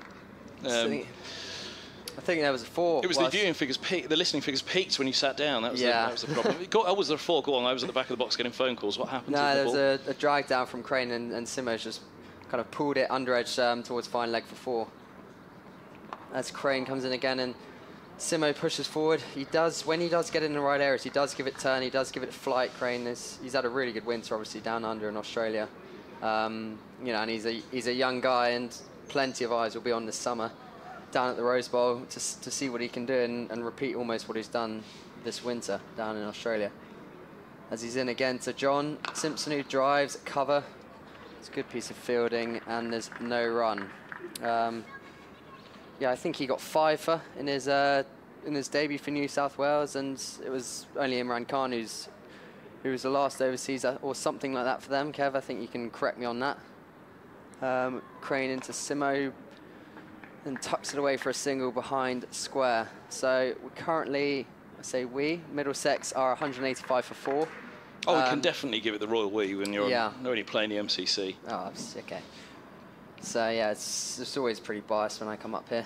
no, no, no. We want to hear the truth of it, which is uh, your perspective. Nice. We got the opposition perspective as well in this match. Uh, I think Craig Overton will be coming on for a bowl sooner rather than later as the artificial lights begin to take over. It's, it's always a chance for caught and bowled there as Eskinazi came up the wicket. He's, punt, he's pumped it over the over Crane for four. It's definitely at the catchable height that, but he, he got a big, good piece of wood on that. And um, yeah, Eskies look quite quite punchy and positive since coming out. It's never nice coming out coming out on a pair on your birthday, but you know what what a stroke to get off the mark as well with that paddle sweep. Screens into Eskinazi here, and he cuts away. Is this going to be another four? They're going to run three, I suspect. Simo's pretty quick. Yeah, and they're back for three. Good, good over for Middlesex that. And um, yeah, the MCC, you know, a couple more wickets and, uh, and they'll be into our bowlers. But you know, this is this is a big partnership for Middlesex, definitely. Uh, we were just going to um, have a chat about the uh, Afghanistan match against Yeah, the uh, Lions a- before we dropped out. So it was uh, it was an interesting game, was it? There was a bit of a suspect catch um, to finish their second innings. Um, well, that, that's what they thought anyway. Yeah, yeah, yeah. Won't name names or anything, but uh, yeah, People it scrambling for scorecards at home right now. Yeah, yeah. It, was, it, may, it may have been uh, the, the end of their first innings or second Mhm. innings. I can't quite remember. But yeah, I just remember our second innings. You know, I was opening the batting with Tom Alsop, who's actually playing for the MCC, and it was a bit of a bombardment of abuse from the Afghans, which I didn't quite understand. Um, all sounded quite quite fruity, um, but but we we certainly gave it back as well at the same time. So it was it was a good contest, and everyone shook hands at the end, and it was it was probably the way cricket should be played. To be honest, nice and hard on the pitch, and grab a beer off it. Not that, not that the Afghans were drinking beers; they were on the cokes. Yeah. Um, Um, well, it could be a few beers tonight for Eskinazi's birthday if, Middlesex, if he can see this one home for Middlesex. He certainly won't be buying. Here's Leach, he's left arm around bowls, and uh, forward goes. no, Eskinazi pushing no, into the offside. MCC lads as well. there, there will be a few beers around. They've enjoyed the trip, haven't they? Good camarad- That's- camaraderie. It's been good spirits. They've been, they've been great uh, on the field, but yeah, it's it's uh, a lot of cricket to be played yet. Leach bowls forward defensive from Eskinazi. We're very much into that, coming into that twilight period now. How long before uh, the interval? There's still 43 overs remaining after this, so this and 12 overs I think, yeah, I think we're just dinner. about to, about to enter it. Um, quick return for the for the seamers then. Here comes Leach bowls and forward goes. Potentially, maybe a quick burst of four overs, maybe each. Each, yeah. um, that's how we did it, but you know, we were fortunate enough, enough to have three out-and-out seamers and Franklin as well. So it's a tough job for Lees with only two seamers with Plunkett out injured. Round the wicket again comes Leach. This ball's driven to extra cover. There's a, great little bit of a yes no from Eskinazi, but they're okay. Uh, John Edwards says, Be careful what you wish for with the Champions match in Fort Lauderdale. The entire state of Florida is full of DTs. David Townsend's and Donald Trump say. Um, uh, well, yeah, that would be uh, something. Was- Florida, was- that would be special. Fort Lauderdale, that's where um, George Best went to play, wasn't it, at the end of his career? This ball's cut away to backward points for a single by Eskinazi. Uh, 193 for four. Uh, yeah, some talk that potentially the North v South game um, Yeah. could be staged. How was that over North, there. North v South? Excellent, Yeah, excellent. You were here for that, clearly. Yeah, the only thing they got wrong is they didn't pick Nick Gubbins. Like, what were they thinking?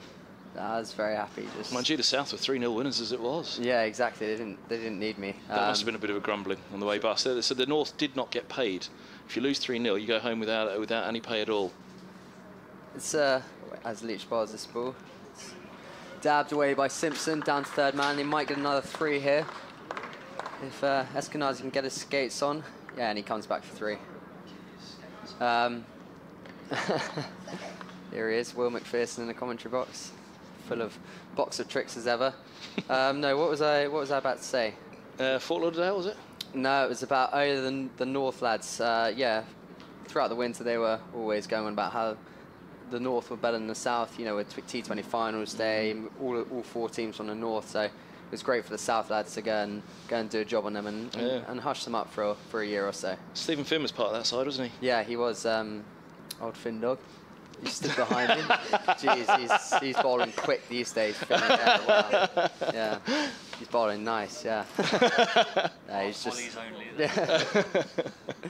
um, quite a fruity net against Finney the other day. I didn't actually get a ball in, in my half, so that was great practice for this game. Ooh, I was tempted to let Finn sit down here with you, but I can't trust you two on the area. No way.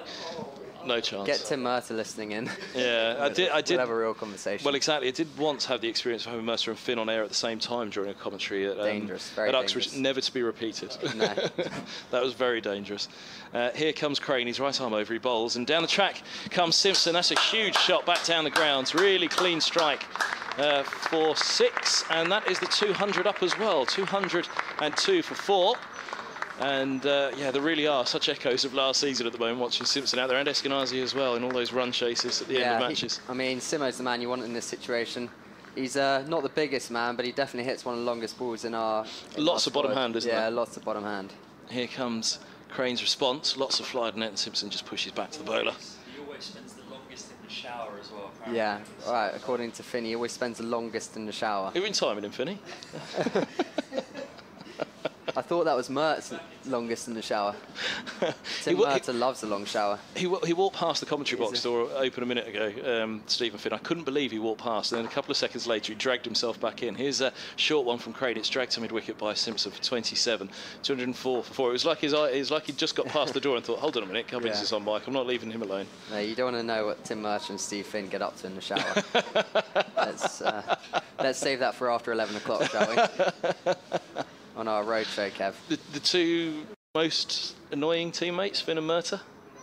Annoying, but uh, It's- drive out to cover for a single by Eskinazi, moves to 26th. great for the camar- camaraderie. in the- Yeah, of the course, yeah, yeah, yeah, absolutely. Yeah, Mertz is.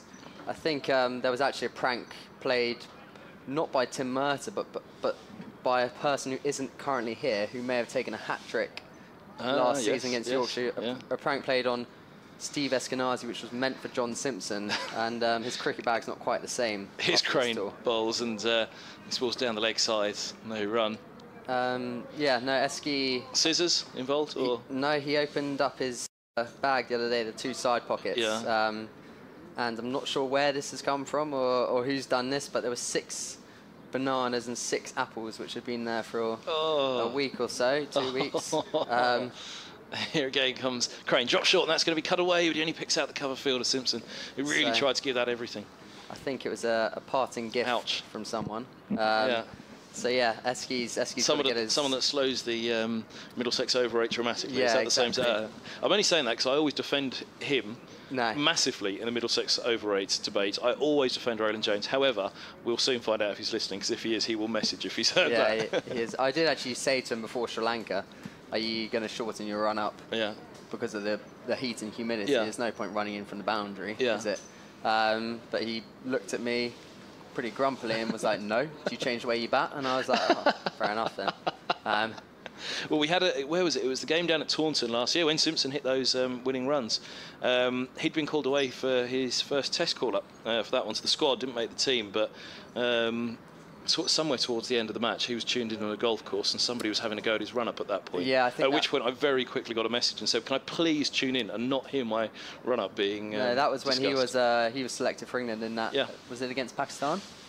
yes, it May was. have been. yeah, he was yeah. in the squad at Lords, and Yeah. yeah, he was on the golf course. Jake, Jake Ball got the uh, the Yeah. nod, didn't he? Yeah. Was, yeah, it was a bit of a shame, you know, for, for Toby because he, you'd say that he's one of the best. You'd say he's one of the best county cricketers to Well, have not played for England yet. The, the way that I always describe Roland Jones, um, for the listeners who perhaps haven't seen a lot of him, is that any opposition batsman you talk to say that he's just the hardest to face.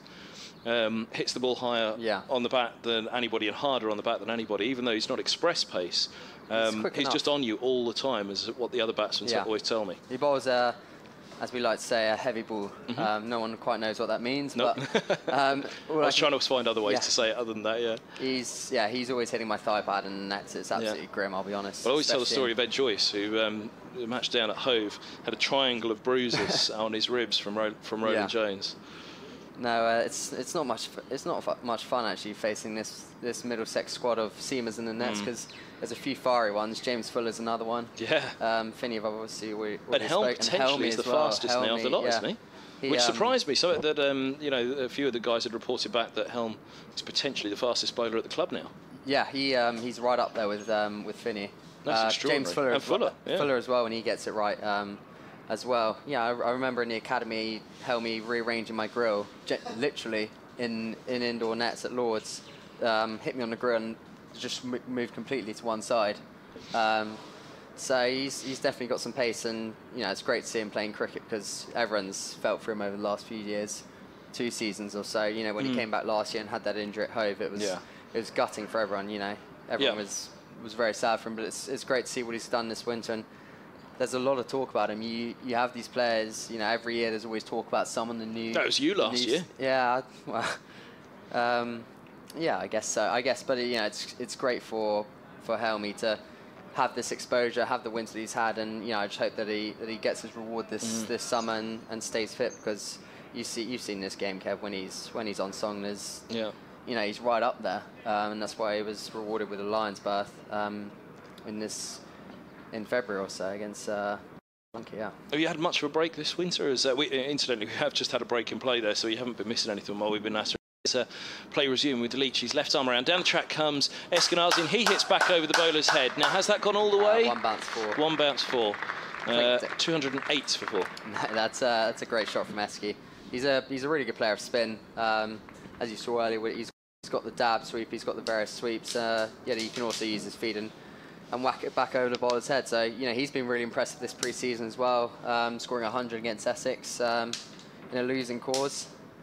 So um, yeah, it's it's uh, real competition for places in not just the bowling department, but also the batting department with Adam Voges to come in as well. You what a what a position for the club to be in right now. I mean, that was the other thing. Middlesex did it without an overseas in the second half of Yeah. last summer as well, didn't they? Which was extraordinary. Uh, slip crashing down as Leach around the wicket in a reverse sweep. Gets away from the backward point for four. The shadow catch went up in the air for the moment.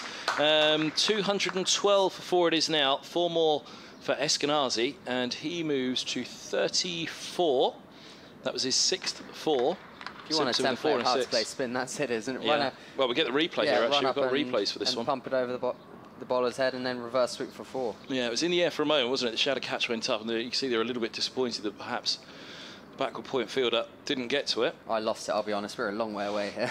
Well, looking at his, uh, he's only just picked himself up off the ground. I think he may have lost it too, because it looks as though it didn't pass him by a long Joe way. Clarke there at, at backward point. Now, what's uh, to the target down below 100 now? Let's see what Leach is going to follow up with. There are four balls left of this over, and we've still got 11 overs after this until no nine overs after this until tea. Leach bowls, and this is cut to the backward point field. A quick single. Oh, the throw to the non-strikers, and he's going to be in trouble. It's the, the misses. The throw misses. Eskinazi was very slow on setting off there, wasn't he? Called through by Simpson. He had his flippers on there. yes. yeah, um, and well, for the second time in the over, uh, Leach looks. Uh, Clarke, sorry, looks pretty disappointed, doesn't he, at backward points? He'd have had, well, the best part of three stumps yeah, to bit aim of, at. a, bit of a hairy moment that. Um, Luckily for the Mm. Here it is. He stopped, didn't he, and then got going. As the throw came in, we're not going to get the angle on the throw, uh, how close it was, but you just felt as though Eskinazi knew he was deep in trouble. The thing is, one wicket in these conditions right now changes things completely. Seaman's come back on. Yeah. Um, so as Leach comes into Simpson now, so as ever, it's it's uh, on on John Sim- on John Simpson's shoulders and uh, Eskinazi at the other end as well. So it's a it's a big partnership this one, and you never know what could happen if a wicket falls um, under lights. Franklin coming in, and then the bowlers, I guess. So Sounds crazy to say, doesn't it? But uh, uh, for batsmen, more than any other time, this is the hard time Yeah, to come absolutely. in at twilight. Around the wicket is the left arm of Leach to the left-handed Simpson, just tucking him up a little bit. There's I a can't see a thing from on. up here. So Yeah. Yeah, um, I, I'm glad you can relay that back to listeners at home. it has been a tricky few days. The North v South game Yeah. wasn't too bad, uh, but uh, the pink ball has been particularly testing as uh, this ball's nudged backward square on the legs uh, through mid wicket actually yeah, it on the leg it was side for a this period in the field where I, I, I was at points. I remember, and I was like, if they hit it at me, I'm not I'm not seeing this. Really? Yeah, it was. Uh, if if you Uh, get one nice, if you and that's to do with the twilight as opposed to the pink ball. I think, I, yeah, I think generally as well in one-day cricket as well when it's a tough period as well. So yeah. It's uh, it's it does make for interesting viewing, and yeah, there's definitely whether there's a you know a future and it's necessary in England, um, we'll see. But definitely out here, it, it does make the cricket exciting and interesting. Absolutely. Uh, Adam Lyth is coming back into the attack.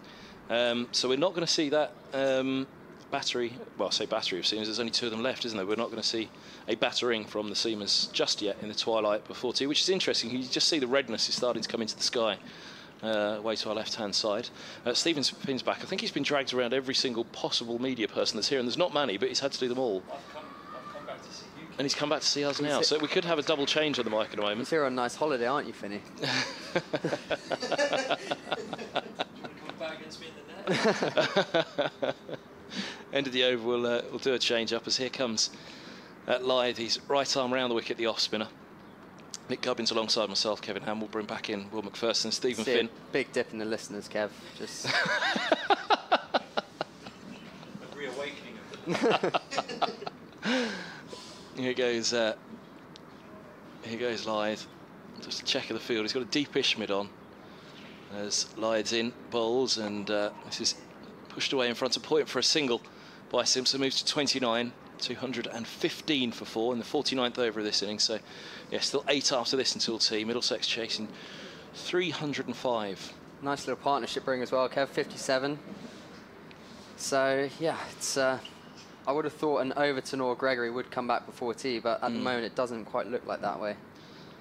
Lyth, right arm over. Balls and forward goes Eskinazi pushing into the offside just very quickly. Uh, the end of last season, I haven't really seen you since uh, since the trophy was lifted. Yeah, it was a bit of a blur those few days afterwards. Yeah. Um, so uh, no, it's it's it's quite nice to get back into it, but the squad hasn't been together um, all winter. Lyth bowls and this is pushed into the offside. And there's only, yes, because Yeah, that was the unusual thing, was it? Wasn't everyone's kind of gone off their own, in their own Mm. direction, and even yet we're still missing a massive part of the squad in Rojo, Yeah. Mertz. So the Sterlo celebration away. still to take place properly. I mean, Murtagh missed the celebration. He had to get Yeah. straight on a plane uh, to uh, South Africa. Game, uh, but immediately after that game, this ball's driven down to uh, wideish long on for a single by Eskinazi. They think about two, back they come, scampered through run. from uh, Simpson. Um, Yeah, the- yeah, he went. He went straight from literally the trophy Yeah. lift, and they're not off to the airport. The lads, yeah, the lads felt really sorry for him because if Yeah. there's one person who, He who deserves, it, to celebrate a, a championship win at Lords, it would be Tim Murtagh, and Yeah. I think he would have enjoyed himself that night. Uh, yeah, the squad hasn't really been together, so it's a bit of a strange pre-season Mm. almost. So we won't really get together until next week um, at Fenners or so. Nice bowls outside of the off stump uh, through to the keeper. Because I say the pre-season starts in November nowadays for county cricketers, but of course you've all been off in different parts of the world. Yeah, well, you can all tell we've been lifting big weights over the winter. Come back and top draw Nick. Here goes Lyth. Bowls and this ball is pushed into the onside. Uh, there is no run. It's the end of the over. Uh, 217 for four. It's the end of the first of many stints, I'm sure, this season between myself and Nick Gubbins. Uh, look forward to it greatly. Thanks And very much, Kev. Finding out more about that, uh, I'll let you go. Cheers. any, uh, well, writer reply comes Oh, from you Steven can all Finn. turn now, off now. Now, Steve Finn's, Steve Finn's on. Send yourselves to sleep. Thank you, Nick Gubbins. Uh, so a few words from Steven Finn, his writer reply before it will be Will Macpherson. You can wake up, everyone. The big boys are back in now. I should add that there's actually a foot difference in height between Steven Finn and I. it's just a change of ends here. That man Nick Gubbins is grinning away to your right. He looks very pleased with himself. His slightly rubbery mouth over there. He's cracked his one semi-funny joke for the year. He's done now. He'll be back in 2018 for his next one. So it's going to be Jack Leach from the other end. I wonder if anyone actually understood what he was talking about. It was a spiffing good shot. Well, I say, he ran jolly fast there, didn't he? I say. Oh, I'm just going to pop down and have some cucumber sandwiches now, actually, as it goes. Is he is he still the still the class clown in the Middlesex dressing room, Nick Gubbins? Class clown. I can think of many words to describe Nick. Class clown gives him far too much credit, I'd say. Is there is there something in the pipeline for the, the DJ Gubbo was the big thing last year at the uh, the press day? Yeah, I mean, how embarrassing was that? oh my word! I watched. I had to put my fist in my mouth actually when I was watching that. Here comes Leach bowling to Simpson, who's uh, trying to get after him, but he's not going to get a run from that. No, he's a good lad. Despite what everyone else says about him, I think he's a good bloke. So Well, even before he'd scored a first class hundred, he'd, he'd fallen over in on the outfield at Lords, and The then he did yeah. DJ Gubbo as Leach comes in again to Simpson. He's just defending. yeah, I, that's that's still one of my funniest moments. If ever I'm feeling bad about myself, I will put on YouTube and Google Nick Gubbins falling over in front of packed Lord's House, and it makes me feel infinitely better about myself. So Leach in again to Simpson, who's down the wicket and he's Sounds good. smashed him away into the leg side. Hasn't it? Steven Finn says he sounds good, but that's oh, it's been dropped in the deep by Craig Overton, I think, the man on the.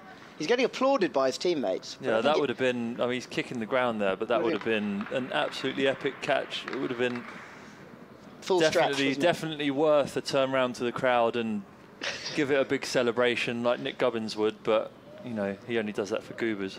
They've run through for two. yeah, we've seen him off. Thanks, mate. Back to normality. What a now. relief as Jack Leach comes in again to John Simpson, who's driving out into the deep again to Craig Overton along the longer floor this time. So we're only going to take one. dissects, those two minute sort of a short mid on and a short mid wicket out to sort of a wide long on. Mm. Um, dissects them beautifully. So this man who's on strike now, Stevie Eskinazi, he's got 37. It's his birthday today, we gather. It is. It is. We haven't given him the birthday bumps or anything yet. Is that in store later? I have no idea. We'll see. If we win this game, I'm sure they'll be in store, yes. Leach is coming round the wicket to the right-handed Eskinazi. There's two balls left of this over. It's 220 for four. Middlesex chasing 305. In comes Leach. And Eskinazi just defending into the offside. A little bit uppish. Silly point would have been interested, I think. But like he's not there. No, it sort of jumped and hit him on the glove. He's sort of shaking his hand there, um, like a like the princess batsman. you could just get hit on the finger and shake it off. Leach in again, and Eskinazi's cutting, but he's only cutting as far as backward point, and that's the end of the over. 220 for four. He was one of the finds of last year, wasn't he, Eskinazi? He was, yeah. He played exceptionally well. I think, um, particularly when he first came into the team. Um, I suppose as a young guy under a little bit of pressure to perform, um, to to come in and prove. You know, he'd scored a lot of second team runs, and to come in and prove people straight away that he was ready, ready made for first class cricket. I think was an Mm. excellent effort from him, and particularly his. 100 in the win at Yorkshire at Scarborough, you know, really set us up for that victory there. Um, you know the way that he played the bowling there because that was a bit of a tasty wicket um, and he yeah he negated their bowling attack which is obviously one of the best in the country um, and to score 100 and set up that game for us was an awesome effort Little break in play here. We're not quite sure why. Adam Lyth is down on one knee. He's getting ready to bowl. the floodlight the light from the floodlights is bouncing beautifully off the top of Adam Lyth's head here up into the commentary box it's almost sunglass worthy It's like a very pale bowling ball, isn't it? As he just comes in to John Simpson, the left-handed hander. They've turned it into the leg side, and there'll be one run. Mm. he's an underrated bowler Adam Lyth Uh, you were saying yesterday he got Yeah, you out, know, didn't you've he? just got to be very careful of him yeah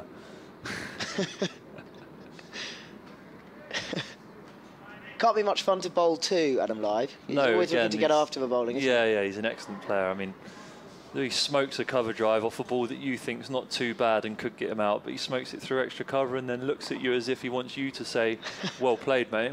He's bowling to Eskinazi here. He's just turned him into the leg side for a single. Yeah, he's one of those batsmen that looks at you a lot. You get two types of batsmen when you're bowling at them, and one is the type that sort of keeps his head down and just worries about himself, and then the other type is the one that looks at you when he's hit you for four. Here and he he is was almost like he wants praise. He's been driven here live by Simpson down to Alex Lees at mid-off. And there's just a single taken. Yeah, he's been one of those guys that's been consistent performer for quite a while for Yorkshire now, and sort of fundamental to their Mm. championship winning consistency. Sort of is bred from the top of the order, I suppose, in a batting sense. Um, and he's given that given them that solidity. Um, you know, it's a real shame that in that summer um, he didn't score as many runs as maybe he could have done. Yes, when he played for England, as uh, he's bowled to Eskinazi. though. He's tried to sweep in very fine, I think, but it's just gone to square leg, and they've run one. He um, he scored a very good hundred against New Zealand, didn't he? I mean, he just Yeah. the Ashes didn't quite happen for him against the Aussies. No, and I think that that can happen in an Ashes series because it's so alien compared to other international series in terms of the Mm. intensity and the scrutiny. Um, but he has something, um, and he was obviously um, good enough to score that 100 against uh, New Zealand earlier that summer, and he's an exceptional player. Here he comes again to Simpson, who's driving through the covers. That's a great shot. He's going to get four here. I think it's just about going to beat the fielder. out at extra cover. Simpson moves to 38. Eskinazi has 39. This has been a very good stand. There just could have been a little wobble Yeah. after Malan went, but they've uh, just been very steady, haven't they? Mm. Well, yeah, this um, we spoke a bit at the beginning of play about um, recognising important periods of play when you don't want to lose wickets, when you need to dry the runs up when you're a bowling team, um, and that's very prevalent with the pink ball and the times of day. That's the last ball of the over from Lyth. Again, uh, Simpson's driving, but he hasn't got all of that one. It's just out to extra cover. So both batsmen are on 39 at the end of that over. It's 230 for four, I think. Mm, sort of gave that everything, and it's dribbled out to deep cover. I think he must have towed it. The um, how, just from a Middlesex perspective, how you know this obviously isn't a championship match, but you went unbeaten all year last year in the championship. Would it have been really frustrating to come here and in the champion match lose a game after not losing one all year? Yeah, I think it would have been. I think that um, the culture of winning um, is a habit, and I think that if you get into bad habits, um, you know, letting letting games slip and drift away from you, regardless of when they are or um, you know, or what sort of cricket they are, um, I think that that can breed bad habits. So. I think the fact that we've had our backs against the wall, um, that the MCC batted well on that first day to post 320, um, and for us to get bowled out for 170 odd, um, I think that um, I think that the resilience it's just it's just another example of the resilience that we have um, as a team. Obviously, we've not seen it through yet, and there may do, yeah. there may well be another twist in the tail. Overton's coming into the attack to replace Jack Leach, and he's bowling round the wicket to the left-handed John Simpson. That's gone across him, and he's tried to pull it and not got anything on it. Ben Cox, who's a very good wicket keeper, dives to his right to prevent any buys or anything like that. Yeah, I think that's if Simo had got anything on that, a few lockers in the dressing room might have been um, might have been torn up if Cox had caught it. So um, yeah, luckily that no one touched anything there. In comes Overton again, the lumbering figure from the other end. and he comes round the wicket, and Simpson just he's got something on this one, but it's just straight to the man at sort of square leg, mid wicket kind of position. No lumbering, lumbering's a bit mean. That's a bit? He- unfair, isn't it? It's- he that's- looked quite athletic, I thought. That's the kind of word that men of five foot eight say about men yeah, of six foot whatever. stinks of jealousy. Very true. I can't, I can't argue with that. I mean, I, I, I would much rather be a foot taller than I am, but uh, unfortunately, uh, the genes just weren't there as Overton comes in again. And Simpson's got hold of a pull here, but not all of it. And they're just going to come back for two as uh, the man comes around at fine leg to do the fielding. No, sort of a splice. I think the round the wicket angle, um, they're trying to cut out any width from Simo because he, he plays very well the cut shot when the ball's going across him, and the drive. Um, so I think from round the wicket, they're just trying to cramp him for a little bit of room, um, bowling a little bit straighter. And there he spliced it, but unfortunately for them, there wasn't a fielder at a squarish square leg. Um, but now he's coming over the wicket to change a, change of angle. They might feel with the lights and the twilight period that trying to get him driving is the best option. Yeah, it's a bit full of that one, isn't it? And he's just pushed it out to the offside for no run. How would you? Uh, what would you be doing here? Would you be going over wicket, round the wicket? Well, I think here they need to chase wickets. I think with us needing 74 runs to win, um, six wickets left. You know, fundamentally, the only thing that's going to save the MCC here is a, a stack of quick wickets, and the best time to do that is probably in this twilight period. Um, so I'd say come over the wicket as he has done now after after three balls, and try and get Simo driving. I think he looks like he's been going quite hard at the ball. In he comes, Overton, and that's a bit short. He's just on the back foot. He's not a tall man, so he's quick onto the back foot, and he's just defending into the offside. Yeah, they've got they've got two slips and a gully in, so Overton's going to be pitching up a little bit more than he was before, trying to get him driving. Yeah, I think here you almost have to press the gamble button here as a bowling team. Um, go over attacking um, because a cluster of wickets is the only thing that's going to win you a game. Um, I don't think the amount of time there is left in the game building pressure we can afford to um, we can afford to soak it up.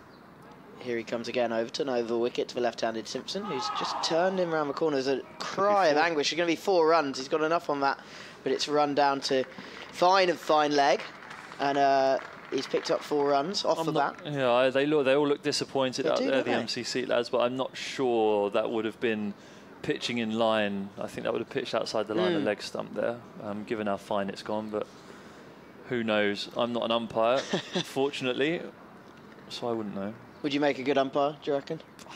It's hard to say. I mean, there's a lot of times when I'm bowling and I appeal for the shot. If I think it's a bad shot, I think, oh, he's got to be out. You deserve to walk for that because it's a poor shot. Um, so I'd hope that I wouldn't take that attitude into my umpiring career. I'd like to think I'm generally quite a fair, level-headed man who would give the decision on merit, but I don't think I'd hold grudges.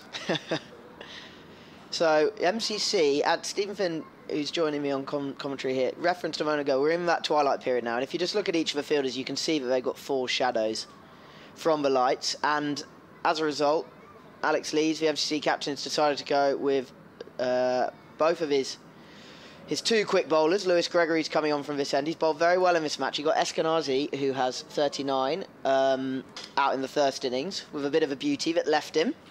So we might see a little bit of a way swing here, I think, from. Uh, He bowled beautifully in the first innings. I think even even early in the innings he went for a few runs, but they were all good runs. What you'd consider good runs as a bowler. They were edges. Um, they were drives. When the ball's up there swinging, you don't mind going for those runs. Uh, Same again, it's full, but he's it's too full, and he's been driven through point by Eskinazi. He's going to get four for that. It's a lovely shot, but I think that Gregory won't be too disheartened by that. He's got three slips there waiting for a little edge. That seemed like it did swing a fair amount. Um, so I'd imagine that with the MCC yeah, trying to roll the dice here a little bit to try and get wickets to try and bring themselves back into the game, uh, no one will mind that too much. That's right. We've just seen on the replay there. It was it was full, but it was shaping away nicely. We've also got two men in uh, deep on the leg side, deep square and fine leg. Here comes Gregory again, and that's a similar delivery, just not quite as full, and he's been defended to mid off by Eskinazi. I think those two men out there are men that allow the bowler to bowl slightly straighter. So I think it looks as though it's there for they're there for a bouncer or something, but someone who's swinging the ball like Gregory is here. Um, it'll be it'll be two guys out there. There's a bit of protection for him to be able to start the ball on middle stump to try and bowl Jaffers because ultimately that's what the MCC need at the moment. Here he comes again, Gregory, into Eskinazi, over wicket to the right hander. And that's pulled away. It's a little bit shorter, but it's uh, straight to one of those men. So they just run one. We should. I'm talking absolute garbage. we should probably mention you're sounding like quite the captain here, Steven Finn. But you, uh, you, you would in the North recent North South series. Am I right in thinking you were the? I was the, the I was the vice very captain? very influential vice captain. Yes. Three I 0 was the- series I win, was- mastermind. Vince might be the face of the operation, but I'm very much the brains. I'd say. How was that? Did you enjoy um, that sort of leadership role? I enjoyed the responsibility. Yeah, I think that it's something that again, as you as you do get a little bit older in your career, um, you become a bit wiser, or you think you become a bit wiser anyway. Gregory staying over wicket for left-handed Simpson, who's on the back foot driving out to cover. There's no run. And I suppose, yeah, as I've thought about it more, it's something that um, captaincy does interest me. I think at at some stage in my career, whether Angus Fraser at Middlesex will feel like I'm ever the right man to captain Middlesex, I don't know. But yeah, at some stage in the future, um, you know, I'd, I'd love to put my hand up for a captaincy role or or something of the like because. Um, you know, I've played a lot of cricket now, and, and it's about time that my start, start showing some responsibility. Here's Gregory again to the left-handed Simpson, who's flicking away through the leg side, and there's going to be at least two here. It's just going to be two, I think. The fielder from mid-wicket runs back. So turn, think about a third, but no dice. The would, you be a, when you weren't bowling? Would you have yourself straightened at first slip, or would you be more of a mid-off general kind of Well, captain? actually, we were discussing this the other day. I think I'd bowl the ball and I'd just run straight through to first slip and make the youngest bloke of the team collect my cap from the umpire and run it to me at first slip so that I don't waste an extra 15 yards of walking. you can have Um, Gubbins as your butler if it's ever. Yeah, I'd say, I'd say, click my fingers, say, uh, Gubbins, fetch my hat for me. Here comes Gregory again to Simpson.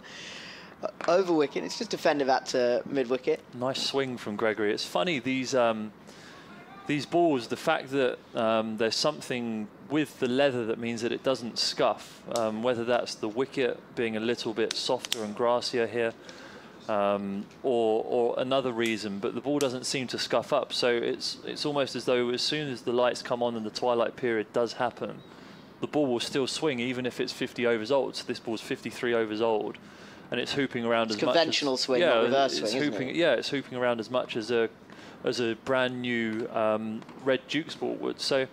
Um, it poses a few challenges, I think, for a bowling team and for a batting team. Um, but it does seem so funny that the, the the conditions do dictate what the ball does so much. Craig Overton's about to start a new over. It's 242 for four. Two, two, two for two. in, he comes to Eskinazi, right hander. He's leaving him outside offside. I feel like we've had a whole array of uh, impressions from you. Don't worry, I've got, I said yesterday I've got them all. We had I have- Shane Warne, I Richie have- Benno now. I have all of them.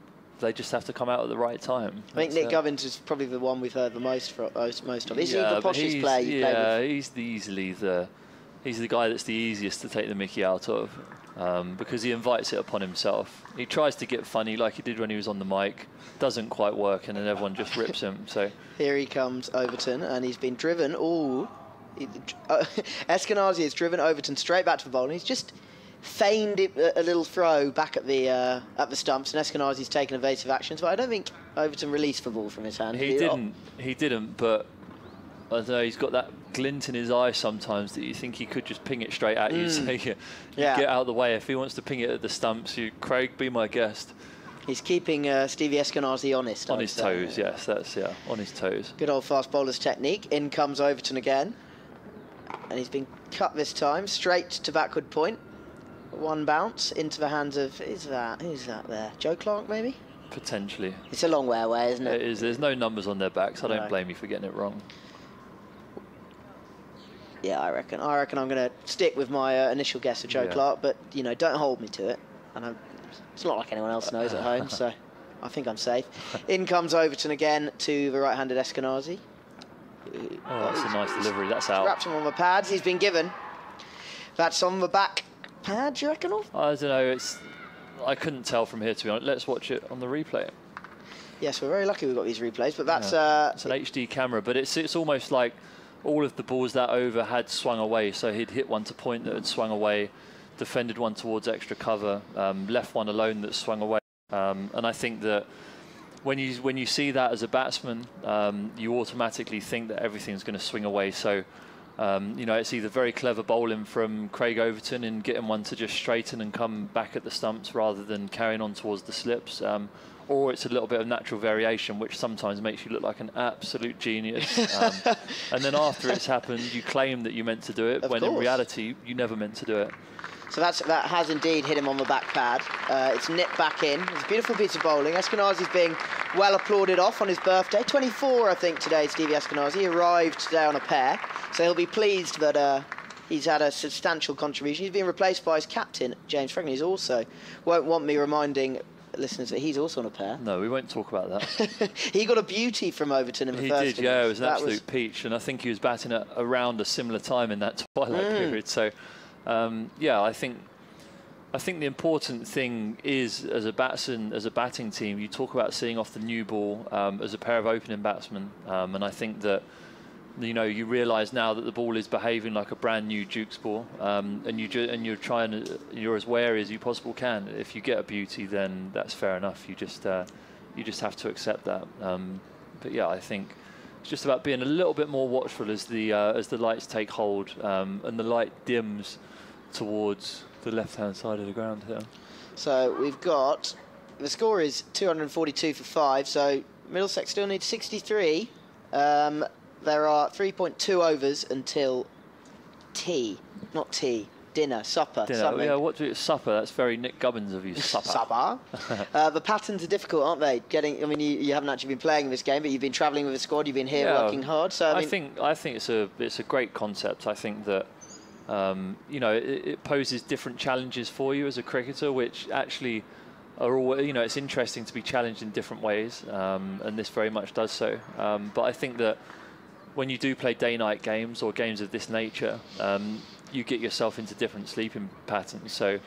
I'm rooming with Sam Robson, and I allow him to chew my ear off until 2 a.m. in the morning, and then you sleep until 10, and your and your day's sort of two hours later anyway. So you're you're on a natural time pattern. Here comes Overton to Franklin. He's on a pair, and he's they, we've gone up for that.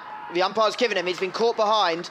It's a beautiful piece of bowling from Overton. Franklin's gone for a pair, and I think that one's just like the ball he got in the first inning. Didn't get up on him quite as much, but it's nip, it's just nipped away, hasn't it? Yeah, that looked very similar. It's um, it looked as though it was feigning to shape back into him, and it sort of nipped across him, taking a very faint outside edge to the keeper, and Frankie has waited there for the umpire's decision, but Alex Wharf, I think, has sent him on his way. It looks like the right decision as well because his bat was away from his body. So it's, you know, it's, if if the umpire heard a sound, then uh, had to be bat. I think. Yeah, and that's unfortunate um, for James Franklin. I think that um, you know when you get two good balls like that, I think it's, it's very hard to come to terms with. Um, but he's not really done too much wrong there. He's just um, the first ball of the innings, Mm. wanting to feel bat on ball, and um, unfortunately only got enough on it to take it to the keeper. He's a hard man, James Franklin. He'll take that in stride. I think. Yeah, he is, and I think last year he was, you know, he was inspirational as our captain, um, as a leader of the team, um, and as a, as a guy coming in with such experience at number seven, um, you know, being able to take us through in tricky games um, and score Mm. important runs for us last year. Um, you know, to have a wise head like him there, um, you know, when we're winning games at Nottinghamshire. Um, contributing to the Somerset win, etc. Um, you know, I think it's very important to have someone like that in your team. Well, he is gone, and James Harris has wandered out to face a hat trick ball from Craig Overton. He's got Stevie Eskinazi and James Franklin in consecutive deliveries. If Uh, James Harris gets out here, I'll eat my hat because he has the best forward defence in world cricket. He's uh, Chalk him in for a, for a big peach of a delivery here. So Eskinazi was trapped LBW by one, which just nipped back in and uh, struck him on the back pad, and then Overton got James Franklin for the second time in the match for naught with an absolute beauty. On the screen it says, "Excellent bowling, you are on a hat trick." As if he didn't know. Am I? We how many slips do we have? We have five slips for the hat trick ball. So there, yeah, and this is exactly the roll of the dice that the MCC were hoping would pay off. Mm. Um, you know, the to get the ball up there swinging, um, giving it an opportunity to move and draw batsmen in, um, and it's brought them two quick wickets through some good bowling. Leg slip. Well, so leg gully has gone in, but uh, I'm not sure it's going to be short. So here comes Overton past the umpire into James Harris for right hander. Oh, and he's been struck out. on the pad. He's been given it's a hat trick. James Harris is gone, and Craig Overton has a hat trick. If this game has been turned on its head, Middlesex are 242 for seven now. They still need 63 to win. And Craig Overton has a remarkable hat trick. Two of them LBW. First Stevie Eskinazi, then James Harris the third of the three. And between them, James Franklin went to an absolute peach. Just watching the replay here, and I think Steven Finn called it straight away. I've had it absolutely plumb, isn't it? He's played around the, his front pad, and he's missed a full straight one, It's and he's him- gone. Yeah, it's hit him middle and leg. Um, sort of nipped in on the angle. Um, yeah, it was a very excellent piece of bowling. And I think you, you've got a hat to eat as well, haven't you? I do. I will eat my hat, said Steven Finn. I'm wearing as, a hat uh, as well, Craig Overton was at the top of his run. That was a sensational piece of bowling from Overton. It's the end of the over. It's 242 for seven. So who have we got now? Tom Helm, who Get is this on test match. Test match. he is uh, Steven is currently eating his hat. Kevin Hand's going to get a photo of uh, Middlesex hat. You can hear him uh, chewing away there. so, uh, well, I think one thing we can be certain of this game's going to be over tonight. We had three overs until tea. um, the score's 2 4 2 for 7. And that's a fantastic over. It's a triple wicket maiden for Craig Overton. it sounded better three balls ago, didn't it? For? Um, Eskinazi was trapped LBW by one but nipped back. Franklin was caught behind by Ben Cox by one that got really big on him. Uh, sorry, just nipped away. He's, he, he was gone for a pair. And then Harris played around his front pad and uh, has had Steven Finn eating his hat because he was trapped LBW. I bows back in Harry there. He's, you know, he- he's he's an excellent batsman, and again, he's he's been one of the stellar night watchmen. He's another guy who's, who's produced some excellent innings as night watchman um, and helped win us games with the bat um, and save us games with the bat. So, yeah, Lewis, unfortunate. Lewis Gregory is coming in to John Simpson, the left-hander, with a field spread. And they're taking at least one as he turns it into the leg side. Tom Helm is the new... Oh, is that Harry Podmore? I thought it was Tom Helm. It's Harry Podmore, is it? He can, he's got quite distinctive shoulders, Podmore. He does, doesn't he? He's And very poor and poor tattoos. I'd describe him as well. it's not his shoulders I'm looking at; it's the writing down his arm that I'm looking at. Um, so the field there, there were a couple of slips in place, but everyone else was back. Uh, Alex Lees was inviting John Simpson, who is the key player now. He's uh, he's got 48. He was inviting him to take a single. Uh, Middlesex still plenty of work to do. 62 to win. They need 305. They're 2 4 3 for 7. Um, yeah, not many of the Middlesex. It's not really a very tattooed dressing room, is it? It's not like um, some of the others in in county cricket, where it's a, a few more, a couple more sleeves elsewhere. No, I um, It's five slips, by the way. know, I'm I'm not entirely sure that Angus Fraser. It's not his bag. no, no. So we've got five slips for Podmore. Gregory is has been shaping it away from the right-handers, so it's going to be full. You'd think.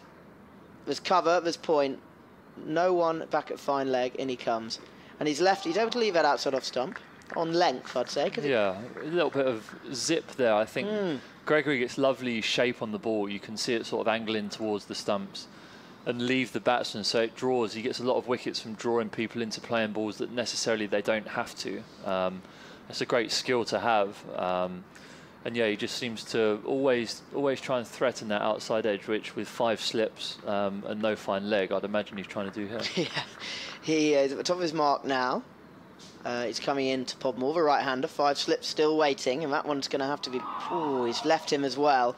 He's tried to defend that, and it's just gone past the outside edge. Gregory's got a great follow-through, hasn't he? It's almost it sort of celebrates in his follow-through. He runs round to cover. Yeah, well, that's that's again that from this angle that we're at, sort of a very straight mid off um, over over Lewis Gregory's left shoulder. Mm. You can see the ball angling in towards the stumps and then dart away at the last minute. So Harry Podmore here will see the ball coming towards his stumps and him feel like he has to play it, and then it leaves him at the last second like that. Here comes Gregory again. He'll be looking for a similar delivery to the last. He's up past the umpire, and again it's full and straight, and again it's left foot go. This is a lovely piece of bowling from Gregory. Beautiful. It's almost doing. It's almost swinging too much. They're too good at balls. They're the sort of balls you want to save for uh, your top five batters.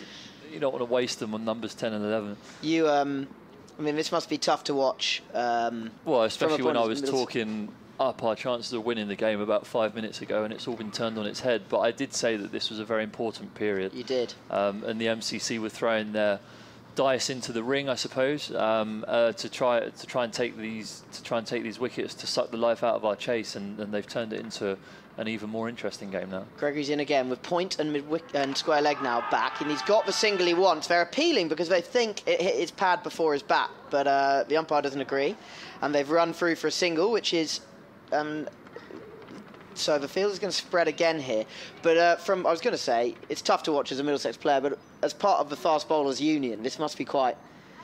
You know, it's both Overton and Gregory are bowling beautifully here, aren't they? You, it's it's it's great great bowling to watch. Yeah, they are. I mean, they've bowled enough Jaffas now. They can sort of- they can bowl a couple of pies to get us off and, and running again if they want. Um, but yeah, it's certainly it's impressive bowling. I think that both of those guys, having grown up playing at Taunton, you have very little margin for error. Mm, here comes Gregory again into Simpson. He'll be looking for a single, and he's he's found a run, at least one. Will he come back for two? He's last ball of the over, and he's so chosen to back his tail end partner, Harry Podmore. He's come back for two. He's, he's reached his 50 as well. It's his 59th ball he's brought out with. He's got three fours and a sixth. Six.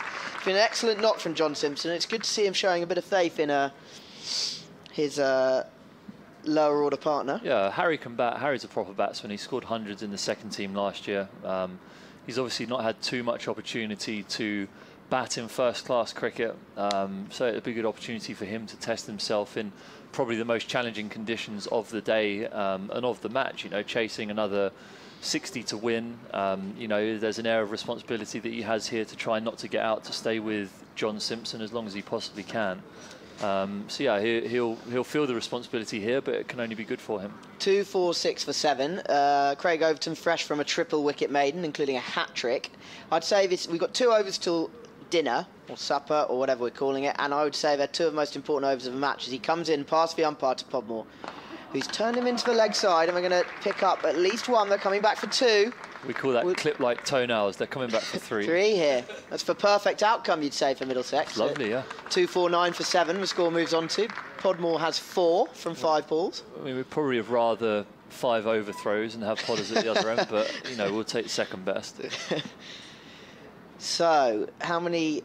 How's Alex Lees going to set up his field for John Simpson here? He, we'd think. Very spread. There'll be a sweeper on both sides, but they'll keep their catches because they'll still fancy their chances of finding the edge, given Mm. that it is nibbling around a little bit. Um, it looks as though deep square leg and deep point are heading out onto the boundary. There's a third man there to cut off the thick outside edge that may occur on uh, and mid off. Plenty of singles as Craig Overton sets off to come in to John Simpson, who drills, drills him up to mid on, and that's one of the. To him, Mm. um, yeah, it looks like the other the um, the fielders extra cover mid off mid on are also just lurking a little bit, trying to invite the single um, to get Harry Podmore back on strike, which shows that they're not backing podders to get through a few balls of uh, of Craig Overton here. Here he is again, Overton, over wicket to the left-handed Simpson, who is pulling him but not getting any of it. It's hip, thigh pad It's like maybe. The, the duck paw. It was sort of a short ball that didn't get up that you think Mm. about ducking, but then it's coming towards your chest, and you think, oh, I've got to play a shot at this, and then he sort of gloved it away down to. Did he give it runs? I think mm, yes, he has taken a run. Yeah. Um, yeah. So it sort of gloved it towards a backwards square leg where it's trickled away, and someone's fetched it and thrown it back to the bowler. That's for 250 up for Middlesex. Means 55 to win. This is going to be a very exciting finish either way. They are seven down. Harry Podmore here. First issue is keeping three balls from Craig Overton out. Here comes one of them, and that's perfectly played by Podmore. Really sturdy, solid, solid forward defensive. commandingly put his front foot down the wicket. If I was the bowler here, I wouldn't be happy seeing all, all eight spikes of his or whatever on the bottom of his shoe heading towards me. So I, I'd be trying to get one up round his ears now. That was a Steven Finn special, I'd say. That way, yeah. Get in I- behind it. Yeah, get in behind it, and then hope that you've got the, the reactions to get out of the way of the short one. Eight balls till dinner. Here's the first, and uh, Overton has been turned to mid on. It's quite a wide mid on for no run. Is that actually what it's Podmore. called? Is the official break dinner? I think so. Or we ju- We- we're just labelling it what I think we have sort of been given license to call it what we want. I love it. Uh, DT on day one, Dave Townsend was calling it supper. Nick Gubbins Maybe- been calling it supper. There must be a marketing team or something that can can be paid hundreds of thousands of pounds to come up with a name for it. Surely. Here comes Overton again. Last ball of the over to Podmore.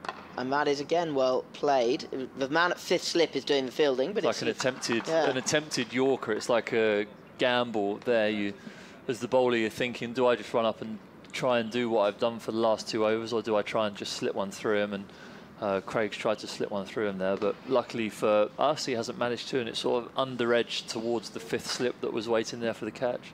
Lewis Gregory will bowl the final over before the unnamed break. yeah, Um, the break that shall not be named. Um, John Simpson will be on strike. He has 51. He's played very well. He's played. He's batted tw- well twice in this game. He put on an important stand in 98 with Dawid Malan yesterday. what about the 40-minute food interval? That sounds a bit, Oh, bit the functional, isn't it? lovely 40 though. minute food interval. Yeah, Yeah. it's true.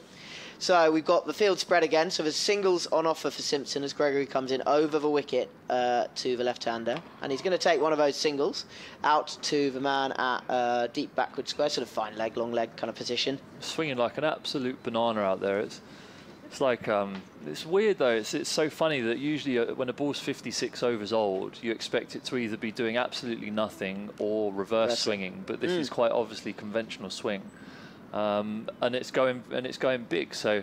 Um, as a bowler, I'm all for this. Let's play pink ball games every game. So, uh, Podmore on strike. There are five balls until that interval, and we have. Have we lost one of our slips, or is he coming in now? I'd We've definitely got four. You've got to have five here? Yeah, I mean, you, you're throwing the dice here. It gets to the stage where you've got so many slips in that you know you don't want to put token ones in there that you know Mm. aren't going to catch the catch if it's going to come. But you know, get as many people who can catch in there as possible. Here comes Gregory again, and they're not going to be busy there, the, the slips, because Podmore is really firmly in behind her. That's a defensive Watford shot there. Where's he from? He's from Acton, isn't he? Mm. Tricky one. Yeah, that's, that's I thought I was going to have the wit to come up with something funny, but I don't. So, can only apologise. It's all right. I mean, I can't think of anything either. No. It's uh, four balls left of this over as Gregory comes in to Podmore again, and he's going to be defending that. Where's that gone? That's gone to like your, the fifth slip. Fifth slip. Yeah, he, he's found that guy fella a couple of times. The Acton oh, anchor, yes, there we go. The Acton anchor. Drop it like it's hot.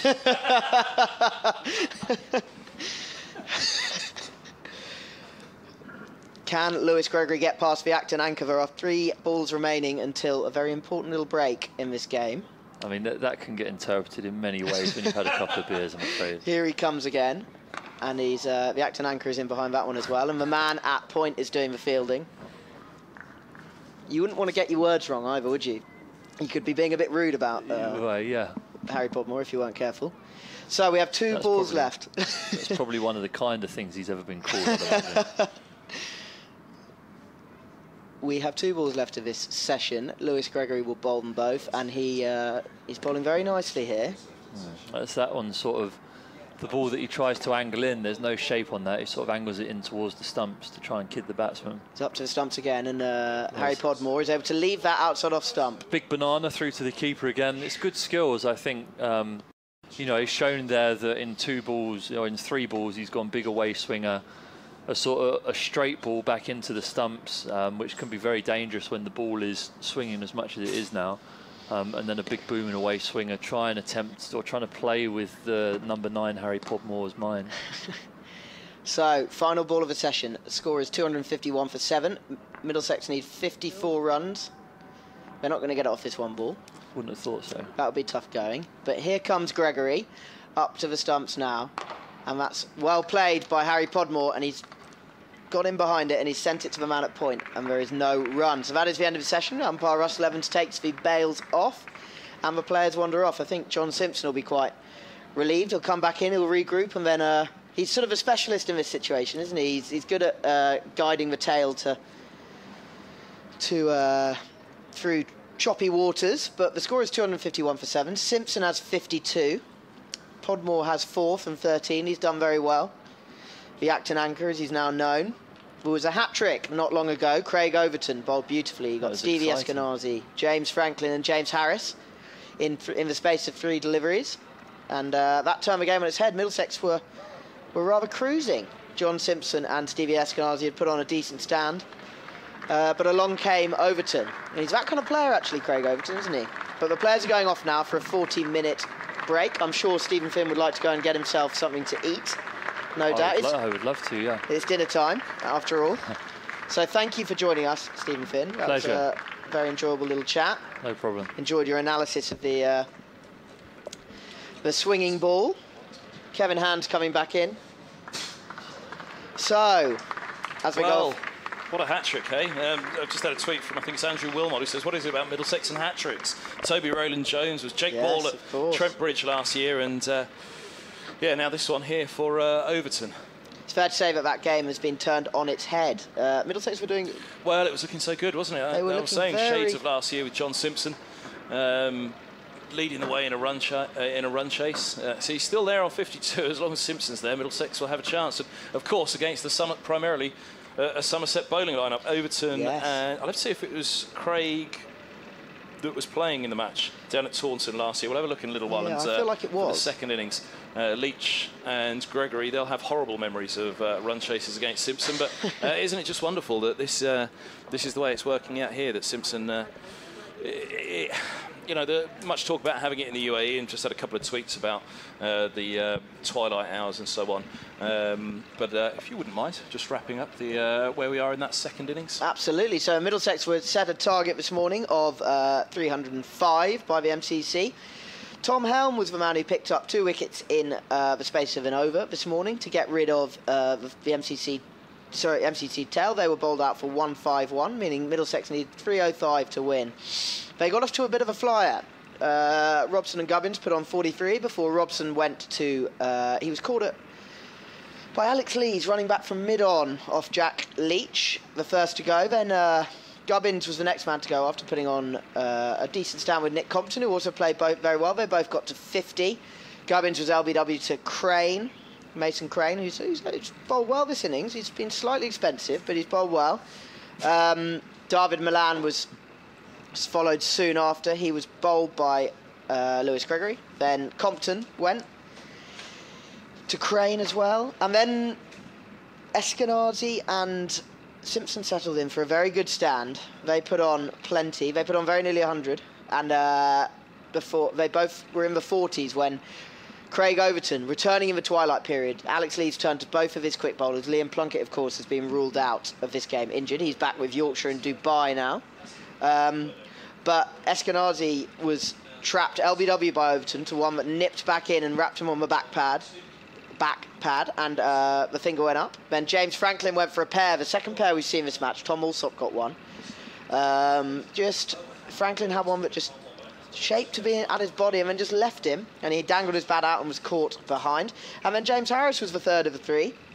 He was LBW as well, absolutely plumb in front. So that they are the seven wickets to have fallen. There's two five one for seven, and Middlesex need 54 runs to win, and the MCC need three wickets. Good man, well done. Thank you, Will. Uh, Will Macpherson will be back after the interval here on BBC Radio London and 5 Live Sports Extra. Uh, we'll get Nick Gubbins back up towards the end. I think he was uh, a little bit upset that uh, Steven Finn knocked him off the mic there. Um, yeah, yeah, booted him off the mic, I think was the word that he used, absolutely. Uh, now, in March 2007, Pakistan cricket coach Bob Woolmer was found dead in his hotel room following his country's World Cup exit. What followed was a case that shocked the sporting world and made headlines across the globe. Uh, during yesterday's interval, we heard part one of a Five Live sports special uh, that explored the circumstances around his death and rumours of foul play. In part two, Alison Mitchell investigates where those rumours came from and speaks to his family, his coaching staff, and the policeman who ended up leading a murder investigation.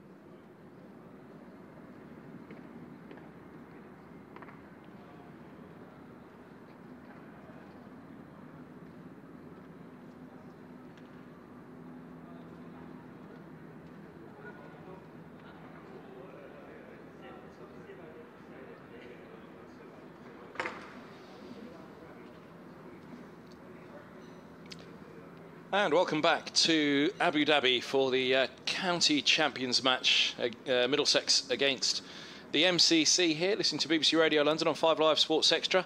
Uh, that was a 5 Live Sports special on the death of Bob Woolmer. You can download the whole programme on the 5 Live Sports website. Uh, we are into the final session of this match on day three because uh, the target is 305 and Middlesex at dinner, supper, lunch, tea. I don't know where we are anymore in these intervals. they require 54 more runs. Um, they are 251 for seven. Uh, the not-out batsman John Simpson on 52, uh, and Harry Podmore on four. Echoes of last season for Simpson. Uh, great chase down at uh, Somerset. I think that will probably be the one that I'll always remember Simpson for uh, to this to this day. Uh, of course, I'm sure there's plenty more to come from him. Um, and it was up against the Somerset boys, uh, Gregory, Overton, Leach. Well, he's got Crane and Lyth up against him as well tonight, but I'm sure it'll be Gregory and Overton who are the two to try and go hard at Middlesex, pick up these three wickets and not allow John Simpson to steady things once again. It's uh, been an interesting day for Middlesex. There have been some really good contributions, as there would have to be in a chase of 305. 52 from Nick Gubbins, who was up with us just before the interval. Sam Robson 20. Nick Compton has 59. Malan 14. Eskinazi 44. And then John Simpson with 52. Poor James Franklin got another snort from Overton. This time his first ball. He was out for a second ball duck in the first innings. Uh, James Harris uh, went first ball and that was the hat trick for Overton, having picked up Eskinazi first of all, LBW. Uh, and yes, now Harry Podmore, who was out there for 12 minutes with Simpson, who's batted for 84 minutes for his 52. Middlesex require 54 further runs with only Tom Helm, who batted quite well as a night watchman, not uh, mm. night watchman in the first innings, uh, and Ravi Patel to come. The umpires are ready; they're out onto the field. Uh, quite. Uh, the fielders will be following them shortly. There is Harry Podmore, padded up, about to put on his helmet. John Simpson picks up his bat now as well. The uh, Middlesex chairs gathered around the outfields, and uh, what has been a fascinating three days uh, could have a fine finale here. Um, it is going to finish a day early. The twilight hours have really had an impact on the uh, proceedings throughout the game, and um, as a result, it's been a slightly shortened game, but uh, I think that was predicted as well, wasn't it? That usually it's only if there is interruption that it goes uh, deep into a fourth day anyway. Uh, this match now into its eighth year. Uh, so the umpires are out in the middle, no sign of the MCC just yet. As I say, the umpires are very, very prompt. Uh, ben Cox has just stepped out, in fact, uh, has appeared down below. As Gregory has one for 63 from 13 in this innings, an economy of 4.8. Overton 10 overs, 3 for 30. Leach 1 for 50 from 13. Crane two for 79 from 16 and Lyth, five overs, none for 23. Here come the MCC, and uh, out they go. Who's that charging ahead in front? Is that Overton? It's Lees, I think, the captain. Is Lees? Mm. Dear me, he's a big boy as well, isn't he? Uh, he is. it looks a little stockier, and to say that you look stockier than uh, Overton is saying something. Um, so Lees, the uh, skipper, yes, he um, Got 41 in the first innings, Lees, uh, but just nine second time. There we go, the batsman are out over the uh, ropes now, and uh, out to the middle they go. That familiar hum again at this time this eve uh, of the evening. What on earth is it? We will find out once the broadcast broadcaster's finished. I'm not sure. Very distant traffic, possibly. Yeah, maybe motorway at this time of night getting busy, uh, possibly. Um, so, 51 to win, 305 the target here on BBC Radio London, 5 Live Sports Extra. If you want to tweet us at Kevin Hand BBC, at Willis underscore McP. Um, there were still so many tweets to get through today, and apologies that we didn't get through them all, but I think we did get a flavour of uh, what everybody was feeling. Um, Indeed. We But yes. have. But we do have an absolutely belting final session set up here, don't we? It's, I mean, it's certainly going to finish tonight. 54 required for Middlesex, three wickets for the MCC. Craig Overton will continue. He, he and Lewis Gregory have both had sensational games. Done well with bat ball. Overton has seven in the match so far. Gregory six. Overton, of course, very memorably. That hat trick before tea. Tea, supper, whatever we're calling it.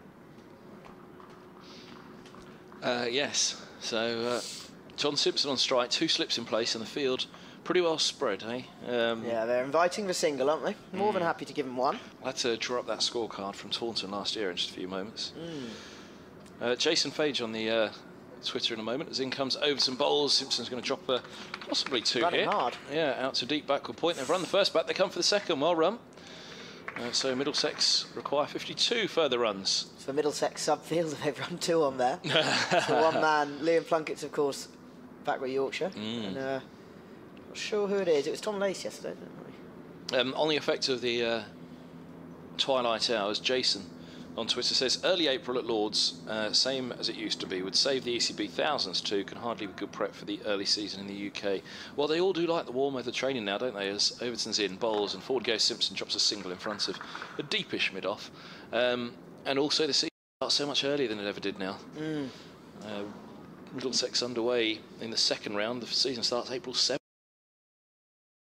Nearly in March having the Champions match then, aren't you? If Middlesex want to get in a. Well, they've got a match at Fenners, Gus was saying. Inquiring if I'd be coming along to that one as well. Cheeky so and so. Right.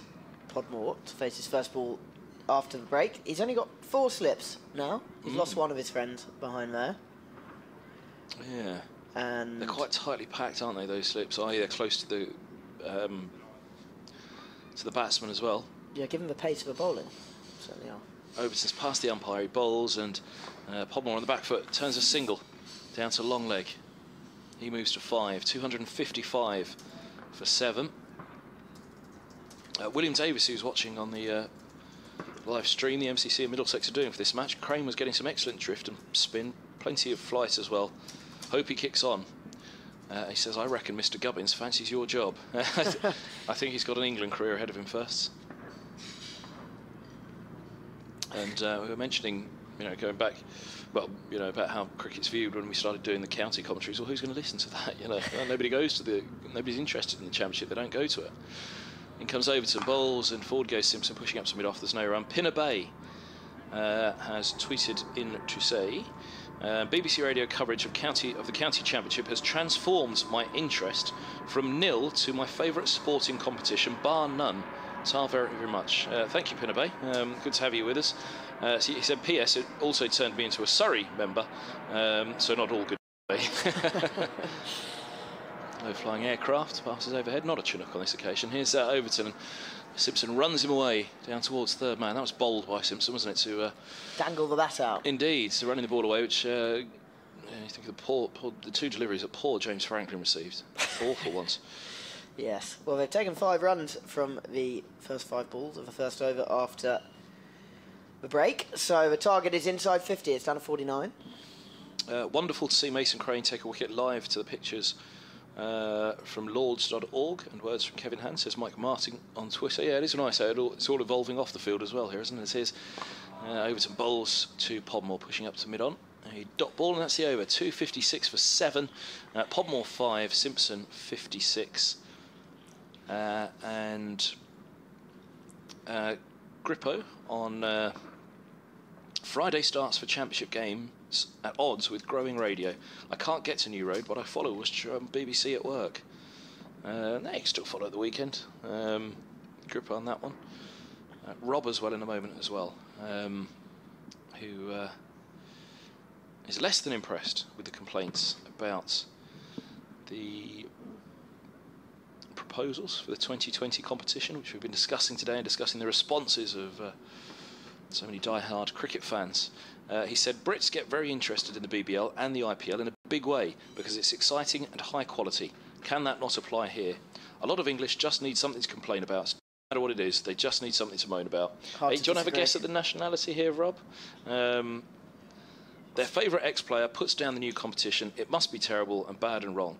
Uh, and also spells the end of county cricket. Well, a lot of ex-pros are actually talking up the T20. Well, all they? the players want to play. Well, exactly, yeah. They wish it- was around their, their day. I And a lot of the ex-pros are either media or or, um, or agents. So Here's Lewis Gregory for his first ball after the break, and he's been turned into the leg side by Simpson, the left-hander. He's coming over wicket to him. There's no run. He's Simpson's only got one slip now, but there is a quite wide gully. Duckett's for slip, I think. Live is the gully. There's a cover, a mid-off. A man of a deep point, deep square leg. as it had started on the BBL, I was thinking Rob was an Aussie. He's from North Wales.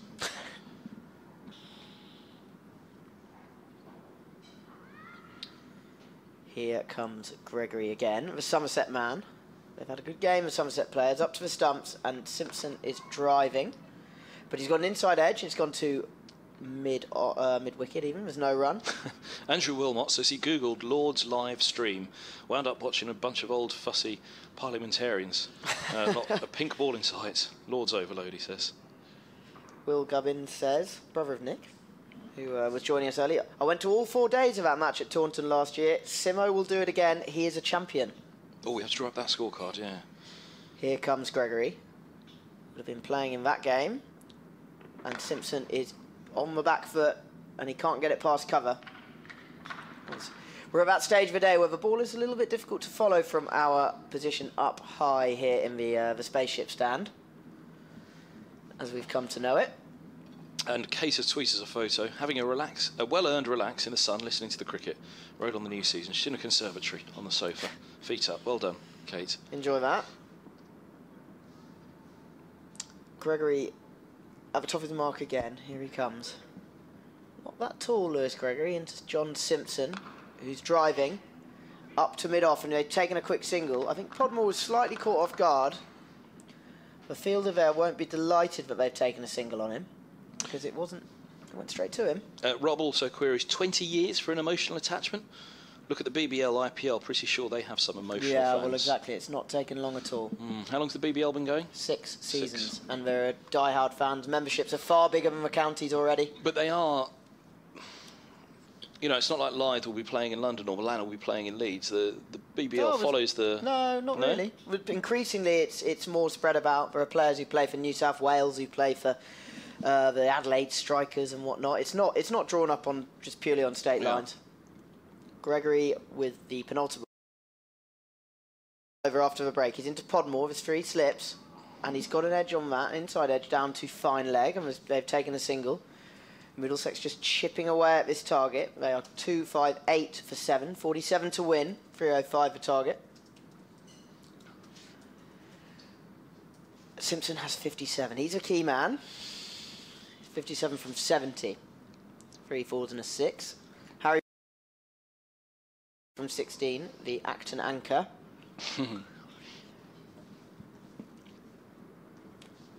Gregory with the last ball of his over. Field's still quite spread. He's over wicket to Simpson. It's very full, and he's going to get a single. He, the single he needs to keep the strike. Two five nine for seven at the end of the over. It was a single out to the man at deep point, Tom Alsop, who lobs it in. One run. Um, Craig Overton did play in that match at Taunton, but Lewis Gregory didn't. Lewis Gregory did. No, I do remember he had a dip in form. Mm, middle of Um, last season. Yeah, it was Craig Overton, Groenewalds, Leach played, Myburgh, and Jim Allenby, who was the unlucky man to bowl the uh, what would be the final delivery. And Simpson hit it away, 79 off 89 off 80 deliveries, at five fours and seven sixes.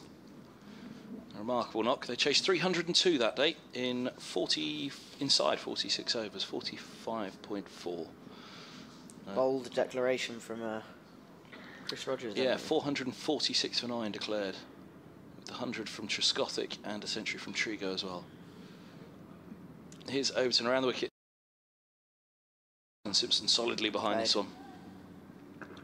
Field well spread. It has been that uh, after the interval on these uh, evenings so far, it hasn't been as tough as that hour that led up to the interval for the uh, batsman. Mm. Ball's now into its 60th over. It's a very tough time to bat that, as, as Steven Finn was telling us before the break. The ball does funny things, even though it's not um, not not new. It swings around conventionally. Overton bowls and Simpson drives out to point on the boundary, just a single. 260 for four. 45 more to win. And uh, all of a sudden, do we just start to favour Middlesex? I think Middlesex are the favourites here. Well, certainly while Simpsons at the, at the crease, they are. Uh, they're the ones who uh, you'd back. But uh, if he were to go, and also we saw earlier how quickly things change. They were cruising along with uh, Simpson and Eskinazi at the crease. They shared 80 odd, 90 odd. Overton's over the wicket to Podmore, who uh, nudges from a very straight line down to long leg, which was the uh, cry from the bowler. And uh, yes, down to long leg it goes for a single. Had he have struck that, they'd, uh, they'd have been jumping up and down. I was just going to see, so it was Allenby to Simpson. Groenewald was the bowler at the other end. Leach had bowled prior to Allenby, actually. Uh, so Leach, Craig Overton bowled the 40th over of that Middlesex chase that went to the 45th. The 41st was bowled by Leach and Groenewald the 42nd. The 43rd was bowled by Leach. 44th by Groenewald and Allenby bowled that 46th. The big one. Mm. Sent away for six. So memorably, the, uh, I seem to remember some quite good video footage of the, uh, Middlesex balcony. Oh yes, that was very good. I, I know, who was it that filmed that? Here's uh, Overton. He's around the wicket bowls, and this ball's full and dug out by Simpson out to deep mid wicket. They're going to pick up two. 263 for seven. Uh, it wasn't a regular player member. He was. Um, I'm trying to think. Would he have been? Wouldn't have been Brendon McCullum because he wouldn't have been down there. I don't think he would have been there, would he? Maybe George Bailey? He was the. He would have Yeah, been it was. It was George Bailey, wasn't it? Um, Overseas pro yeah, Bailey filmed it. Yeah, because he wasn't one of the absolute regulars for Middlesex, but was in doing a job in the um, white ball competition primarily, but did cover for Burgess. Uh, around the wicket is Overton. This is hooked away out to deep backward square, uh, out to deep mid wicket. In fact, Going to beat the man. it is, and no, that not. will be. Oh no! it's that worse. The, the ball's two. done for us again, hasn't it? We've lost that. Yeah. so, just the two. 265 for seven. Productive couple of overs these for uh, since the break for Middlesex. They've uh, chiseling away at that target, aren't they? Mm, well, you can just see there's a little bit of a change in intensity, uh, not on the MCC's part, but on the response of the ball, as Overton is wide around the crease, uh, around the away out to points for a single, 266 for five. BBC Radio London, Five Live Sports Extra, with myself, Kevin Hand, and Will Macpherson. I've spotted that man at mid off, Mason Crane, the leggy just warming up. Gregory's certainly going to have one more, but just whether they might fancy the uh, sort of game changing skills of a leg spinner can make batsmen do funny things, and uh, Crane's certainly a very good leg spinner. If even if he is a little green at this stage of his career, so uh, we could could see some leg spin shortly. You'd think he'd be the favoured spinner in this situation rather than a uh, finger spinner like Jack Leach or uh, even Adam Lyth. You know, who knows? But uh, he's going to go around the wicket to around the wicket even rather than around round the wicket to John Simpson, the left-hander. He's got one slip, which is Ben Duckett. He's got a gully as he comes up past the umpire, and he's turned that straight to the man at mid wicket, and there's no run. Two six six for seven. I was just looking ahead to the uh, cricket fixtures to come after this one. For your live cricket commentary as well, just in case this all happens in a flash here. It could easily, Uh, couldn't it? A lot of university matches happening at the moment in England, but uh, yeah, the next domestic cricket from the BBC. In April comes Gregory round wicket, and Simpson smacked him hard over cover, and it's going to go for four. Rolls away to the boundaries, middle that, straight over the man. I think it's Alex Lees. Haven't been able to see that ball at all, have you? I I saw it come off the bat, and I saw it roll You saw it come off the bat Over the rope. No, I don't believe you. No, I genuinely did. I, I missed it. I lost it while it uh, travelled over cover, but Mm. um, the fielder's down by the rope there, picking it up. That's a makes it 270 for seven, which means there's only 35 required now. Simpson is just such a good cricketer, isn't he? 68 from 78 now, four fours and a six. Gregory up to stumps again, and he's oof, he's bowled that down the leg side, and Simpson's missed it. Uh, it's caught a bit of a pad and it's gone through to the keeper. Uh, yes, so that first round, Division 1, Essex, Lancashire, Surrey, Warwickshire, and Yorkshire, Hampshire, which I believe is the Sports Extra game, uh, Yorkshire's first home game of the season, taking on Hampshire. And then the second week is Middlesex away at Hampshire. Warwickshire versus Yorkshire. Here comes Gregory. Oof. Simpson's just defended that uppishly into the leg side. It's rolled down to middle. And it was a cry of catch, but there was no fielder nearby who could take it. There's no run. Gregory sort of fallen over in his run up. Random female, our friend who's been following us around for a couple of days. She's uh, been in touch. Blimey, a lot's been going on, she says. I was hoping for a few hours' play to listen to on my way back from Cardiff. Back to Cardiff, sorry. She was uh, travelling to Canterbury yesterday, I think. So, uh, from Cardiff. Well, you've got a little bit of play left here, but not a few hours worth as Gregory comes in again to Simpson and he's defending straight back to the bowler. There's one ball left this over. Gregory, I can't tell from the from this distance, but from from the live stream, you can sort of tell he's he's operating with a smile on his face. He looks like he's quite enjoying himself. He's got the ball hooping around. Kevin Atkins on Twitter is very happy. He says, Kev, how cool is this? Modern technology is great. He's got his big widescreen TV uh, with uh, the, The pictures of this match, the Lord's stream, the Lord's or Middlesex stream of it, and our commentary. Good to have you with us, Kevin. Here comes Gregory for the last ball of his 15th over. And Simpson's just letting that go outside. We're going to see a wide here. It did. It was a little bit wayward. And uh, Ben Cox, away to his left, was diving to stop it, and he kept it, uh, kept it safe. Did you do that one from Dave Clark? He said, I've got it hooked up to my TV from the YouTube stream. If only we could get this for county games. I was thinking the Lord's stream sounds rather like a holy site, doesn't it? Yes. Sounds like something from a Bible. um, Mark Shanahan's got it on the YouTube channel as well, he says. Here comes Gregory again. And that's been drilled through the covers. That'll be four more for Simpson. 275 for seven is the score, and the Middlesex just need 30. That's an expensive over. Uh, you know, it's um, Middlesex are fighting desperately, of course, to win this game. But it still would be quite nice for them. Hmm. Um, and especially the manner in which they would have done it today. Uh, I don't think the MCC will walk away and much remember the game at all. Um, Chasing 305 on final day. I think it's a. but on the back, third of, day. on the back of last year, to go and do something like this again today, this you know they, they haven't. You know, it's been a pre-season match for Middlesex. Um, I don't think the coaches have put too much pressure on the players um, at this stage of the season. There's just time in the middle for the batsmen, overs in the legs for the bowlers. Um, but it's been a very competitive game out on the field nonetheless. However, my point just being, if if they do do it, get over the line, that really will be a boost going into the final season. The unbeaten run continues. It's a very strong uh, side. Here's Overton right arm over to Podmore. Uh, leaves alone outside of the off stump through to Cox. 275 for seven. I didn't particularly give them much hope of getting close to it, I must say. This morning, it looked like a very big chase. It well, it did. was. It is a very big chase. It did, but they, they had a very good first hour this morning, I'd say. And that- yeah, well, that was it, wasn't it? It was- They, they lopped off the tail very quickly, and then Gubbins and Robson came out, all guns blazing. Gubbins hit the Mm. First ball of the innings through through uh, away for four, and they just looked like they meant business, didn't they? Overton bowls, and this is left alone outside of the off stump uh, by Podmore. Yeah, it was interesting what Gubbins said about. Well, we haven't really seen each other since that day.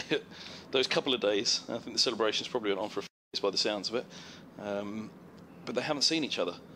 Really, the, the squad since then. Everybody's been off in different directions around I the world and different tours and. I suppose that's a consequence of their success, isn't it? That lots of players got called up to the Lions, Ireland, Yeah. England. So Overton who bowls and behind this. Podmore looks the part, doesn't he? Up to mid off. Yeah, he's playing nicely. We were discussing this, weren't we? That I'd have said that Podmore came in ahead of Helm until I saw Helm bat as night watchman. Well, mm. It was a brilliant display by Helm. He and Gubbins made batting look the easiest at any time yesterday.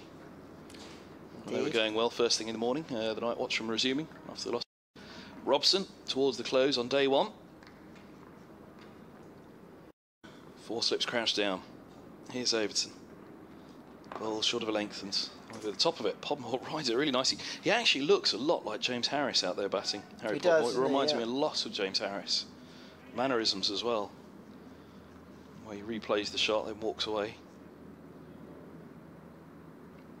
So, uh, good lower order for Middlesex. Mm. John Simpson leading the way again. Overton bowls, and this ball is pushed up to mid off by Podmore. Uh, care for any revision on your uh, favourite wicketkeeper batsman in the country at the moment for for England? I don't think. Um, I think John Simpson is an excellent player. Sadly, I just don't. I don't quite know why, but it, it, I don't think he's going to play for England. I just don't think he will. Well, Mike Gatting said at the end of last year it's ridiculous to think that John Simpson probably never will play Mm. for England. And he said it's just ridiculous that a man of his quality may never play for England. Here comes Overton bowls and squares up. Podmore on this beats him. Uh, through it goes to Cox. Hands on heads all round for the MCC. 275 for seven. I mean, there's some players out there that would dearly to beat Middlesex right now, i.e. Somerset and Yorkshire players. Yeah. We're going to see Um, some spin. Simpson's first class average is 31. Five centuries, 29 50s. Um, now, he had uh, two years where he lost his place in the side at Middlesex, Mm. having had a really good start. He was opening at one stage for Middlesex when he burst in again, going back to those the dark days, really. Now, let's just see. His first class debut was 2009. Um, so, Gus's first season. Got him in from Bury, the leagues. And um, yeah, I remember that match at Northampton being mightily impressed with him. Came in, did a good job, and he was opening for a while for Middlesex. But um, somewhere around the 2012 season, he had two bad seasons. You know, really bad, where you know he was averaging in um, the low teens with the bat. Uh, lost his place in the side to Adam Rossington, but since his comeback then, he has just been incredibly good. Um, and to think that he had those two really low seasons in the middle of his career as well, because obviously the start of your career could be, you know, it takes a while to get that average up. So we have some spin, as predicted. Mason Crane, we spotted him warming up, and he's bowling to Simpson. The field is spread. The single is on offer. This is this is your moment, Mason Crane. There are 30 required for Middlesex as he comes up, there's an appeal for caught down the leg side, but it's not given. It never looked likely. Not least because I don't think the bat was anywhere near the ball. Um, so we have three men deep on the leg side and two on the offside. We have a slip. The slip's still there. You think for the wrong un. Here's Crane again, and that's floated up, and they're going to get that single. So we'll have it's, it's it's just pushed out to the man cow corner on the fence, and they'll take one. You'd think that Crane has got a few balls at Harry Podmore here, four of them, and this is where Leggy's really earned their salt, isn't it? Bo- Bowling the tail. Bamboo, mm. Bamboozling tailenders. Yes, indeed. We've seen one inspired moment today where the hat trick of Craig Overton, he got rid of Eskinazi. Franklin, the captain, for a pair, and then James Harris for a golden duck as well, in the space of three balls. And the MCC, while they don't need something quite that extreme, they do need an intervention very soon here. And Craig is the man that Alex Lees is entrusted with that job. There are two slips. Overton, interestingly, is the second of those two slips alongside Adam Lyth. Here comes Crane up stumps to a right-handed Podmore, who is driving out to cover, and there's no run. You'd fancy that the MCC won't mind Podmore driving out to cover because it means that those two slips are in play. Here comes Crane again. Up to the wicket. And that's firmly defended by Podmore, who's really looked very good since coming in after that hat trick. Where are you in the first round of the season, Will? Chelmsford, Oh, Essex, Lancashire, Cook versus Jimmy, and all sorts of other Oh, yes, say. Uh, intriguing. Here is Pod is Pod Crane to Podmore, and he's that's for Wrongen, I think. From just hit him on the pad, and they've appealed, but it's no dice. It's a quite slightly stifled appeal. It wasn't that convincing. Essex, of course, were promoted from Div 2. They look quite strong. two of the favourites to go down, Essex and So Lancashire. I think Lancashire maybe Bookie's favourite to go down. Crane is up to the stumps again. And he's defended by Podmore. And that's the end of the over. 276 for 7. Just one from it. Crane's returning over. Simpson has 73. Yeah, the replay on that LBW, nobody looked particularly convinced, did they? No. I think you indicated perhaps slipping down. Uh, 276 for 7. 73 for Simpson. And 7 for Podmore. 305 is the target. BBC Radio London, back with you again for another year of county championship cricket. Overton's carrying on, isn't he? I think that's a good idea. A 13th year of ball by ball with Middlesex for BBC London. I think they did up to 15 years now, perhaps with Surrey. Wow. Overton's in. Bowls and Simpson clips him away out to deep square. Just a single. I won't mind that. No, it's uh, Simpson away from the strike. So Helm's Helm in the first innings, did we uh, remind listeners? 15 from 32 deliveries, crucially 57 minutes. Mm. If he bats for 57 minutes second time around, then Simpson certainly would have hit those right. Well, assuming Simpson's still there. See what it meant to John Stephenson as well when they picked up one of the wickets earlier. In the commentary box and John Stephenson was here. I think it was Dawid Yes. Malan, and there was the one that missed the stumps. Um, yeah, he was a ham when that wicket went down. Comes Overton, bowls outside of the off stump. There it goes. Um, and you do, you know, you spend two weeks with the team and prepare them for this match. Mm. Ponderous slip cordon at the moment. Four of them there. Hmm.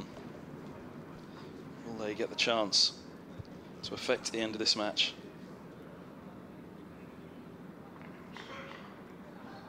Pitch black overhead here in Abu Dhabi now. Bright light shining into the ground from all round, including the four big floodlights as forward goes. Podmore to Overton pushing back. He's not having any trouble picking it up, is he, Podmore? He's playing beautifully. Mm, it just hasn't been the same since the interval, since the twilight period. The ball has settled down a lot. Yep, I think the lights are taking full effect, and it's just uh, that that sort of in between period is has ended.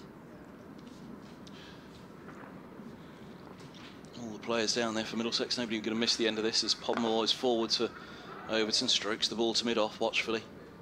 Let's have a look. So uh, Patel, I think, has got his helmet on already. He's sat there ready to go, isn't he? It won't be him in next, though. And then there's Helms over the other side, sat close to the coaches, and uh, James Franklin, I think that is the skipper on the end. Yep, that's right. Overton. Ball Ball's a bouncer underneath it. Is uh, Podmore ducks underneath it and then just had to put his right hand down to make sure he didn't fall backwards in the crease. It wasn't particularly evasive action from uh, Podmore, but just nearly balanced backwards. It's always a nice sight for a bowler when a batsman does, isn't it? Down comes Simpson to have a chat with him. There's only one ball left of the over. Um, possibly don't take the single No. if it's there, or uh, watch for whatever he expects next. He's just been pushed back with the bouncer. Is it going to be a toe cruncher? He tried that before the break, didn't he? Overton bowls, and it's a full delivery, but not a Yorker. It's pushed up to mid on by Podmore, and another over survived by Podmore. He has 64. Simps- sorry, he has 64. The overs are 64. Podmore has seven. Simpson has 74, and the total is 277 for seven, chasing uh, 305 here.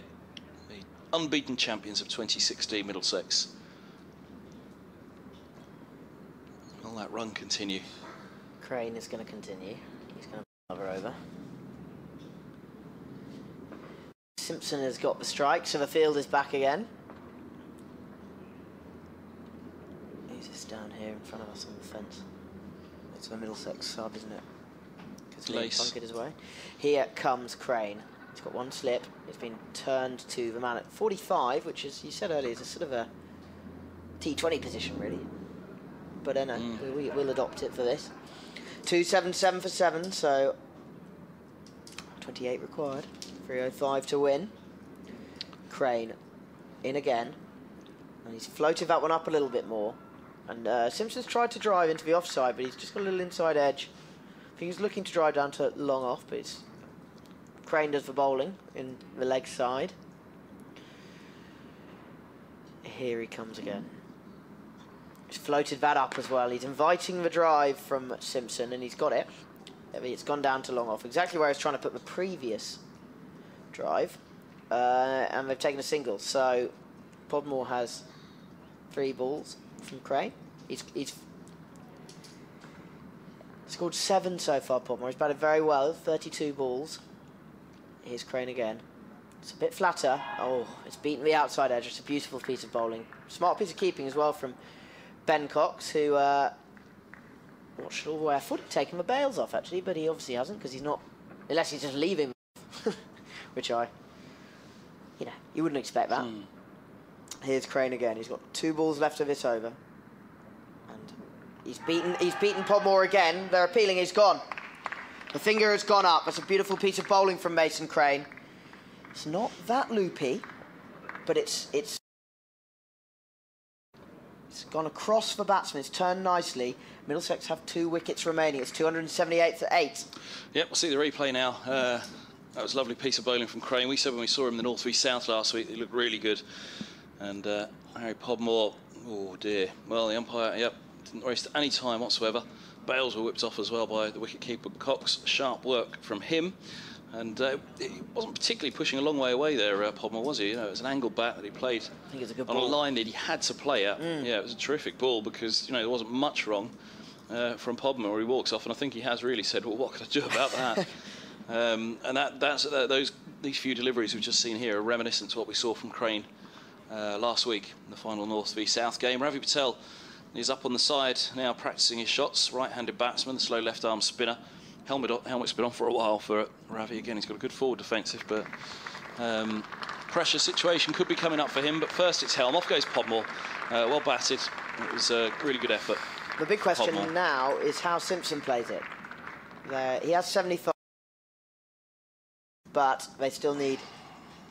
As well as Helm batted in the first innings, perhaps that gives Simpson a little bit of confidence not to take too high a risk on Mm. Maybe these he shots. just keeps doing what he was doing with Podmore, and then maybe if they're down to. What's got 27 to win? Yeah. That's close. Yeah, it's a good couple of overs, isn't it? And game's done. So a few words from Lees to John Simpson there as they walk back past MCC skipper and Yorkshire opener against the Lancashire batsman and Middlesex wicket-keeper. Crane has one ball to survive here. He's in. He's in conference with his captain. Ben Duckett's coming over as well from short cover to have a little chat about what they're going to do here. They're offering. Uh, this, this is a tricky thing for them. They want Helm on strike at the start of the next over. One ball left of this one, so they are offering singles. The man is back at deep square leg and he's back at deep point. But everyone else is up. There's two slips, a cover, a short cover, mid off, mid on, and mid wicket. Two slips alive and Overton. Here comes Crane for the last ball of the over. It's flat, and he's turned it round the corner. He's got an inside edge on that, and we're going to get one. They're going to, are we going to take two? Yeah. Oh no, they're not. They're not going to come for for two. I think it probably was there, it? but they didn't want to risk it against the order. But that means they put pressure on him, hadn't they? And uh, the throw in the end wasn't a great one. That means the target's down to 26, but Helm keeps the strike. I think that was a good ball from Helm. We're going to see a replay of it now. Um, really looked nice flight, nice line, It's and then again coming back in. Yeah, It's for the leg Googly. spinner.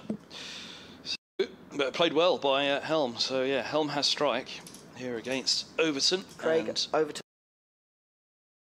and it was uh, b- b- b- 15 bowled.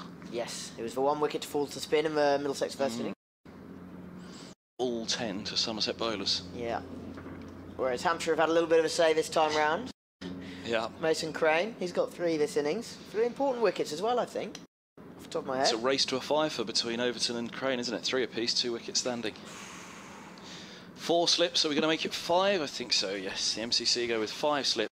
Points mid off, mid on, mid wicket, and long leg. BBC Radio London and Five Live Sports Extra together here in Abu Dhabi as in comes Overton. He bowls to Helm, who's back onto the off stump. Backed right up on that one, didn't he? And I did wonder if there was just a little bit of movement. Well, I didn't wonder actually at all. If there was a little bit of movement, he'd have been in deep trouble there. Helm like. Yeah, and lots of chatter from behind the stumps. Look, who's that up to the stumps now behind? Is it the skipper That's again? no, I think. Is it Gregory? I think it's uh, Duckett at first, Lyth at second, The skipper at third. Oh no, Gregory's at fourth. I think he's at fifth. Overton, he's past the umpire. Bowls, and it's edged short of fourth slip. Forward defensive from Helm. Rolls to his right, the fourth slip fielder. Joe, Just drawn into it slightly, that one. Uh, Helm. Joe Clarke in at fifth, I think. He keeps sometimes, so he should be a safe pair of hands in the in McCorden, you'd think. This is very tense now, isn't it? This is typical. 79 for 8. Helm's fourth delivery coming up as Overton's in. Bowls. Oh, and he's really fished at one outside the off stump on the drive. It was just an offering of the bat, really, as opposed to a drive. No foot movement. Um, again, not a great, to, not really forward, and you know, I guess he might learn Dawid Malan's lesson here, because if one doesn't hit back in, then get forward and at least make the umpire make a more difficult decision. John is just coming down for a little chat, isn't he? Yeah. Overton into his 15th over. Having uh, gone out there this morning, not out from uh, the overnight position for the MCC himself. Three for 43. In he comes. Bowls and uh, straight to one, and Helm backs up and drops a quick single in, front in front of mid on. They're through. How many to go the over? Two. So Simpson comes on strike with only two left of the over. That slip cordon will break up now, and uh, all be on the single, I'd imagine. So will that offer? Well, actually, will they be on a single? Let's see. Because it's getting tight now. 25 to win. You want to let him get that close? Uh, it looks like point's going to stay up. Uh, square and third man. Think quite uh, square and long leg drop back, but point is going to stay up. Yes. Just the one slip for Gully point cover and a mid off, mid on, mid wicket.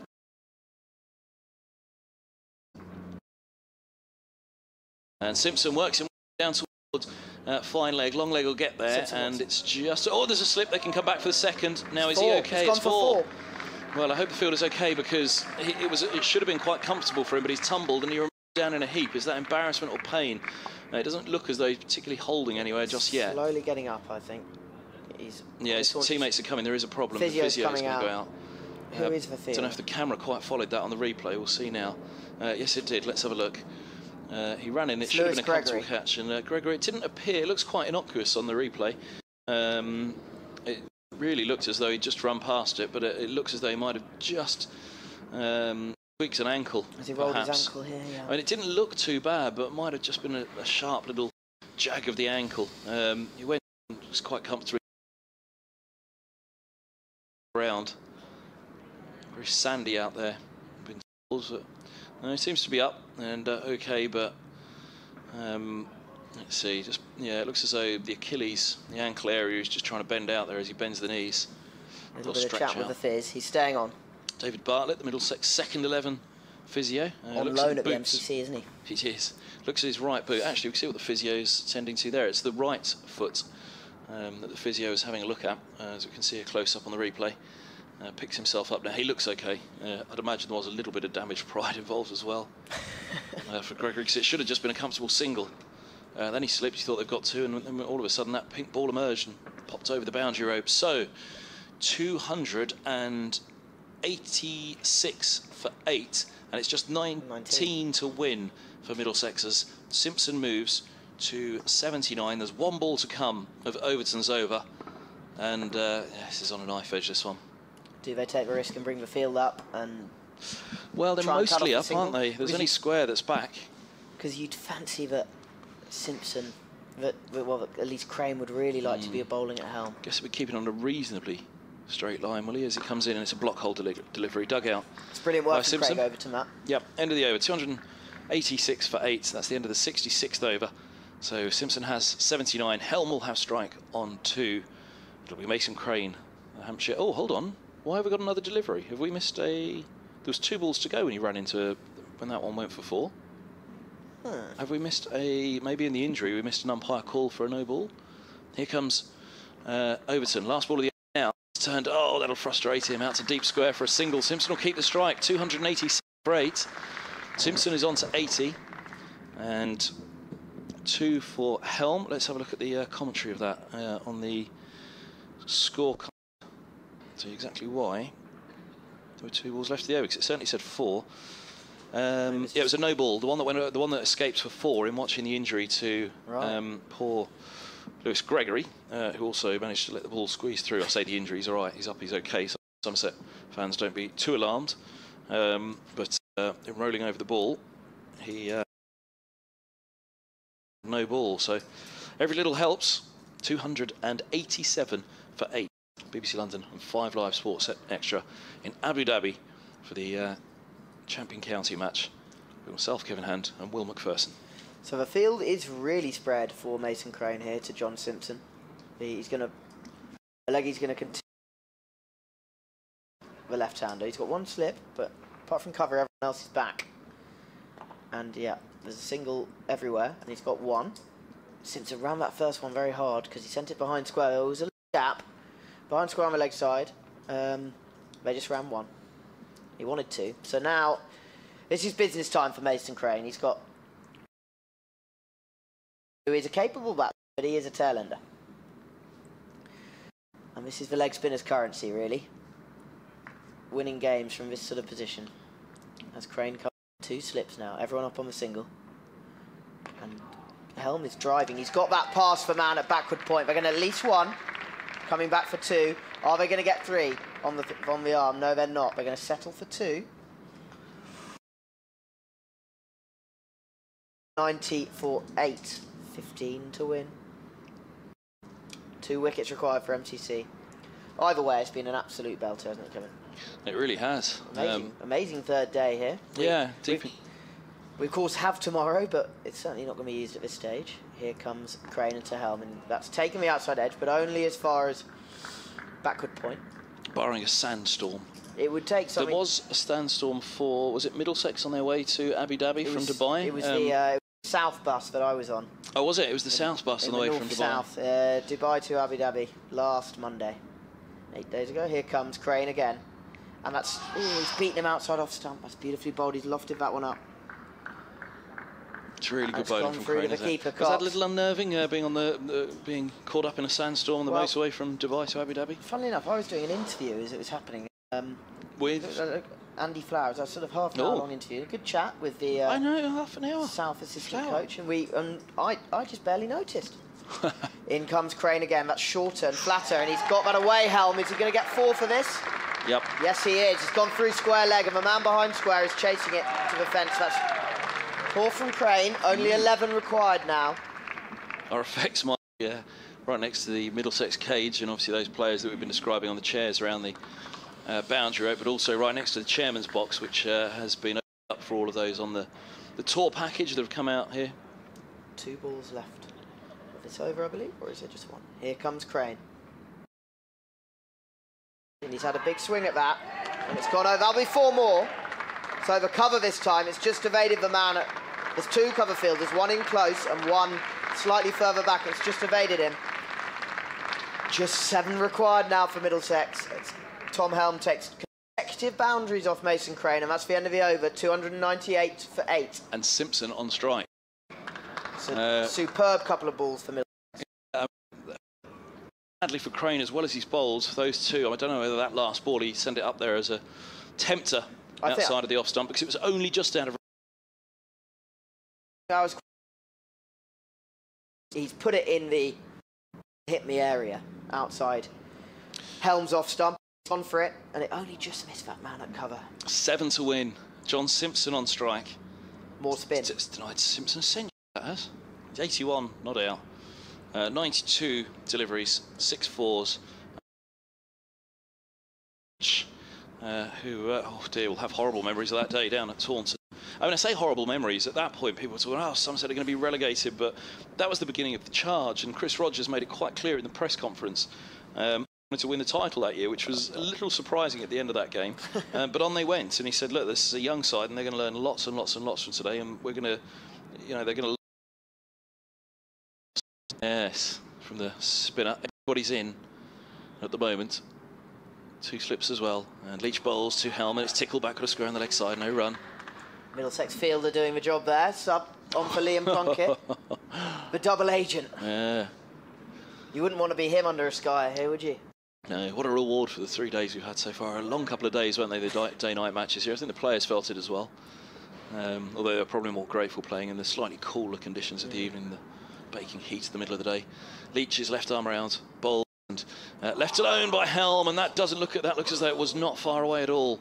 Uh, it looks like we've lost our replay system, sadly. That really must have been close. Mind you, the camera's at that end, at this end anyway, so uh, left alone by Helm. And I must say, he was about to prop forward, and then all of a sudden, back he went, lifted the bat up behind him. Dear me. 299 for eight. Leach, last ball of the over. He bowls from wide around the, the wicket this time, and uh, Helm pushes back a dot ball. 299 for eight, 68 overs bowled, and uh, Middlesex are six short of their target with two wickets remaining. Helm on 12, and Simpson will have strike on 82. Will it be Crane again? Yes, it will. It's good to see the uh, youngster being backed by the captain Alex Lees. Call to prayers. Yes, you can There's never probably call, a line in that, but we don't need to. it's too obvious. call to prayer on the Lord's stream. The, Yes. uh, very holy sight. Some pretty unholy commentary. Oh, it's tense out there, the Middlesex analyst Alex. Fraser down to our right, looking quite tense. Field spread now. They're Very all back. But they're all back bar for slip and cover. Everybody else on the boundary rope. And even cover, you could probably grab a single on there. Anyway, in comes Crane to Simpson over wicket. And we're going to get a single into the leg side. Simpson's running the first like a little maniac, but he can't get back for a second. That's for 300 up. They need five to win. It's very close. The, the good news for MCC, as they all march in, up onto the single, is that Crane has five balls at helm. Although last time he had a few balls at helm, Helm sent him away for two boundaries. He's more than capable, Tom Helm. Imagine there's a little bit of nervous pacing going round down in that committee room where the, the Middlesex fans are. Here comes Crane. That's flat. And there's no run as uh, Helm gets on the back foot and sends it to Ben Duckett at short cover. Duckett sends it back to Crane, who just tosses it between his hands. And he's at the top of his mark again. He's got two wristbands on his forearms as he comes up again, and that's outside off stump, and that's been. He has not. No, he's not hit it. Where's our replays That must gone? have turned a huge amount because first slip has taken it. He's, he's lo- launched it up in the air. Helm's had a big yahoo at it. Adam Lyth done the fielding at first slip, but he hasn't hit it. He's he's pretended to celebrate. As Crane comes in again, it's tossed up again, and that's sent straight back to the bowler, but on the bounce. Very well played, patiently played. This should be a replay, I think, of that one that turned. Let's see. Oh yeah. Oh yeah. It really did turn it. It, sta- it did start turn. wide, uh, but that was really huge turn. Just looks it kicked up a fair bit of dust there as well. Crane is up again. Here he comes. That's tossed up as well. And being caught at cover. Crane's tossed it up outside off stump, but Helms had a big swing, and the man, he's the furthest fielder out, I would say, but he was still on the single at cover, and he's caught from Tom Helm as he wanders off. John Simpson, I imagine, is cursing. I was just about to say. I don't think Simpson quite knew what to make of that. Charging down, uh, then realised the catch had been taken low. It was a really fine catch. There's one ball to come of the over. Um, well, part of charging down perhaps was to try and cross.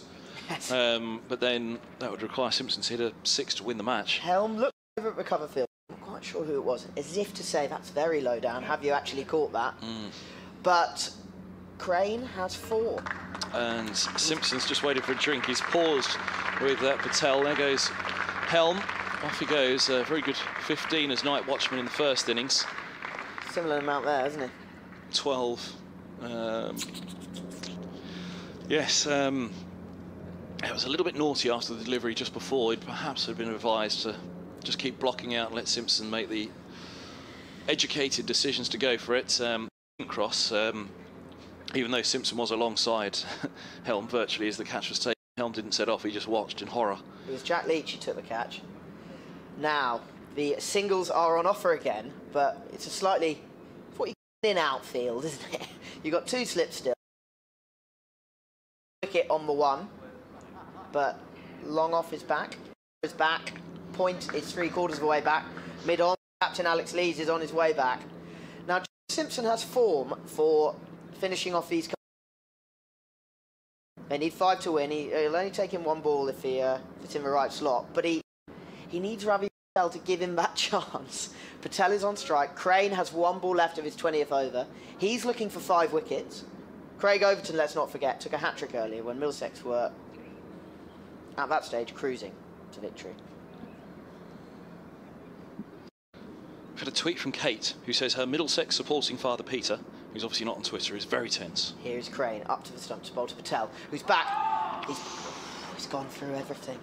Outside the off stump, there are ums, ahs from every fielder. Was that their chance? Just beats the edge of the bat, doesn't it? Um, here we'll see the ball for Ravi Patel, the one ball that they had at Patel before the end of the 69th. Simply with five to win. He's on 83. Does that ball? Not miss that scoreboard, I must say. Um, here's that ball that beat Patel. Oh, My word! low. That's turned from Midland leg to wide outside off from pretty much a length. And, well, Patel was still playing down Midland leg when that ball passed wide outside of the off stump. And uh, as you say, it kept extremely low. Jack Leach is the man who's been backed to bowl this over. Poor Paul Howden says the uh, the uh, stream, the live stream, is flo- frozen for him on all devices. Well, good luck with getting that back. Chris King says I'm packing to go on holiday and also watching this uh, with his uh, watching it on the TV, the live pictures of the match with our commentary. Needed to finish before the family get home. Um, so where would they be? They'd still be on a school run at this time. Family out and about. Oh, look at this, look at his lounge! My goodness me, suitcase upon suitcase. How long are you going for? Yeah, how big's the family? maybe it is. The, maybe, it, it's just a very long school run. Six or seven of them to pick up. 300 for nine. 305 to win. Leach is going to bowl round the wicket to the left-handed Simpson. Left arm orthodox. And the fielder's out. They're inviting the single, but they. It's going to take a decent effort to a boundary. So we've got a slip. Uh, we have got fielder at 45. Now where's he off to? He's the last one to settle. He's off on a wander somewhere at 45. He's backing up. He's backing up and uh, It's a single on him. A little bit deeper. Yeah, he's a. Ooh, what would you call him there? A deep 45. Um, You so- get the picture. Indeed. Well, we hope. Here's a- there's a slip. There's a deep backward point. Cover, extra cover is in about 20 yards from the boundary rope. Long off, long on, deep mid wicket, and a deep backward square leg. And Leach's left arm round. He bowls to Simpson, who rejects a single out to deep mid wicket. Brave. So how does he do it? Straight back over the bowler's head. Um, his scoring options when he was in this situation for Middlesex, of course, to hit that the, the winning runs a six down at Taunton. Um, it was either just to get that little bit of room and hit it back over the bowler's head, but he went with Allenby over deep backward square with an extraordinary shot. Leach is around the wicket again, bowls, and uh, Simpson kicks it away out to deep mid wicket again. Dot ball. What do you reckon to this? It's turning singles down. Do you think it's sensible? Yes, I do think it's sensible. Um, I think the onus is on Simpson here to try and hit the winning runs, but where does he try to find them? Over the bowler's head. I think going square is probably not the option. Deep backward square leg. It's a big old boundary, isn't it? Can he go straight back over the bowler's head for four even? And on the back foot, now he tries to force in between mid wicket and long on. Can he turn it into two? It's just a single. Patel will have strike with three to go the over. My goodness me, it's only the champion county match. It's not exactly for the title like it was at Lords last year, but Middlesex doing it all the hard way again. 301 for nine. Do they know any other way? No, I don't think so. I really don't. I don't think my heart could take another year of watching Middlesex playing like this. Right, Ravi Patel. Everyone's up now. There's another. Is there another helmet going to be brought out here? I think there might be. Are you nervous, Kevin Hand, BBC, inquires Martin Emerson. I am actually, Marty, I am. It really doesn't carry that much importance, but having got so close to the target now, and again, a little unbeaten run, well, a little unbeaten run, unbeaten champions of 2016, being pushed here by the fact that they've got these Somerset bowlers as well. The Yorkshire openers out there as well in their ear. Yeah, it's just a little test of the metal of Middlesex. Can you go and do it again? Now, for two days, the MCC have used a Middlesex fielder under the lid at short leg. hmm But he's not trusted now. in the in the heat of the moment, with far, four to win, it's Tom Alsop. There's still a Middlesex fielder out there. I'm trying to locate him. Um, Is he backward square? yeah, I think it might be. Uh, but Alsop, who's a very good short leg for Hampshire, has been sent in under the lid now that the going has got really tough. Goodness me. Ravi Patel, two slips and a short leg. He settles down the right handed batsman. It's the slow left arm of Leach around the wicket, bowls, and Patel's forward. Two to go the over. This is the crowd. it's unbelievable. Leach backs up. He do it. Two balls for Patel to survive to give Simpson the strike once more. Leach bowls. Patel a solid forward defensive. I've been talking up his forward defence all, all match, haven't I? As a number 11. Uh, you know, there's. I think he's had a few reasonably lengthy innings as number 11. Not great run scoring innings, but just trustedly supporting the man at the other end. That was very firm. Everybody on the single bar, bar those two catches. Uh, do they do they offer him one? Mid off and mid on have just dropped a little deeper. I wouldn't quite call them a deep mid off or a deep mid on. It's interesting, isn't it? They haven't Mm. a single. Leach bowls and Patel leaves one outside of the off stump. He survived the end of that over. 70 bowls in this innings now. 301 for nine. 305 the victory target for Middlesex. Patel has faced four deliveries, and Simpson, who has faced 99, has six fours and one six is on 84. Get the binoculars out. Get zoomed in on what's going on out there. Mason Crane will stay on. I'm rather hopeful they can do this as well before BBC London comes to me for an update at half past. I think they should. That would be 10 minutes away. 10 minutes time. 11 minutes. They did very nearly arrive for the bulletin at the uh, end of the Yorkshire Middlesex match last year as well. Stepped to the commentary box next door. They just did it Middlesex before the uh, the bulletin arrived. Each of the other two days of this game, at this stage of the day, you know, sort of halfway through the final session, there's been plenty of fans wandering around the bou- boundary. Today, they are all sat Mm. still. Even John Stephenson sat down now. It takes some doing to get him Yeah, to sit It down. was a little pump of the air, fist pump of the air. Right, so Simpson's on strike to Crane, who's going to bowl over wicket to the left hander. The field is all back apart from the slip. Absolutely everyone else is out. And he's defending that. He's turned down a single. It's rolling down to the man. In fact, Alex Lees is taking so long to get the ball at long off. They probably could have run four. Yeah, there adding to the and, and, agony. and won the game. Anxiety. That was his 100th ball faced for Simpson, for his 84. I can tell you his strike rate if you want. Um, here comes Crane again. And that's been drilled to the man long off again. And Mm. again, they're turning down the single. He's almost running alongside it, isn't he? He's taken so long to get to it. Lees, it was never going to make it to the boundary rope, just in case there was an awkward slip for him, but uh, clever from Random Leeds. underscore female has noticed that you might be a tad tense. Here comes Crane again. That's tossed up slightly more and he's hit that hard. It's down to Alex Lees again, who's been busy at long off. He can't run alongside that one. That would have made it for four if he'd have had a little hiccup. There's no run. Lee, uh, Simpson made it halfway down the track on at least one of these singles. Three, three balls of the over Where gone. is the scoring shot for him? Here comes Crane again. Again, he's tossed it up. And now he's accepted the single to long off. Lees is the man. Ravi Patel. Uh, let me tell you a little bit more about him. 25 now, he'll be 26 this summer from Harrow. And uh, 21 first class matches with an average of 12 and a half and a high score of 26 not out. So, uh, yes, struck 22 fours. Patel in his time. One of those would be useful now. It would win the match. next, But I don't think he'll go for it, and I'd certainly advise against it. So he, more than more than a four for every first class match. 21 of them. Here comes Crane. Two balls at Patel here. He's tossed it up. Oh, he's just keeper's done with work down the leg side. I think that might have been Magoogly because that looked about on about leg stump line from. we are a long way back, but uh, Mark in Madrid says never accuse Kev of not shredding the nerves of listeners. never do it the easy way. It's boring. Here comes Crane for the final ball of the over to Ravi Patel. He's tossed that one up as well. Oh, Oh. he's got an edge on that. Has he got he? a feather on it, I think? Or was it another big turner? It's, Oh well. it's gone. It's fallen short of second slip. Whatever's happened. So there's no drop. There's nothing.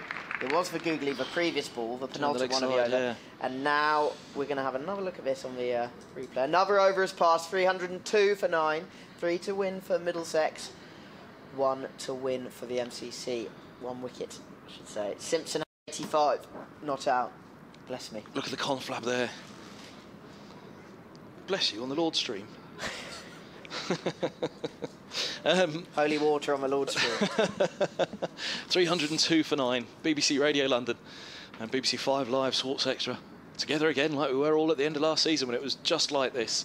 Deary me, the two batsmen are leaning on their bats having a chat, but There's a mothers' the- meeting There happening, The umpires have got their hands on their hips. Well, we're not going anywhere, chaps. There's no rush. Um, In fact, there's a couple of little committees here among the uh, MCC mob. Craig Overton is going to bowl, I think. Is the upshot is the upshot of it all. Well, In quicker the- they come. In the main committee is uh, Duckett, Lees the captain, Leach who bowled the last over from that end, but I think he's being taken off. Ben Cox the keeper with his uh, helmet on, and Duckett's talking very forcefully. They've broken up now. Yeah, double double teapot on from the umpires, but the only thing we're being delayed from is Stevie Eskinazi's birthday party. But 24 today. Happy birthday, Stevie. Well batted. Although it was, of course, his wicket. mm, Began the hat trick. Overton has three wickets, all within three balls, all a very nice wicket maiden. Eskenazi, Ben Franklin, Ben Harris, two Jameses in there. can't breathe, says Andrew Wilmot. Still have an entire season to come. I do somehow get the feeling Middlesex really are going to put them through it again. Because again, that was what I was saying at the start of this match. Middlesex saying, well, what, what are we going to do now? How are we going to top that? We'll go out and, you know, uh, this time prove by points margin that you were the best team in the country um, last year and do it again this year. I don't think Middlesex are going to do it easy anytime soon. Here's Overton, he's in. Bowls, Sue Simpson goes big. How big? Deep mid wicket goes around and he's got it. It six. 308 for nine Middlesex. And look at the celebrations from Simpson again. Extraordinary the finishes we saw last season. And this game has just brought to such a crescendo this evening. Unbelievable stuff for Middlesex. Only a pre-season friendly for both but just the way that it's built up this evening. You can see how much it meant. The Somerset bowlers the Yorkshire skipper the Yorkshire opener out there with him as well. And uh, Simpson with a huge shot into the onside while they for the pace of Overton. I did say that that might difference. So look, there we go. They tumble in a heap. Those of you that are watching on the TV as well as we see the replay here, uh, shaking hands. And John Simpson yet again for Middlesex striking six and against Overton a Somerset bowler. Extraordinary stuff. Middlesex win by one wicket here in the champion county match. What an extraordinary game. What a brilliant finish. John Simpson has just got something about John Simpson and those Somerset lads, isn't it? Isn't Yeah, there? well, let's not rule out that England call up just yet for Simpson because um, the man's made got nerves of steel, hasn't he? Handshakes all around the Is tuned in as well at the moment. His mum, who's uh, over in Spain. Good to have you with us, Karen. Uh, yeah, that England call-up might come one day. Uh, Middlesex remain undefeated. Undefeated champions, says Peter Mead. Well, again, you know, I mean, the bus, you were sat next to me on the bus today. I was having a chat with Richard Johnson. Of course, it's a pre-season friendly and, you know, you tune over what's happened the last couple of days and how it's played out. And Middlesex weren't particularly worried about it. Of course, they'll go out and battle hard today, but, well, that morning session this morning, 100 and so for one, weren't they? And thought, hold on a minute, they can do this. The top three all batted very well. But, but Tom Helm got those vital two wickets first thing in the morning. Well, this is just unbelievable. Here comes John Simpson again. How many times has he walked off racing his bat? Somerset last year, Nottinghamshire, and uh, Lancashire lads from Bury. John Simpson has grown in such an unbelievably important player to Middlesex. Astonishing, world class behind the stumps, but his batting nerves at the moment. Promoted to six in the order. I say it was a promotion. They backed him as opener a few years ago, but he's really come on as a white ball cricketer as well. And how he's proved that in run chases for Middlesex. And look at them, uh, all lining up to shake his hand. They'll be very proud of him for his efforts. And then Angus Fraser's the last out of the dressing room. I don't think he was even watching it, was he, Gus? He's just emerged from the dressing room. Surely his nerves weren't shredded as well, were they? Well, little note from next door, the Opta scorer. Mm. Middlesex have now lost only two of their last 35 matches. Oh, nice, nice. Um, very good from the uh, Optoman. There's a lot, and you know, you can see that Angus Fraser was up here earlier talking about um, the continuation of last season, not wanting to change anything from last season. The fact that um, he wasn't going to tell them that we need to do it a little bit differently now it's a defence, because they do say that the defence is often harder, going out and doing it again is often harder, but he said, no, we're going to do it exactly the same way, uh, and that means that, uh, yes, blood pressure tablets are on order for all Middlesex members if they're going to do it like this again this season. Indeed. Extraordinary Astonishing. game. Yeah, it really is. I'm just speechless. The fact that we're in Abu Dhabi watching a, a finale like that to another Middlesex fixture. Uh, just a reminder of the match: uh, MCC 332 and 150, while Middlesex 179 and 300 and what was it in the end? 308 for nine when Simpson hit the six. So Simpson's figures, most crucially, uh, we should give to you because um, that was an innings of the highest quality uh, from John Simpson yet again. Uh, and his, well, his run of matches from uh, last summer through to this would be interesting to go through a scorecard. I'm sure I'll be doing all of that. I'll be boring poor old Kevin James with all of that down at Hampshire, first match of the season. But uh, Simpson finishes. Let me see if I can get his final uh, stats in front. There we go. Middlesex win by one wicket. Uh, John Simpson, 89 from 104 deliveries, seven fours, and that was his first six uh, for Simpson, which was just brilliant. Uh, six ball duck, six ball duck. No, it wasn't six ball not out, naught for uh, Ravi Patel. And uh, you have to feel quite a bit of sympathy, I think, for for the MCC because you know this side that's put together. John Simpson said that you know they had to chop and change this siding uh, probably more than any year before. Uh, but four wickets for Mason Crane, three for Overton. And um, it really looked as though, uh, yeah, the Somerset and Yorkshire boys were going to come back and uh, haunt Middlesex here in Abu Dhabi, but not so. Well, the, yeah, certainly the MCC have played their part in what's been an absolutely fantastic game here. Craig Overton took a hat trick today. Lewis Gregory had a fantastic game.